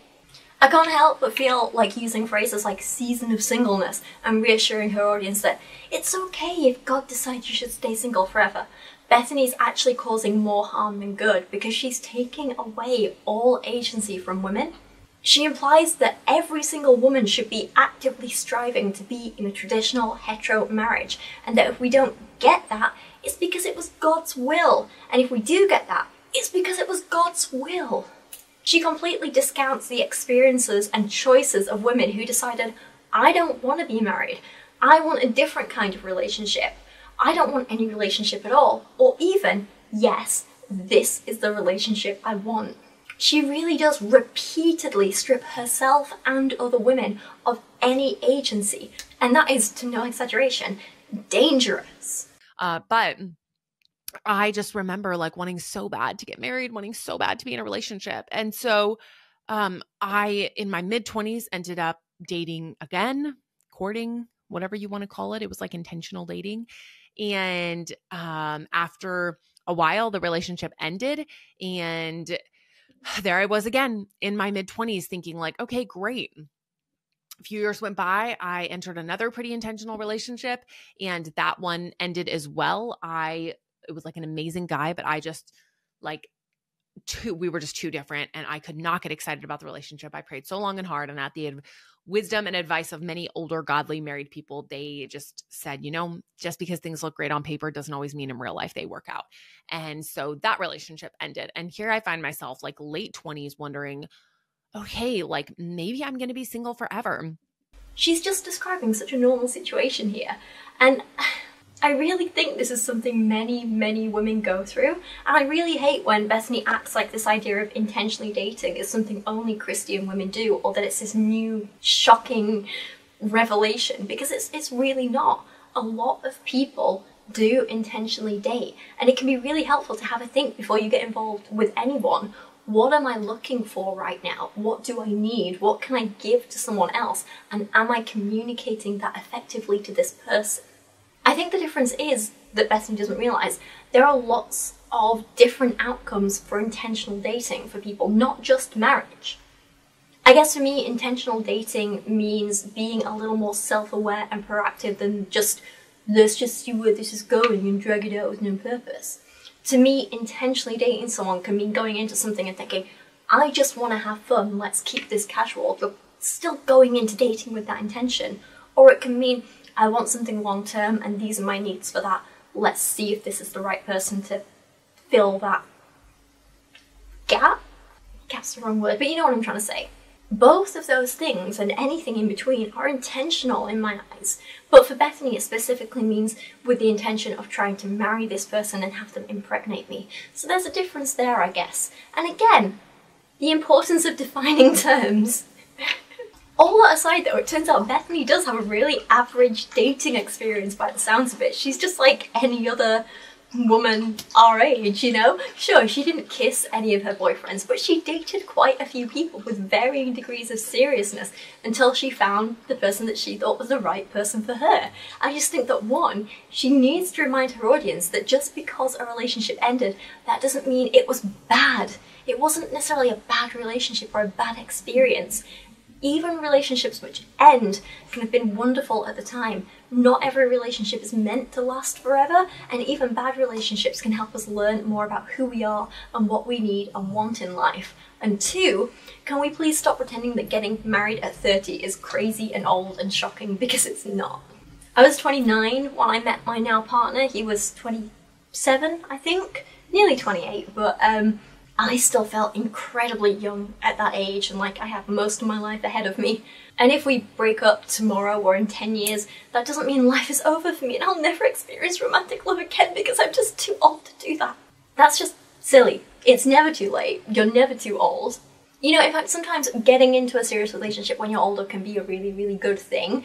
The more sure you are of yourself, the more confident you are, the more you know yourself, the more you understand other people better so you can treat your partner better. This all increases as you get older, and that's a really, really good thing. And people are generally getting married or settling down when they're older these days, and that only seems like a good thing because overall people are happier in general, and those relationships are proving to be more satisfying for those involved. In Rebecca Traister's book, All the Single Ladies, Unmarried Women and the Rise of an Independent Nation, she provides us with a ton of interesting stats around all of this. Now, this was published back in 2016, so things have probably changed again in the last seven, nearly eight years, and now I feel old again. Uh, but this, this is a good reference to talk about some of this stuff. So she writes, in 2009, the proportion of American women who were married dropped below 50%. and that median age of marriage that had remained between 20 and 22 from 1890 to 1980, today the median age of first marriage for women is around 27 and much higher than that in many cities. She goes on to write, For the first time in American history, single women, including those who were never married, widowed, divorced, or separated, outnumbered married men. Perhaps even more strikingly, the number of adults younger than 34 who had never married was up to 46%, rising 12 percentage points in the last decade. For women under 30, the likelihood of being married had become astonishingly small. Today, only around 20% of Americans between the ages of 18 and 29 are wed, compared to nearly 60% in 1960. And I kind of love that for us. I mean, I'm not American, but us being women around the world in general. I love that for us. Great! Some people like to pretend that divorce is getting more and more common and act like that's a bad thing, but It's really not. Divorce rates did increase as women got more freedoms in general. We were finally able to have our own bank accounts in the 70s to get a mortgage to buy property. We had better access to birth control, so we didn't have to worry so much about the whole unwed mother stigma or jump into or stay with the first marriage. No fault divorce made it easier for unhappy couples to amicably split and continue their lives separately. And you know what? This increase in divorce rates did lead to people being happier overall. Wild, isn't it? When you let people control their own lives, they're happy about it. Shocking, I know. If you ask a lot of conservatives like Bethany, they like to throw out this argument that feminism bad because we're seeing more and more divorce every year. But that's not actually true. As divorce became easier to get and more socially acceptable, of course people were going to go for it if it's right for them, and divorce rates did increase. But you forget that what's happening at the same time is that more and more people now have the option to wait for the right person to marry or to never marry at all. So after that initial increase in divorce, you actually start to see the rate decreasing because because of two reasons. One, there are fewer marriages overall, so there are fewer to end in divorce. And two, the marriages that are happening are now more based on choice and not force, and they end up being happier overall, so less people are wanting to divorce. Who'd have thought that higher quality marriages lead to lower rates of divorce? Again, shocking. And yet conservatives still like to tell us that divorce rates are increasing, and remember, when actually the last few years we've started to see a decrease. Uh, in Kate Bolick's Spinster, she tells us that the per capita divorce rate has dropped from its all-time peak in 1981 of about 5.3 divorces per thousand people. It has dropped since 1981, and it continues to drop. Sure, a couple of little fluctuations here and there, but the overall trend, less divorce.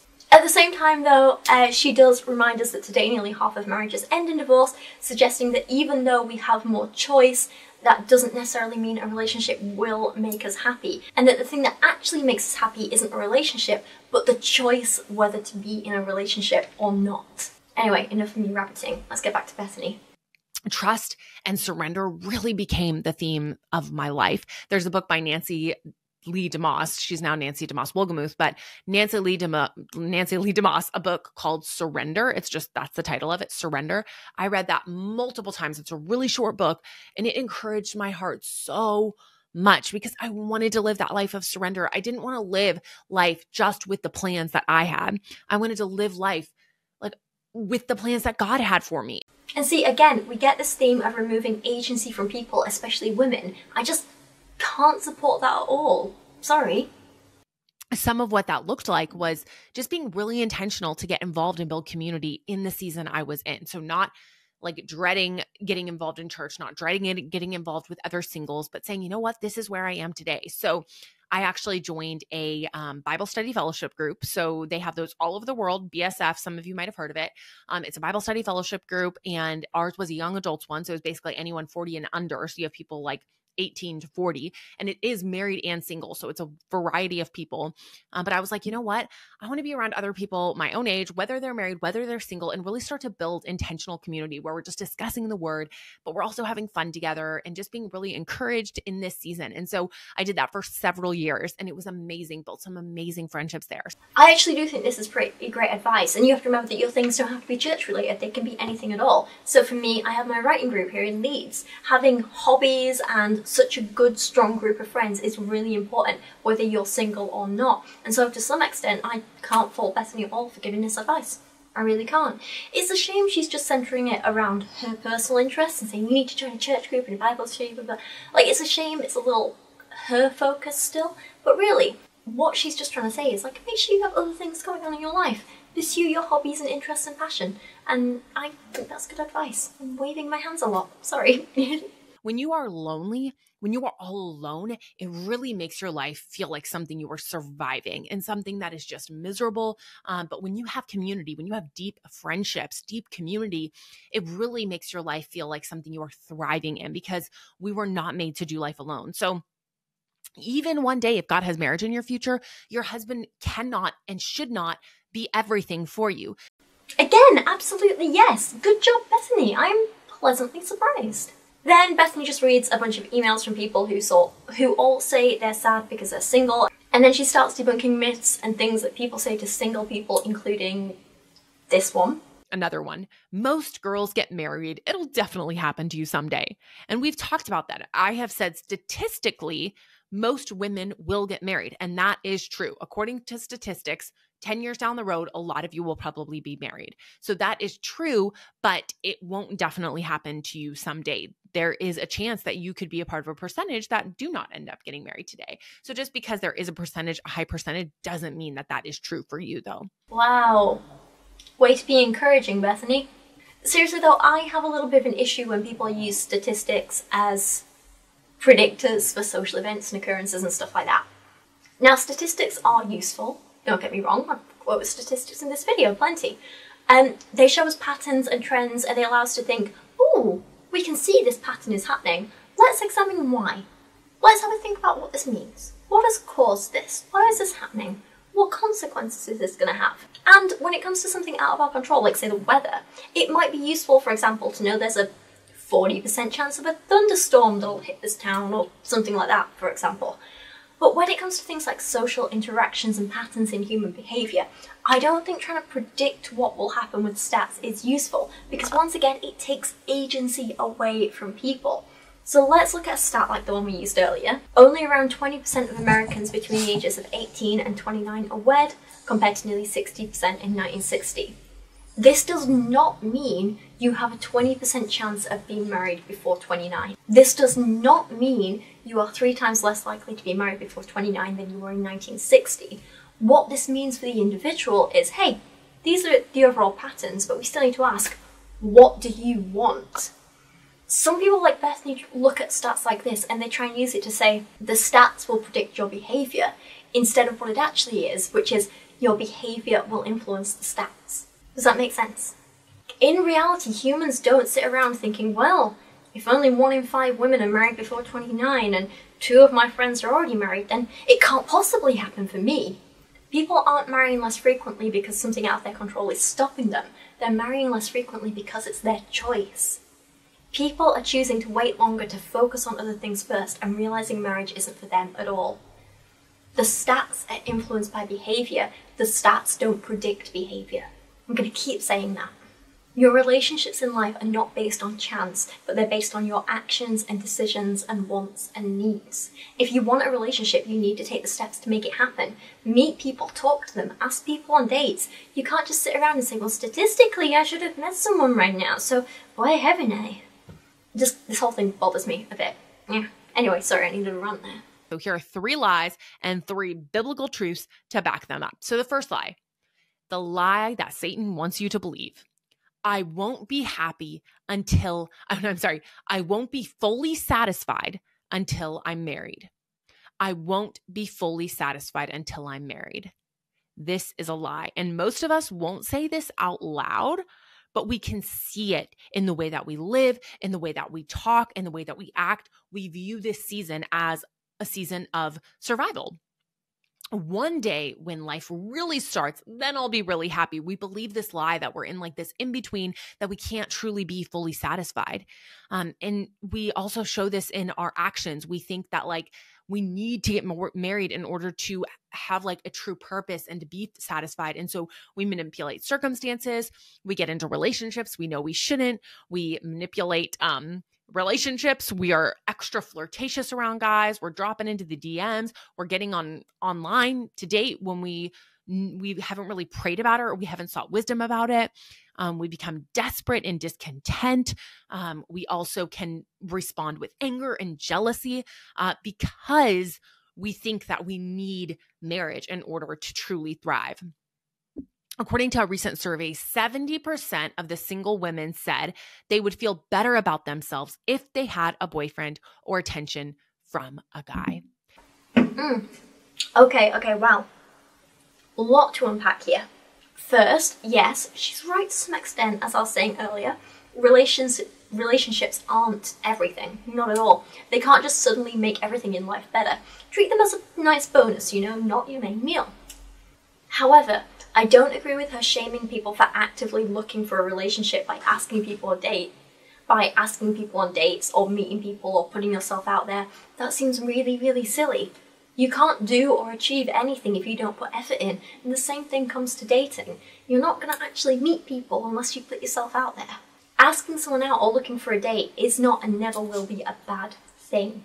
When it becomes your only focus in life, sure, that's probably going to impact you negatively, but there's nothing wrong with saying, you know what, I think this thing would be nice, I'm going to take some steps to find it. And finally, and I think this is the most important point and the most annoying one. What survey?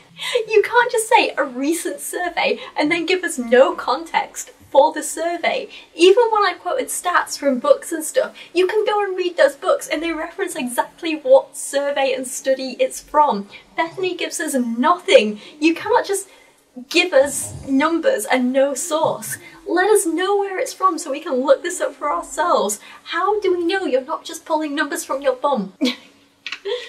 the thing is, I do believe this could legitimately be a real finding for a real survey because others have found similar things and there's still a lot of stigma online about being single and a lot of people still falling for the idea that you need a relationship to make them whole and blah blah blah. But unlike Bethany, I can provide sources for these claims that you can check out for yourself.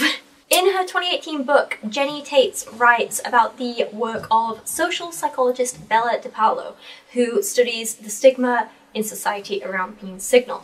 All of DePaulo's work, Taitz writes, compared to those described as in relationships, singles were rated as less extroverted, agreeable, and attractive. They were also judged as having lower self-esteem and life satisfaction. This finding was backed up by writing by Kate Bolick, which tells us, We like to pretend that only single people are lonely, and coupledom the cure. This belief dates back to Plato's myth about the first human beings, shaped like spheres with four hands and legs apiece and two faces. She goes on to write, Every life includes at least some loneliness. Most people merely suffer it like a recurrent pain that can subside for months or years at a time and then blaze up when conditions are just right. Moving to a new city where you don't know anyone, staying in a bad marriage, losing someone you love, even just running an errand, when out of nowhere you feel at your core how alone we all are in this world. And it takes everything you've got to not set your basket of groceries on the linoleum and walk out the supermarket. So she highlights in her book Spinster how every woman goes through periods of happiness and contentment and loneliness and depression, and how this is something we can work through and work on ourselves and not just hope or expect a relationship to fix. Feelings of loneliness are common when you, whether you're in a relationship or not. Being single doesn't automatically mean you'll be lonely, and being in a relationship doesn't automatically mean you won't be. Lonely is a problem that we all have to solve as individuals, but it has many solutions, not just ooh, being in a relationship and get married. Taitz goes on to tell us more studies about relationships and happiness. For example, in a remarkable study looking at more than 24,000 people over the course of 15 years, utilizing data from something called the German Socio-Economic Panel Study, Michigan State University professor Richard Lucas and his colleagues noticed, an, noticed that on average, most people reverted back to their happiness baseline after an initial emotional uptick following marriage. Lucas and his colleagues concluded, on average, people only get a very small boost from marriage, approximately only one tenth of one point on an 11 point scale. That's a mere 1%. The authors shared the unsexy finding that there were as many people who ended up less happy after marriage as there were who reported being more content. So this suggests that even though a lot of people expected marriage to be a big boost of their happiness, most of their happiness was actually, just in life in general, was actually decided by other factors going on in their lives. So, you know, their job, their money struggles, their health, their family life in general. Basically, marriage will not fix everything for you. One more proof? Okay. Furthermore, Taitz references another study, which is Research led by sociologist David Johnson at the Pennsylvania State University suggests that people who marry and stay married tend to report feeling above average life satisfaction before they wed, which again supports the idea that marriage arises from happiness, not the other way around. Positive affect or feeling grateful and acting upbeat is not only related to feeling happy, it's strongly associated with living a longer life. As for Bethany's recent survey, I couldn't find evidence of which one she was referencing by Googling her stats that she read out, so I have no idea how legitimate that is.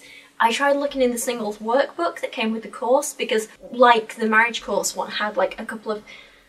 Well, there wasn't really sources in there, it was just like go buy this course and this book and so on. But I thought maybe you should have put a source for it, but Literally nothing.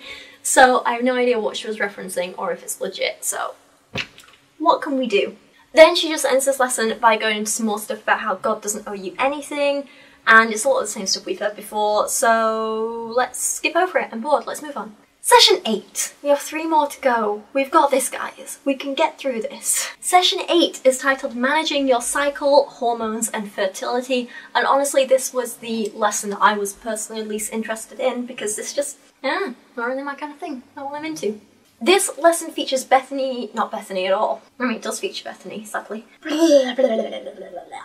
This lesson features Rebecca Gill, who is also one of Bethany's sisters. Now, this confuses me a bit in general because I did some Googling uh, before I even watched this lesson, and it turns out that Rebecca sells this guide called The Well Nourished Woman for $50, which is what she describes as a step by step guide to balancing your hormones, healing your gut, and working out with your cycle.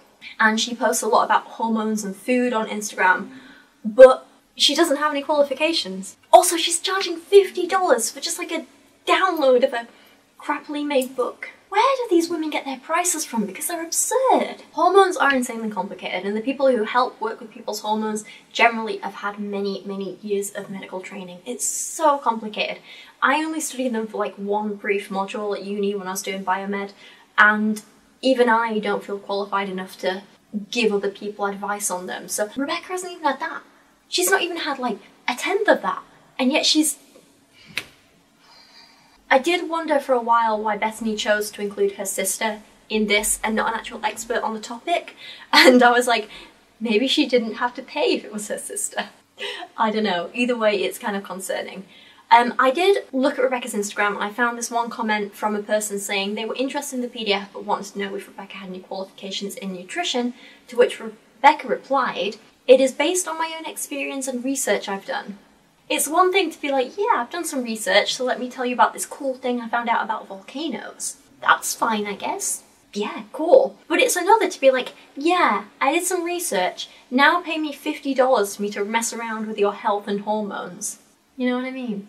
It feels irresponsible. Another person left the comment, I've always been a follower and fan of Girl Defined, so this is not a personal attack on you. However, I'm currently studying to be a nutritionist it's the hardest three years I've ever been through in terms of education. I thought I knew a lot before starting the process to get qualified, but now I realise I didn't know anywhere near as much as I do now. I'm still learning and have a long way to go. I appreciate you've learned a lot and want to share that to help people, but selling self-written material when you're not a qualified nutritionist is incredibly dangerous. And it's also very insulting to people like myself who are taking time and money to get qualified in order to give safe advice to individuals. I really disagree with selling nutritional information without having nutritional qualifications to back it up, it can be quite harmful as every individual is different and one size doesn't fit all. That's where sometimes functional testing is important. I wish you all the best with your passion and so glad you're feeling better, but please don't sell material like this if you aren't qualified in the field. Can we all just have a little round of applause for this person, please? Thank you. Good job, person. Thank you. I also downloaded a free sample of Rebecca's guide and it's just full of pages of quotes from other people, which I'm not really sure if she got permission to use because this is clearly not transformative content, but I mean, at least she's referencing that they're quotes, I guess. That's something. Rebecca also never bothers to actually define her terms or explain anything, it seems, at least not in this little sample. Uh, like here, what is a volatile organic compound and why should I be worried about them? How do we know they might be connected with headaches and cancer? If they are connected, then what research has been done into their use in candles and the direct impact on our health? If research has found these to be harmful and how a candle manufacturer is still allowed to use them, I want to know more. You can't just make some vague claims like this and then not back anything up or explain it more and expect people to pay for this stuff. She then has this whole page on toxic products, which may be the vaguest term I've heard in one of these things. She writes that I have almost completely switched over every single product I use to be non-toxic. What does that even mean in this context?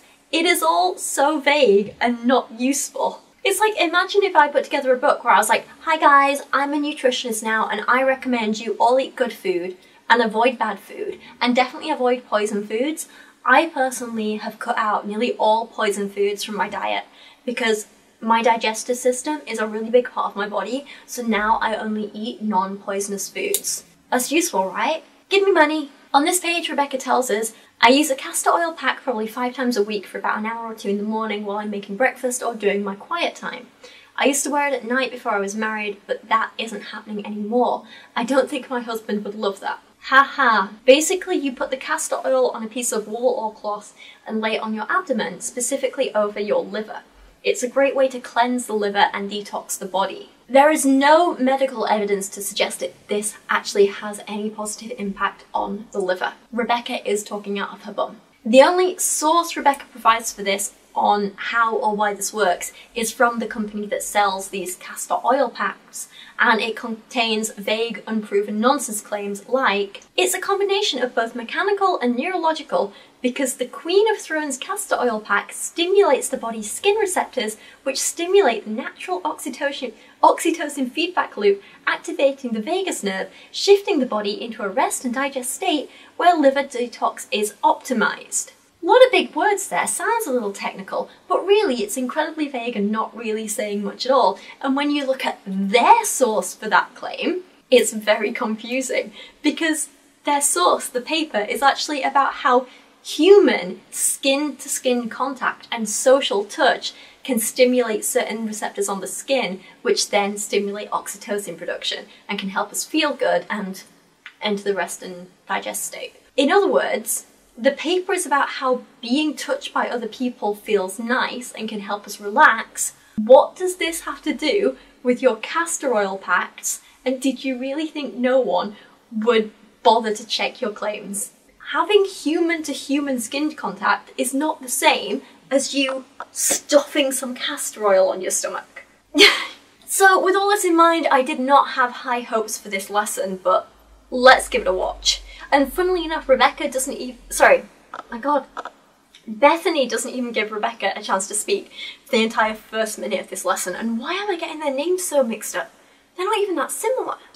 Um, well, I mean, it started probably growing up in like childhood, you know. Um, I think, and I share a lot of this in my ebook, but a, a lot of the mindset that I had around food was um, based on the people around me or just like the culture at the time.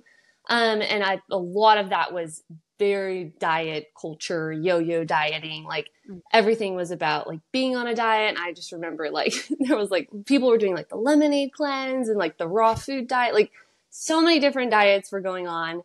And I just remember that kind of being like, oh, okay, well, if we all have to be on diets, it's because we all have to be like really skinny. Like we have to, you know, fit this status quo or whatever. Yeah. And so that kind of mindset really was hurtful as like I grew up because that and that's mm. just like that's the culture we live in you know it's like everybody yeah. everywhere like you get on instagram and it's like oh like meal replacement shakes and like you know ways to like lose weight or like you know yeah. sca- like weighing yourself or whatever and so that's just you know that can be so hurtful for like a girl especially that's yeah. just trying to figure out like okay well like am i the right size or like you know do i need to lose weight do i need to do i need to go on these diets that everyone else is going on and so a lot of that started when I was younger. And then as I grew older, that definitely was like always there. Like I always needed to be on some sort of diet or if I wasn't, then I felt really bad. Like, oh, I've got to do something. Like, okay, well, this week I'm going to start, you know, cutting out sugar or something. I think one year my New Year's resolution was literally like, I'm not going to eat sugar for the whole year. And that totally wow. did not last like even a month. but it was um, a lot of that just caused so much stress on my mindset and on my body, and then just like how I even viewed my body that I was never, I, I could never be enough almost in some ways. Like I, I, I could never be the right size because I like, who's deciding what the right size is? You know, it's like, how, how skinny is skinny enough? Okay, so we are clearly talking about major disordered eating and body image issues here. Like really, really serious stuff that affects so many people, not just women. I think this is really serious stuff to talk, it's really important stuff to talk about. And I just, one, I guess I don't really understand why it's in a sex course for single Christian women, but okay, I guess. And all that said, I think these sensitive, complex topics should be spoken about by a professional and handled respectfully by a professional, not just a woman who has struggled and is still struggling and did a little bit of Googling, you know? I'm all for people sharing their own stories online, but to sell their story and pass it off as them being an expert nutritionist because they struggle with an eating disorder themselves just doesn't quite sit right with me.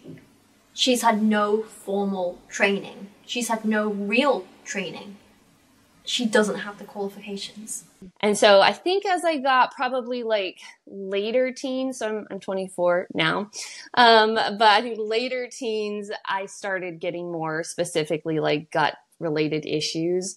Um, and then that's, that led into like early 20s, like 20, 21, 22, that age range. And that just looked like slowly just getting like really bad bloating and heartburn and constipation. um, I'm just saying, but if you're a nutritionist who giggles like a child when you say the word constipation, then maybe you aren't really mature enough to be teaching a course on nutrition. She then says that her entire knowledge base essentially comes from the fact that she worked with a nutritionist and her nutritionist really helps her and it took two to three years for her to start feeling okay and better about food. But this is kind of confusing because if things got really bad when she was 22 and it took two to three years for her to start feeling better, Rebecca is now only 24, then she really must have become an expert in things overnight, you know? None of this is adding up. Yeah, well, and it goes right into you ended up writing a book, an instant downloadable book. Sorry, just dropped my phone. Um, called The Well Nourished Woman, and it's interesting because I actually used the same nutritionist that Rebecca did because I had all sorts of migraines. I was going through all like a bunch of miscarriages, and so that's what I'm telling you. Like, you think you're thinking like okay well what what the heck? Like why does it matter? Okay i'm bloated or like i can't really eat anything. Like what's the big deal? But a lot of you are on here because you want to be a mom one day. You want to get married one day. Or some people just want to feel healthy because they like to take care of themselves not because they want to pop out babies. So if you're listening and you're like okay what the heck did she do? What are the nitty gritty mm. details? I strongly encourage you, and I'll put a link in um, your notes so that you can grab a copy of her ebook she did not leave a link in the workbook. There are no links in the workbook. I'm also so sick of this pay for my resource so I can tell you to go pay for more resources thing. It is so scammy.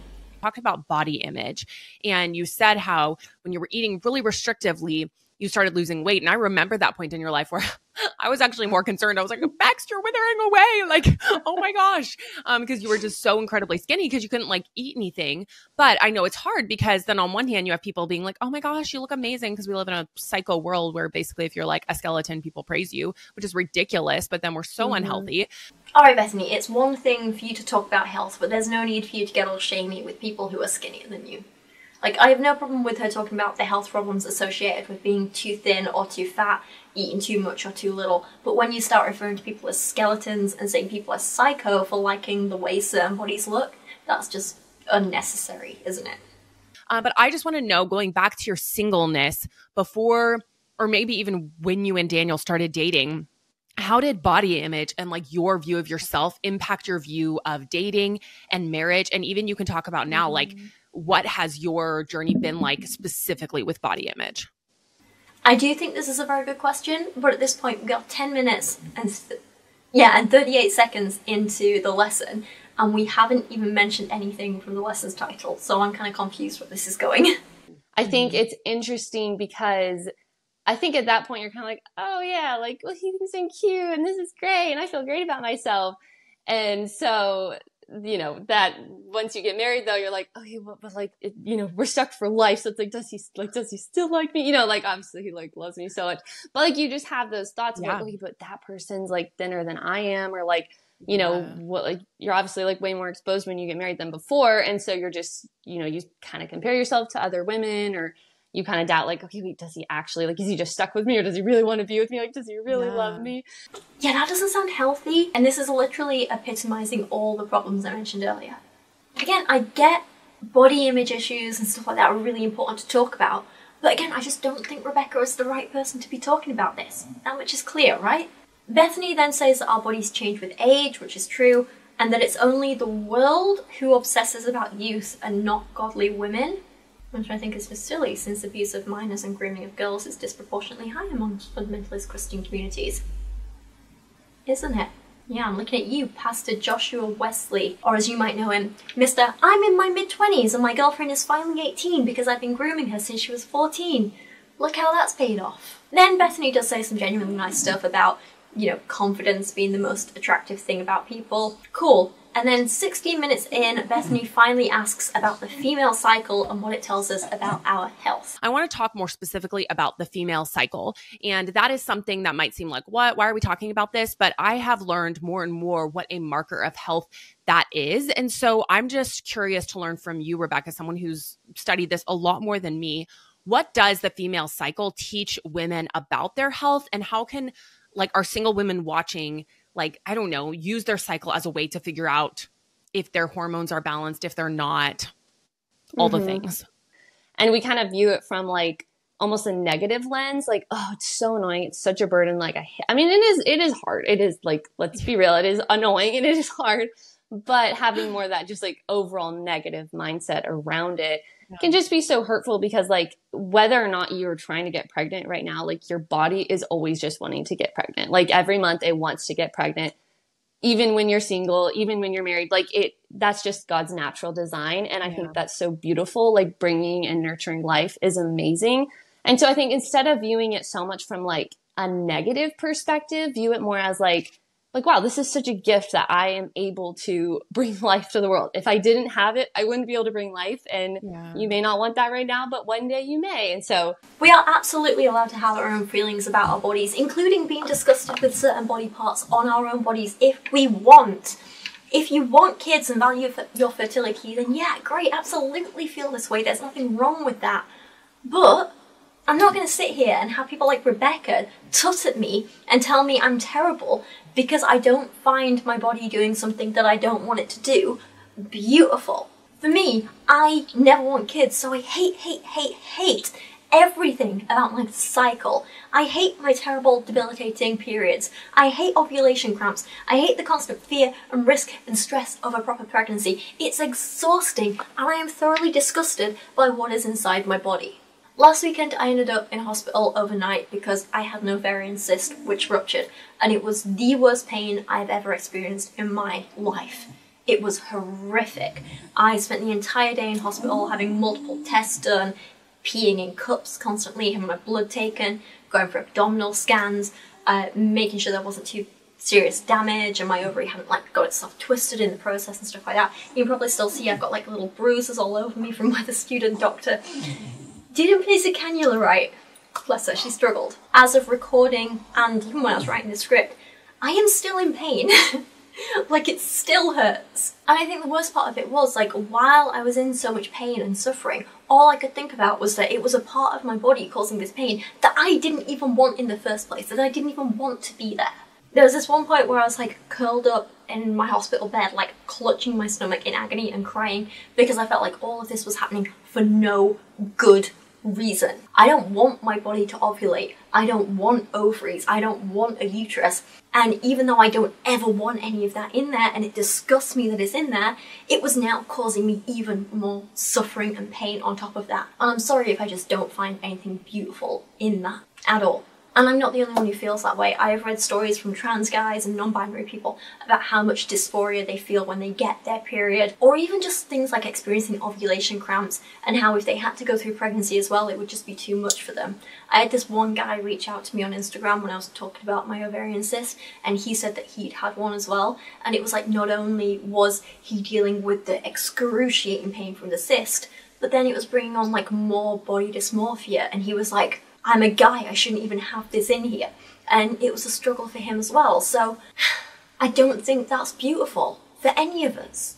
I just feel like maybe Rebecca and Bethany need a little more compassion and empathy for other people. Because while it's wonderful that they value this part of their body and find it beautiful, surely they have to realise that not everyone feels that way, and you shouldn't shame us for not feeling that way. Rebecca then attempts to get scientific, but it's just so vague. I think some of the big reasons that you even want to be having like a consistent cycle is that it it can um, show you your hormones um, because in your cycle obviously you have like lots of different hormones that are rising and dropping and rising and dropping throughout the whole like 28 days month period Um, and if those are off or you're not having it, then that means like you're not ovulating or those hormones aren't like rising and falling like they should mm. be. Hmm. And that can just honestly cause a lot of problems like further down the line, like gut issues or um, just really bad like mood swings or um, obviously like not able to get pregnant. That's a huge problem with not having a mm. consistent period. Again, I think this is important to talk about, but it's so vague and basic that it's not really helping anyone or anything, right? At this point, if this was an actual lesson taught by actual experts, the things I'd like to see are like, okay, so what specifically are these hormones that you're talking about? Where are they produced in the body? What do they do? How do they fluctuate throughout the month? What does this mean for the average woman on a day to day basis?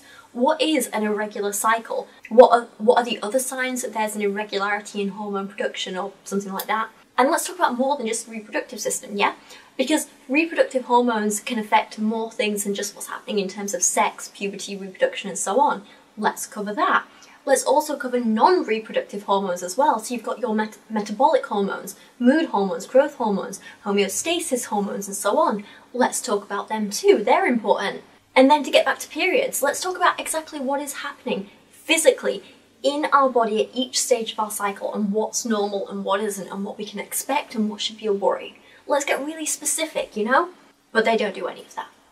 If you are interested in finding out the answers to those questions and so much more, then I thoroughly recommend Dr. Jolene Brighten's book, Is This Normal? It's one I've mentioned before in this video, but chapter 9 of that book is titled Is My Menstrual Cycle Normal? and it covers all of this stuff and more. She also covers topics related to menopause, she covers topics related to conditions like PCOS, PMS, and the lesser known but incredibly difficult PMDD. Chapter 10 of her book then covers is my period normal and goes into what a period actually is, what you should expect, and when you should be concerned. And then chapter 12 goes into the link between things like a good sleep schedule, good nutrition, and how that helps regulate your hormones and monthly cycle. It's everything Bethany makes out this lesson of hers is about, except Brighten actually delivers in her book and knows what she's talking about and has the experience, and it's a lot less expensive. And then finally, chapter 13 of Dr. Brighten's book covers what lifestyle changes can help if you have certain hormone imbalances. The only real fact that Rebecca keeps repeating over and over is how it's not normal to skip or miss periods and how that's a sign of a hormonal imbalance, a hormonal imbalance. But I think that's something that every person with a basic sex education knows, right? So I'm not sure why she's making out that it's this big groundbreaking thing. But that kind of just speaks to me about the lack of education in this family, and it makes me quite sad. it's so sad because so many women who get married, they don't understand their body, they don't understand their cycle. And yeah, because they're not being educated properly. And whose fault is that? Your parents. So, can you talk to us about other aspects of our health, things that can show us whether we have bad health, good health? I know, mm. like when I worked with a nutritionist, um, your like pooping was a big part of it too. Like, are you pooping daily? What does it look like? So, what are other signs outside of the cycle of good or bad hormone health? Mm, yeah, yeah, for sure. So, um, a, a, big sign that I definitely see now, real like kind of being able to identify it is so many women. Like, if you notice, like they're like, "Oh, I'm so cold," and it's like 100 degrees outside, and they like bring a sweater with them, and you're like, how are you cold right now? Like yeah. it's so hot. Yeah, because a lot of women struggle with poor circulation and generally lower body temperatures. It can be a marker of ill health, it might not be. It is a lot more complex than that. Rebecca then just goes through more basic things like hair loss, weak nails, issues with bowel movements. There's nothing really new here, no specifics, it's all quite dull. This is just kind of one big ad for Rebecca's terrible book and not actually anything to really do with anything. I don't really get what it's doing in this course except to give her sister a boosted sales. Bethany then throws out stuff like painful periods are also a sign of bad health, but then just skips over it and doesn't talk about it in any de- detail at all. And honestly, at this point, I think there is a larger and much more important conversation to have here, and it's one I've discussed briefly in other videos too, and that is the way that in general, women's health problems are not taken as seriously as men's. Women's pain in general is not taken as seriously as men's pain, and this leads to a huge disparity in healthcare for men and women. I know just talking personally, um, I've been seeing doctors for like three years now about my bad periods, maybe longer, and they still don't know exactly what the cause is or what to do about it. It's a night. Well, actually, no, I do have a solution now. Um, it is a nightmare, but I'll I'll tell you about my health stuff in a bit because of those things. Um, but if you've seen any of my other feminist videos on my channel which touch on healthcare in general, then you'll have seen me quote a great, great book called Invisible Women Data Bias in a World Designed for Men by Caroline Criado Perez. She writes that period pain, also known as dysmenorrhea, similarly affects up to 90% of women, and according to the American Academy of Family Physici- Physicians, it affects daily life of around 1 in 5 women. The level of pain women experience on a monthly basis has been described as almost as bad as a heart attack. But despite how common it is and how bad the pain can be, there is precious little that doctors can or will do for you. In other videos, I've spoken about how Viagra could be a fantastic treatment for bad period pain, but so far, serious studies into it just haven't been done because it's not been deemed an important enough issue. Yet they were fine funding a study into using it for erectile dysfunction. Apparently, erectile dysfunction is important enough, but women's debilitating pain isn't. right? And this isn't the only problem either. With issues like endometriosis, according to Perez, it takes an average of 8 years to diagnose in the UK, an average of 10 years to diagnose in the US, and there is currently no cure. And although the disease is thought to affect 1 in 10 women, which is around 176 million worldwide, it took until 2017 for England's National Institute for Health and Care Excellence to release its first ever guidance to doctors for dealing with it. Their main recommendation listen to women. And it's not just when it comes to periods and anything to do with our cycles as well. Just in general, women's pain isn't taken as seriously as men's. To quote Perez one more time, even if they're treated for their pain, women routinely have to wait longer than men to receive that treatment. And this is especially true for women of colour, in particular black women. Alyson J. McGregor writes in her book, Sex Matters How Male Centric Medicine Endangers Women's Health and What We Can Do About It, which is another book I really recommend. She writes, The discrimination women encounter as medical patients is magnified when they are black, Asian, Indigenous, Latinx, or ethnically diverse, when their access to health services is, is restricted, and when they don't identify with the gender norms medicine ascribes to biological womanhood. Pardon you. She goes on to say that structural racism intertwines insidiously with gender bias. 22% of black women in the United States have experienced discrimination when they visited a doctor or clinic. The racist discounting of black women's physical and psychological pain means they are prescribed fewer medications and are more vulnerable to misdiagnosis or having their diagnoses dangerously delayed. And these disparities are killing them. And this is exactly the same across numerous countries, including the UK. And then, of course, we need to consider what is known as Yentl syndrome as well. Uh, Perez defines this as the phenomenon whereby women are misdiagnosed and poorly treated unless their symptoms or diseases conform to that of men. So basically, a lot of the time when illnesses are studied, uh, they're studied in men. So the common heart attack symptoms, for example, that we're taught to look for, for example, like pain in the arm and stuff like that, they're actually only really common in men. Women generally display very different symptoms of a heart attack, which is why most women's heart problems go undiagnosed or misdiagnosed, and therefore uh, women are more likely to die or have serious consequences from a heart attack than men are. It's the same for a lot of treatments too. Most clinical trials over the years have been carried out on men or women who were at a stage in their monthly cycle where their hormones were most similar to men's. Therefore, a lot of these trials didn't take into account the fact that the fact that many of these medications can not only affect women differently to men, but will affect women differently at different points in their cycles. A lot of the time, they also don't take into account pregnancy and how that can interfere with medication, or how medication can interfere with pregnancy, which is how we ended up with issues like thalidomide slipping through the net, causing thousands of babies to be born with disabilities. Anyway, my point is that having conversations around women's health is really, really important and one that we should be having. And I kind of wish that Bethany and Rebecca touched on this because they had a really good opportunity to talk about this and they just missed it. It's a shame. I do keep finding myself asking, what are people actually paying for with this course? Like both of us did, we did like deep dives into our health. And that's something you can definitely do. Connect with Rebecca if you're wanting more details on that. If you're like, wow, I want to like, like, I think I have serious health issues, you can connect. Like, what's the best way to connect with you if they have more questions or if they're like wanting to be pointed in a specific direction? How would they reach out to you? Yeah, probably mostly through Instagram. It's just at the. Rebecca Gill. It's R E B K A H. G I L L. Perfect. Okay, so you yes, can totally G-I-L-L. connect with Rebecca there. Send her a DM if you're wanting more details, like on any of the things that she's mentioned. Um, again, like I've said, starting with the Well Nourished Woman, her book, which you'll have the link to, is definitely the best place to start with. Whoa, whoa, whoa! No, sorry, no. If you think you have serious health problems, do not do this. If you have a serious health problem, go see a doctor. I know the healthcare system is screwed in America, but I don't care where you are. Your first port of call should always be, when you think there's something serious, a trained professional and not just a random 24 year old on Instagram who just learnt the basics of what menstruation is.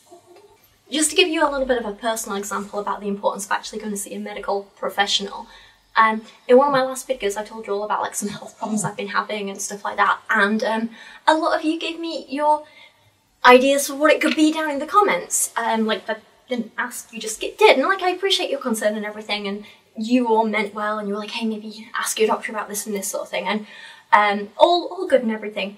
But the thing is, none of you got it right. Not a single person, and that's because, no offense, but you're not my doctors. And this is the importance of actually going to see your doctor.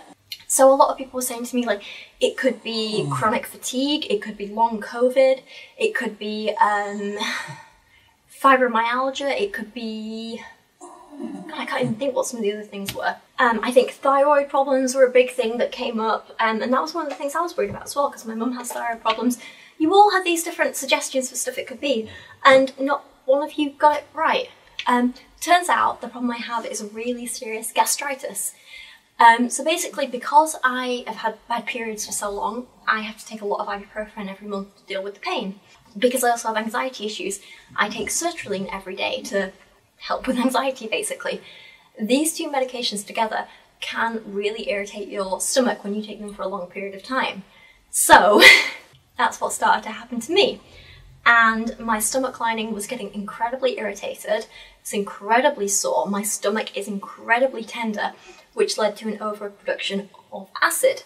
Because of that, I couldn't eat as much at a time, and that was leading to the feelings of sickness and nausea every time I tried to eat. It was causing these hot flushes. It was causing a lot of like dizzy spells and stuff like that. And then because I wasn't physically eating enough, my stomach was getting more irritated and the lining was getting more sore and I was producing more acid and it was a big, terrible cyclical thing. That in turn caused all my other problems because I thought, because I thought, well, I'm eating until I feel sick. That must be mean, mean I'm eating until I'm full, so I must be eating enough. I was not eating enough. Turns out I've managed to offset a lot of it by taking like a vitamin mineral supplement, but in a lot of ways I'm a little bit malnourished. I'm physically not getting enough food. I'm not getting enough calories in the day, which is what led to the mass fatigue, led to the dizzy spells, led to um, a suppressed immune system, which was meaning I was getting all these colds really frequently.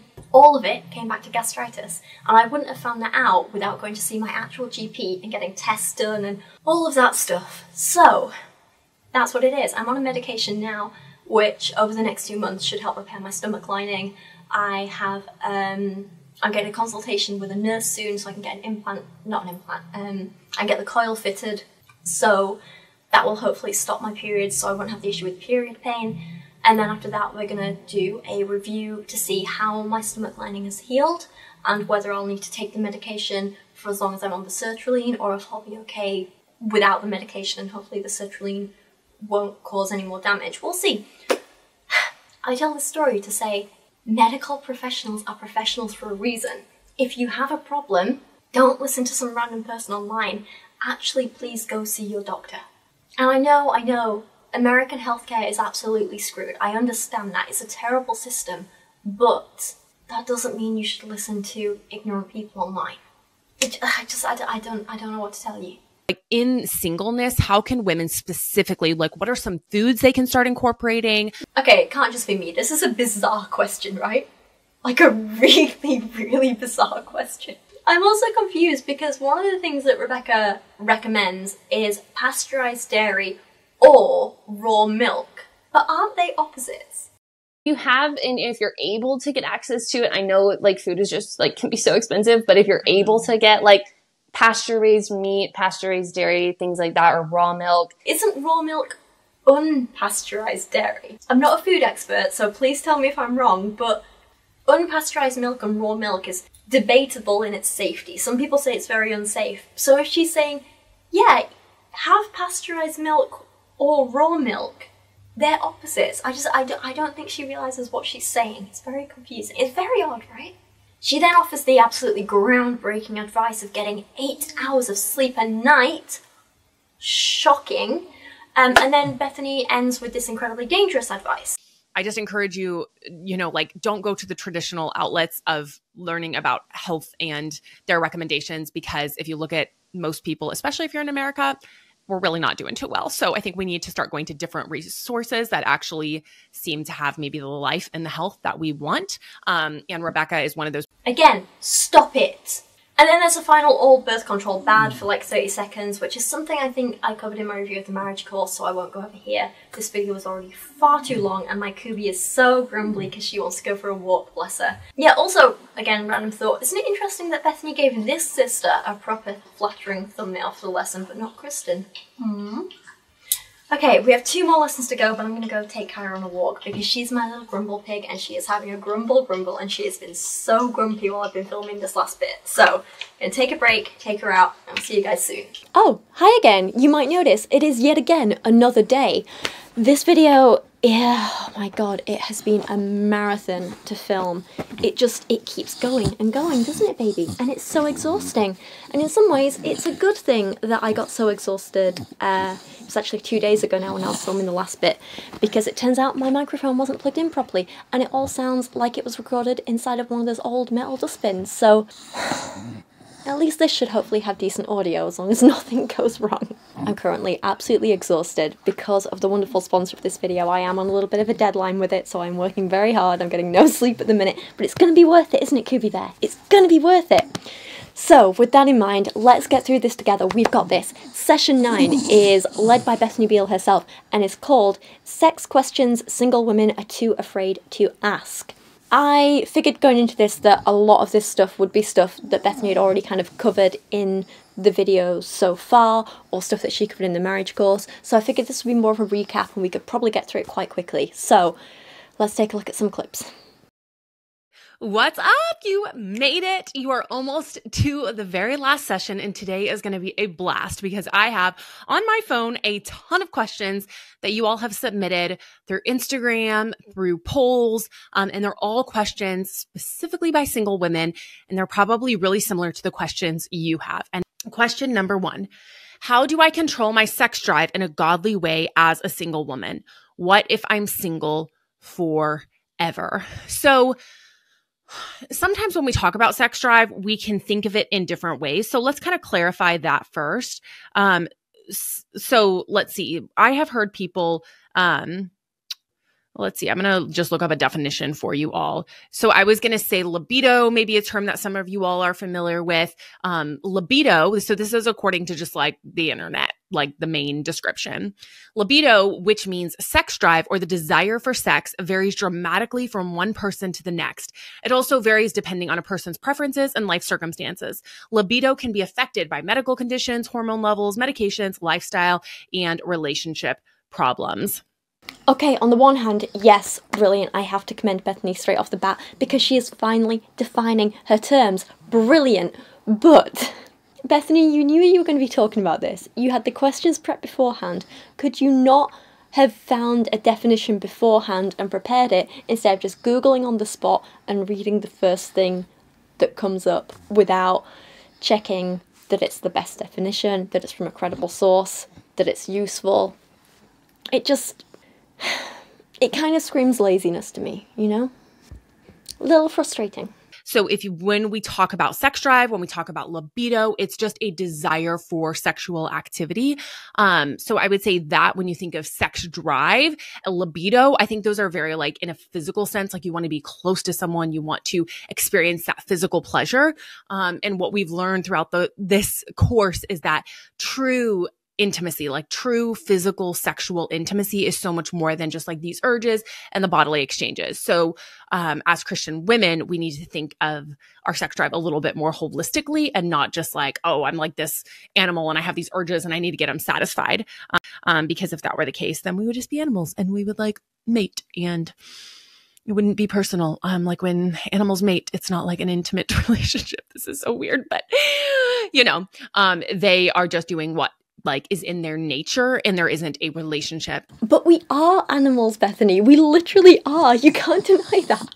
But yeah, other than the whole animal thing, just so much of what Bethany is saying here is so limiting and shaming for people. Again, these themes of shame are coming back up over and over again, and it's something that we really need to work hard to try and combat.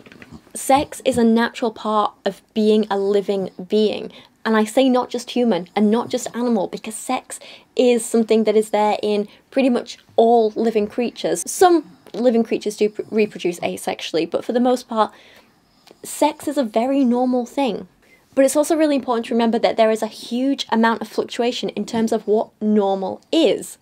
That is, there are lots and lots of normals when it comes to sex. Some people want lots of sex, some people want it not at all. Some people want sex with the opposite gender, some people want sex with the same gender, some people want both. Some people only want one partner, some people want many. Despite what Bethany is saying here, there isn't actually one right way to experience attraction and desire. What is normal to you is going to be different to what is normal to me, but they're both still normal. Some of us want emotional intimacy before sex, some of us need sex before emotional intimacy. Some of us can disconnect them completely. For some of us, they're completely intertwined and always will be. And for some of us, that changes and fluctuates throughout our entire lives, and I don't know what this is. what is Mama doing? Am I bad dancing? Yeah.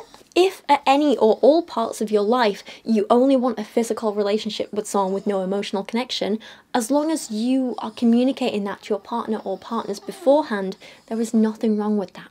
Again, coming back to a book that I've spoken about so much in this video, Beyond Shame by Matthias Roberts, he tells us that we need to basically um, evaluate our own personal core values when it comes to sex. He writes that once we know our core values, we have a ground from which to evaluate our decisions. We can look at the choices we're making and ask, does this align with who I want to be? And honestly, that is the only hard and fast rule you need to follow, other than obvious things to do with consent and so on. Be consensual, be safe, be respectful to your partner or partners. Everything else comes down to does this align with who I want to be? And you can reevaluate. I see, Kyra. and you can reevaluate that as many times as you want and figure it out and at any time in your life. you are such a grumble pig. Would you like a snack? Yeah? Rebecca Traister has a really interesting discussion about female sexuality, particularly among single women, in her book, All the Single Ladies. Definitely, I think this is another one really worth a read, as are all the books I've mentioned in this video, actually. Um, I don't really have the time to go into the nuances of it all right now, but to give you a very vague overview, she argues that the vast increase in the number of single women is to be celebrated, not because singledom not because singleness is in and of itself better or more desirable than coupledom. There are now an infinite number of alternate routes open. They wind around combinations of love, sex, partnership, parenthood, work, and friendship at different speeds. Single female life is not prescription, but its opposite liberation. She goes on to say many unmarried women have sex. Some of them even have so much sex. After all, the increased freedom to have socially sanctioned sex with contraception with a variety of partners to whom they are not obligated to chain themselves for life is one of the chief reasons that there are so many unmarried women. Bethany and co like to paint this like it's a bad thing, but really, how is it? How can freedom and liberation to this extent be a bad thing if it's what people are choosing and it's making them happy? if you don't want that kind of sexual freedom, that's okay. You don't have to have it. That's what choice is all about. Traister goes on to say, when it comes to stories that women tell or don't tell about sex, the interesting part isn't necessarily the fact of the sex, it's the increasing variety of sexual paths open to women, the diversity of choices made by different women, or sometimes by an individual woman, over the course of her adulthood. Some women have multiple partners, some have none. Again, it comes back to defining your core values around sex and being true to yourself, and there's no one right or wrong way to do that. Just because women now can have a number of sexual partners uh, without risk of, you know, uh, unwanted pregnancies and stuff like that, that doesn't mean you have to. If that's not what's right for you, you do not have to do it. But at the same time, it's not okay for you to shame other people who do want to do that. It's about understanding what you want for yourself, but being open and respectful of the idea that other people can do what's right for themselves as well. Themselves? Themselves? Themselves? Themselves, right? Words. Traister continues by arguing when we encounter women who are motivated by a spirit of conquest, who do not experience sexual hang ups or guilt, who do not want touchy feely ties with all or any of their sexual partners, and who do not in fact want to commit to them, this is but one of the ways that women get labelled sluts and deviants, considered unwell or unfit or unfeminine or damaged. So she's pointing out here that there is still social stigma. Even though women now have more of these freedoms, there's still a social social stigma around it. Um, I've heard people talk about men in particular who will who really believe a like evolutionary perspective of sex and intimacy and they will talk about like how men are just like these wild animals basically and how um, their natural desire and their natural inkling is to just be with lots of women like they're like monkeys or something and the reality is is that God designed men and women to be with one person for life. And I think it's only when we step into um, a mindset, a perspective that truly isn't in line with God's word that we end up in that place. Bethany's displaying this. Remember her comment about how uh, men wanting multiple partners are being like animals. Not only is that offensive to men, but it's also offensive to the women who also want multiple partners and non committed sex. Wanting that doesn't make you like an animal, it's just another way of being human and expressing yourself and being true to yourself. One final quote from Traister, and she says The slow realization that women's sexuality, when truly unleashed from hetero and marital expectation, might begin to look more like traditionally male sexuality is the stuff of social, economic, and sexual revolution. And she argues that when women have this confident, liberated attitude to sex, it, and I quote, makes her scary because it doesn't conform to what we think we know about what women desire. And this is because male sexuality is considered normal, healthy. Female sexuality is still liable to be viewed as immoral. So there's still absolutely this double standard at play when it comes to female sexuality. Traister finishes up this particular chapter in her book by pointing out that while sex with multiple partners isn't without some risks which need to be evaluated, for example, you know, there is still risk of pregnancy and STDs and um, sexual violence and also like you know emotional hurt stuff like that. There are risks that you need to be evaluated. She also says it increases the odds of finding someone with whom you have terrific sex and of learning more about what turns you on and what turns you off how your body works and how other people's body works which just to me personally sounds pretty damn good. And to a lot of women that sounds pretty damn good. And to some women it doesn't sound worth it. And that's okay too it's a shame that Bethany is still in the policing the majority of women's bodies and sex lives part of her journey, isn't it? We're seeing some progress with Bethany, but just not enough. Math. But anyway, back to the question how do I control my sex drive in a godly way as a single woman? What if I'm single forever? So I think it's important too to note that your sex drive isn't the same all of the time. If we're talking about those physical longings for sex, um, to be close to someone, physical intimacy, intercourse, whatever, um, it doesn't look the same all the time. It can vary depending on the time of the month with your cycle. Very much, you can have times where you're it's more heightened, where you have that more like that longing because of hormones to be close to someone. Your body is in the time of truly like wanting to make a baby. So it's really like ex- ready and excited and wanting to welcome in. Again, I do think this is really great for Bethany to point out. It's not a hugely detailed point, but you know, good info for once, really. And so here's the deal is that when it comes to your sex drive, it's not just this thing that you are like a victim to, that you are like, oh my gosh, my sex drive is just like out of control and at certain times, and I am just like a slave to it and I'm just going to be miserable forever. There are actually a lot of things that you can do to make your sex drive really serve you and not the other way around. I was talking to Dr. Juli Slattery once, and she was saying that a huge problem for single women is that a lot of single women don't have a lot of a strong purpose, strong direction. They don't have a lot going on in their life. A lot of single women are very bored actually. And so it leaves them just a lot of time to fantasize and um, get into pornography or masturbation or erotica, or they just are like a victim to their sex drive because they're not using that energy and that, um, the hormones and their life in a fulfilling direction. They're just kind of like, oh, when will this start? And they just feel like a victim to it. Oh god. This this bit though, like how is this not a joke? A lot of women are bored and so full victim to masturbation. You just you can't make this stuff up, can you? Sorry, I was just getting bored of filming. Don't mind me. Sorry, sorry.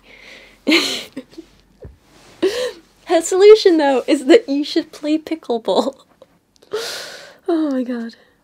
If single women really started becoming more intentional and started filling up their schedules with good things, with good friendships, with good physical activities, you know, joining a, um, you know, there are like women's sports, joining a pickleball team. I feel like I've been making this video for so long, I'm starting to get a little delirious. But no, this is really what she says. Play pickleball. What is it with Fundie's obsessions and pickleball, hmm?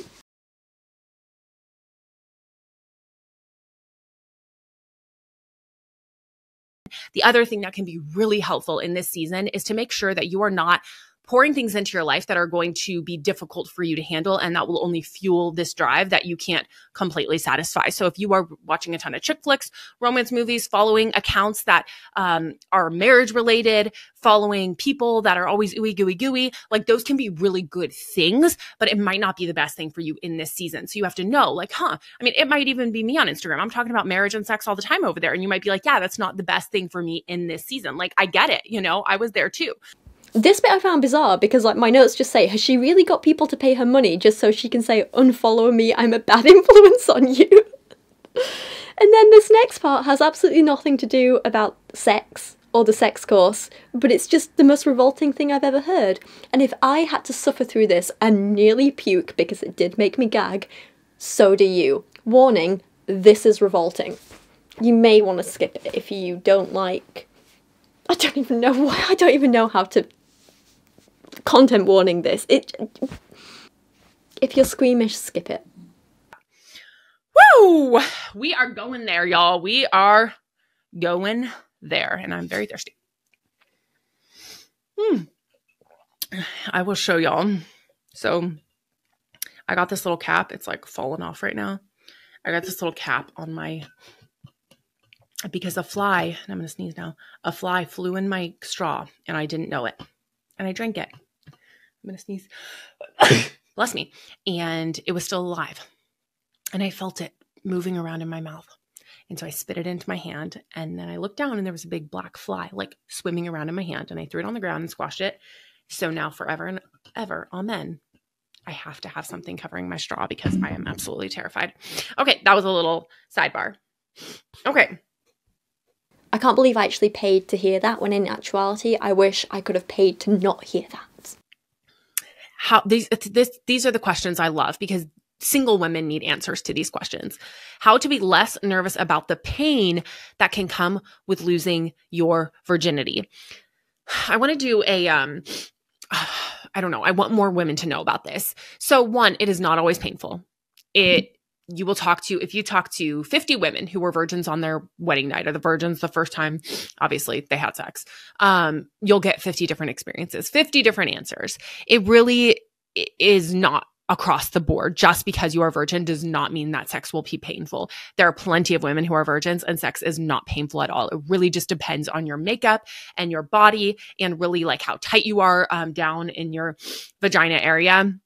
And that really is different for everyone this is decent. This is okay content, but I think this would have been a really good time to talk about hymens.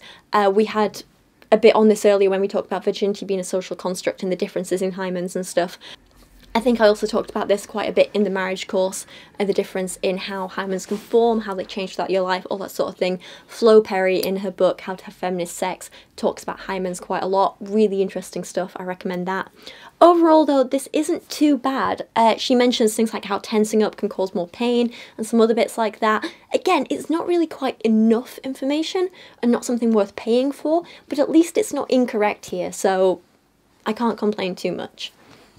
Something that I would strongly recommend is finding a local pelvic floor therapist. And you can find a female. There are a lot of females that work in this field. I personally, when I see the OB or a pelvic floor therapist, I personally like to see a female because I just feel more comfortable um, and I feel like they get me and all of that. So you can just look in your area pelvic floor therapist. And you're not going necessarily because you have a bunch of problems, but you're going to get your pelvic floor, which is everything kind of down there, um, evaluated, checked out, and to make sure that you aren't um, struggling with a ton of tightness, that you aren't struggling with um, different issues down there. And Uh, like it can be hard to know like well everything feels fine but sometimes you can go down there and they can find like mm-hmm. muscle spasms within like your actual vagina. They can find um there there can just be issues or they can say wow like you do have an extremely tight you're very tight down there and they can give you exercises and things that you can do to help loosen it and that doesn't mean you have to be uh, about to have sex to go and do those things like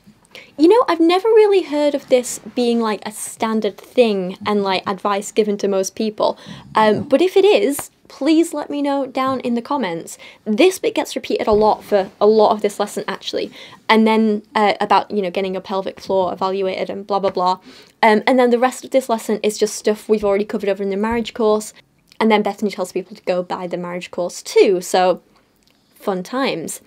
Skipping forward a bit, we have this talking about masturbation again.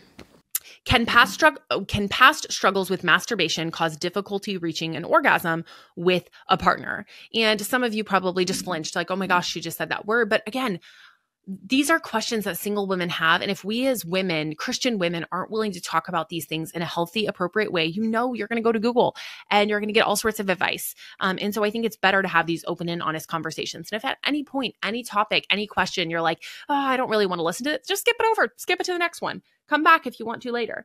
Um, there are a lot of things for women that can cause problems with orgasm outside of a past struggle with masturbation.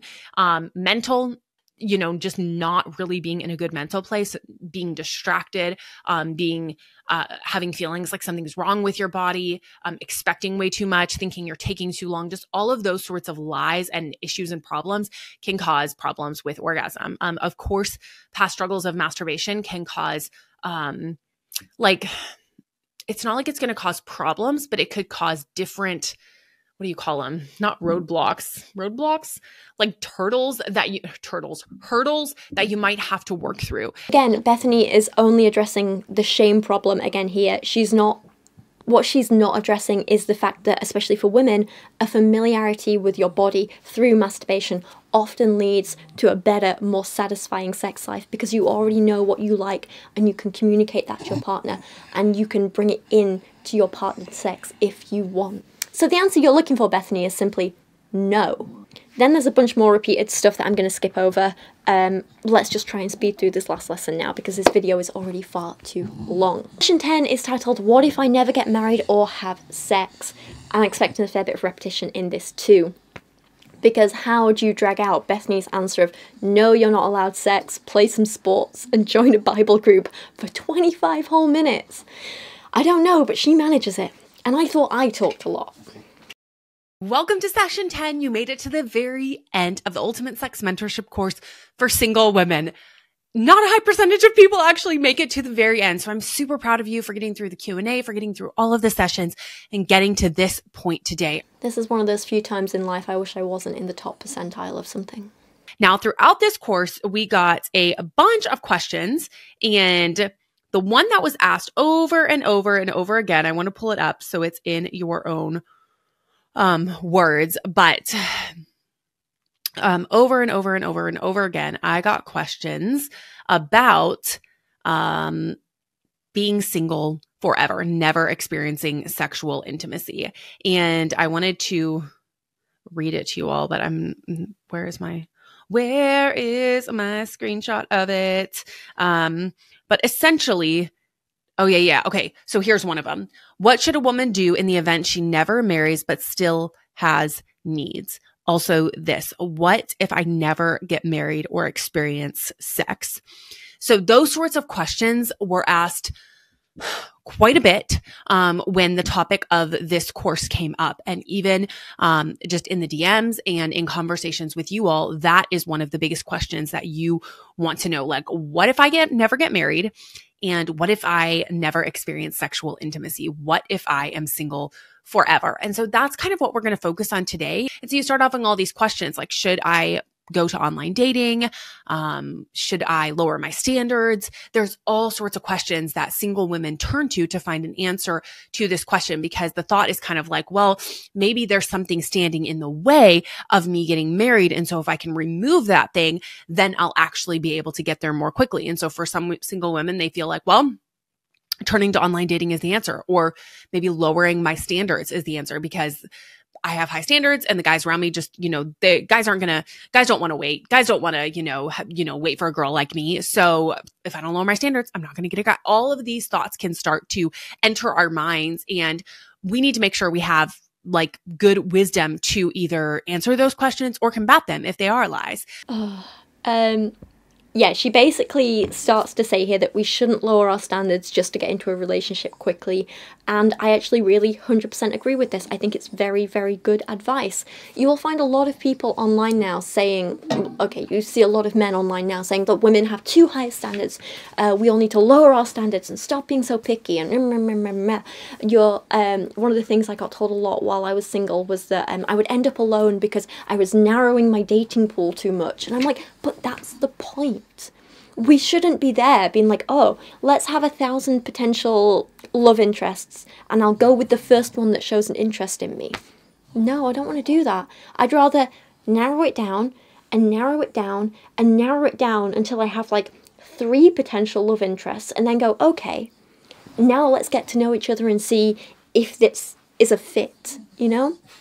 Because I'd rather have a lower amount of high quality potential partners than just go with the first one of many that shows an interest. Because, yeah, it might take you longer to find this high quality partner, but it's going to produce a better quality relationship overall, a better match between you, you know? So, in this case, I actually think Bethany is talking some sense for once, and good on her a bunch of lies that single women have either you know, thought or believed or heard. And then I want to combat them with some scripture and some truth. And now these lies might not all, um, might not all relate to you, but I think some of them will. Lie number one. I would be more valuable if I had a boyfriend or husband.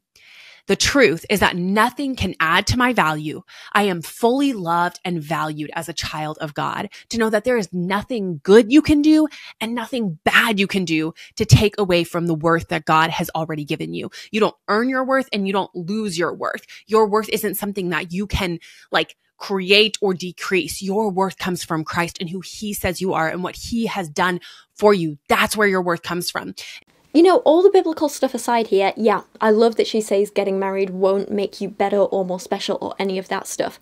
But the concept of none of your actions increasing or decreasing your worth is kind of worrying to me because that's how so many people kept letting people like Josh Duggar get away with their crimes for so long. And with Bethany's history in the IBLP, and that's what Josh Duggar was a part of too, this is kind of worrying. A lot of the stuff I covered in my IBLP slash Duggar video was how, you know, people like Josh Duggar, he literally molested children, but was told by everyone around him that God still loved him, which meant that everyone around him, including his victims, needed to forgive him. Because even though he did something bad, that doesn't make him a bad person in the eyes of God it's really harmful. Like the IBLP really pushes this sort of narrative, and I have a whole section of it on in my video on them about how they literally have whole resources for teaching people how to forgive their abusers because abuse, especially of children, is so common amongst the IBLP. And this idea that just because you did something bad, it doesn't make you a bad person is fine generally for the world. You know, people mess up all the time, people make mistakes all the time, and you're right. Messing up once doesn't make you a bad person. But when it comes to the more serious stuff, I think it's important to point out that, yeah, sometimes people are just bad people, and some people don't deserve our forgiveness. Child abusers, people who commit domestic violence, um, certain types of bullies don't deserve our forgiveness and we don't have to offer that forgiveness if we don't want. I don't know, maybe I'm getting sidetracked. here. It just it's just basically the mindset that Bethany is preaching here is exactly what the IBLP and other people push that's really, really harmful. It's just thankfully Bethany's pushing it in a less harmful context, but it just worries me overall, you know? Words and stuff. Then there's five more minutes of content of being like, oh, God loves you so much, and many, many, many, before Bethany goes on to talk about Marilyn Monroe again. Her and Kristen wrote about this in their first book, and I covered it when I reviewed that a couple of years back now. Um, Bethany is basically using this narrative again of like, see, she had everything. Men worshipped her and she still wasn't happy. Therefore, we shouldn't embrace our sexuality. And but it's absolute crap. She's completely missing the struggles and trauma that Marilyn Monroe went through. Marilyn Monroe was repeatedly abused by people and assaulted and degraded and not taken seriously. People literally used her as a sex object instead of seeing her as a woman she was with a sexuality. It was dehumanizing. This woman suffered so much and to use her as an example of, see, sex will only make you miserable when you can barely even count some of the ways she was used as men as sex, and, you know, because instead it was rape. It feels thoroughly disrespectful, and I don't like it. And then honestly, there's nothing really new in the end of this lesson, except Bethany selling more of her PDFs. So, thank God those last two were quick. I could not deal with much more. In conclusion, this is too much. This video is too long. I've spent too much of this year watching and listening to Bethany Beal. I would like 2024 to be mostly Bethany free, please. Please, please don't make me talk about Bethany again for a long time. It's too much. And also, I would rather not give Bethany any more money. The I think it's £70 each I've had to spend on these courses, and I would really rather not do that again. I know I'm trying to offset what I gave her with the donations to charity, and by using money made from these videos to give to charity, but at the same time, I still feel guilty for giving her anything for this kind of content, you know? So I'd rather not do that again, please. So there's that. In regards to this course and my thoughts overall, I thought this course wouldn't be as bad as the marriage one, and I can't believe how wrong I was. Isn't it right? While there wasn't quite as much blatant misinformation in this course, um, there was still so many harmful ideologies being pushed, and there was this overall narrative of shame running through everything that I really had a big problem with. And there was just a lot of information missed out that would have been useful that Bethany just decided, yeah, CBA, not going to put it in. The actual bits of information in this course which are useful and good could easily have been edited down to, like a 15 minute video if you cut out all the nonsense. This course, even at the discounted rate of 70 quid that I paid for it, is, is not worth the money. I would say is absolutely not worth your time. I do not encourage anyone else to go out and buy it. Um, but I hope that along the way throughout my video, I've at least been able to add some value to this and transform her content into something which has been educational and hopefully a little bit entertaining along the way as well. I hope you maybe have learned something from my commentary, and if you'd like to use this video as a jumping off point to go and learn more about some topics you're interested in, then of course I thoroughly recommend you go and check out the sponsor of today's video, Bellesa, who um, basically, they're all about providing amazing resources for women to feel comfortable and confident in their sexuality, as well as offering things like amazing sex toys for you to really get to know yourself and understand your body and just have a little bit of fun, you know? I do have another massive video that I'm currently working on, which I was hoping to get out before Christmas, but at this point I don't think it will be, so hopefully it'll still be out in December. If not, it'll be early January for you guys. I'm very excited for you to see that one too. Um, but for now, thank you so much for your patience in getting through this video, especially with the dodgy, dodgy audio issues. Thank you for your patience in how long it's taken me to make this. Koopy Bear is so grumpy today, aren't you, Piglet? Thank you for your patience in hearing her grumbles while she's talking a lot. You okay? Um, yeah, thank you once again to Bellesa for sponsoring this video, and thank you to everyone who is supporting my work over on Patreon, because without you I couldn't keep making videos like this, which are potentially going to be quite heavily demonetized by YouTube. A few of my videos have been recently the, um, I know, I know, it's okay the Jimmy Savile one was demonetized. I don't have high hopes for this one. So all your support over on Patreon really, really helps and allows me to keep making these videos for you to enjoy and hopefully learn something from. So with that in mind, I'm going to finally stop talking, rest my voice for a little bit, and hope you all have a wonderful Christmas, holidays, wintertime, whatever you celebrate, I'm gonna go take this little bear for a little walk, aren't I? My little grumble pig. And if I don't speak to you guys again before the end of the year, I hope you have a wonderful new year. Thank you all for all the amazing support and kindness you've shown me this year. Thank you for all the videos you've watched, all the nice comments you've left. This really has been despite a hell of a lot of difficult stuff going on in my private life with my health and some of the stuff behind the scenes, um, in terms of people watching my videos and stuff, this has been my best year yet on YouTube. And I am so grateful for all the continued support and how amazing you guys are. And to every single person who's reached out to me and told me your story, who's told, you know, the people who've told me what's going on in their lives, how my videos have helped them, the people who've sent gifts for me and Kyra, all those little things help so, so much and they keep me going. And when I'm having the bad weeks like this week where all my tech issues were going on and I was just like crying constantly and I've been up till like 1, 2, 3 a.m. in the morning editing and I'm going to be doing that tonight as well. While all that's been going on, you guys and your nice comments and like all the little things you've done for me, it helps so, so much. And I can't put into words how grateful I am. So thank you so much. I appreciate you guys and I will see you very soon. Maybe next year.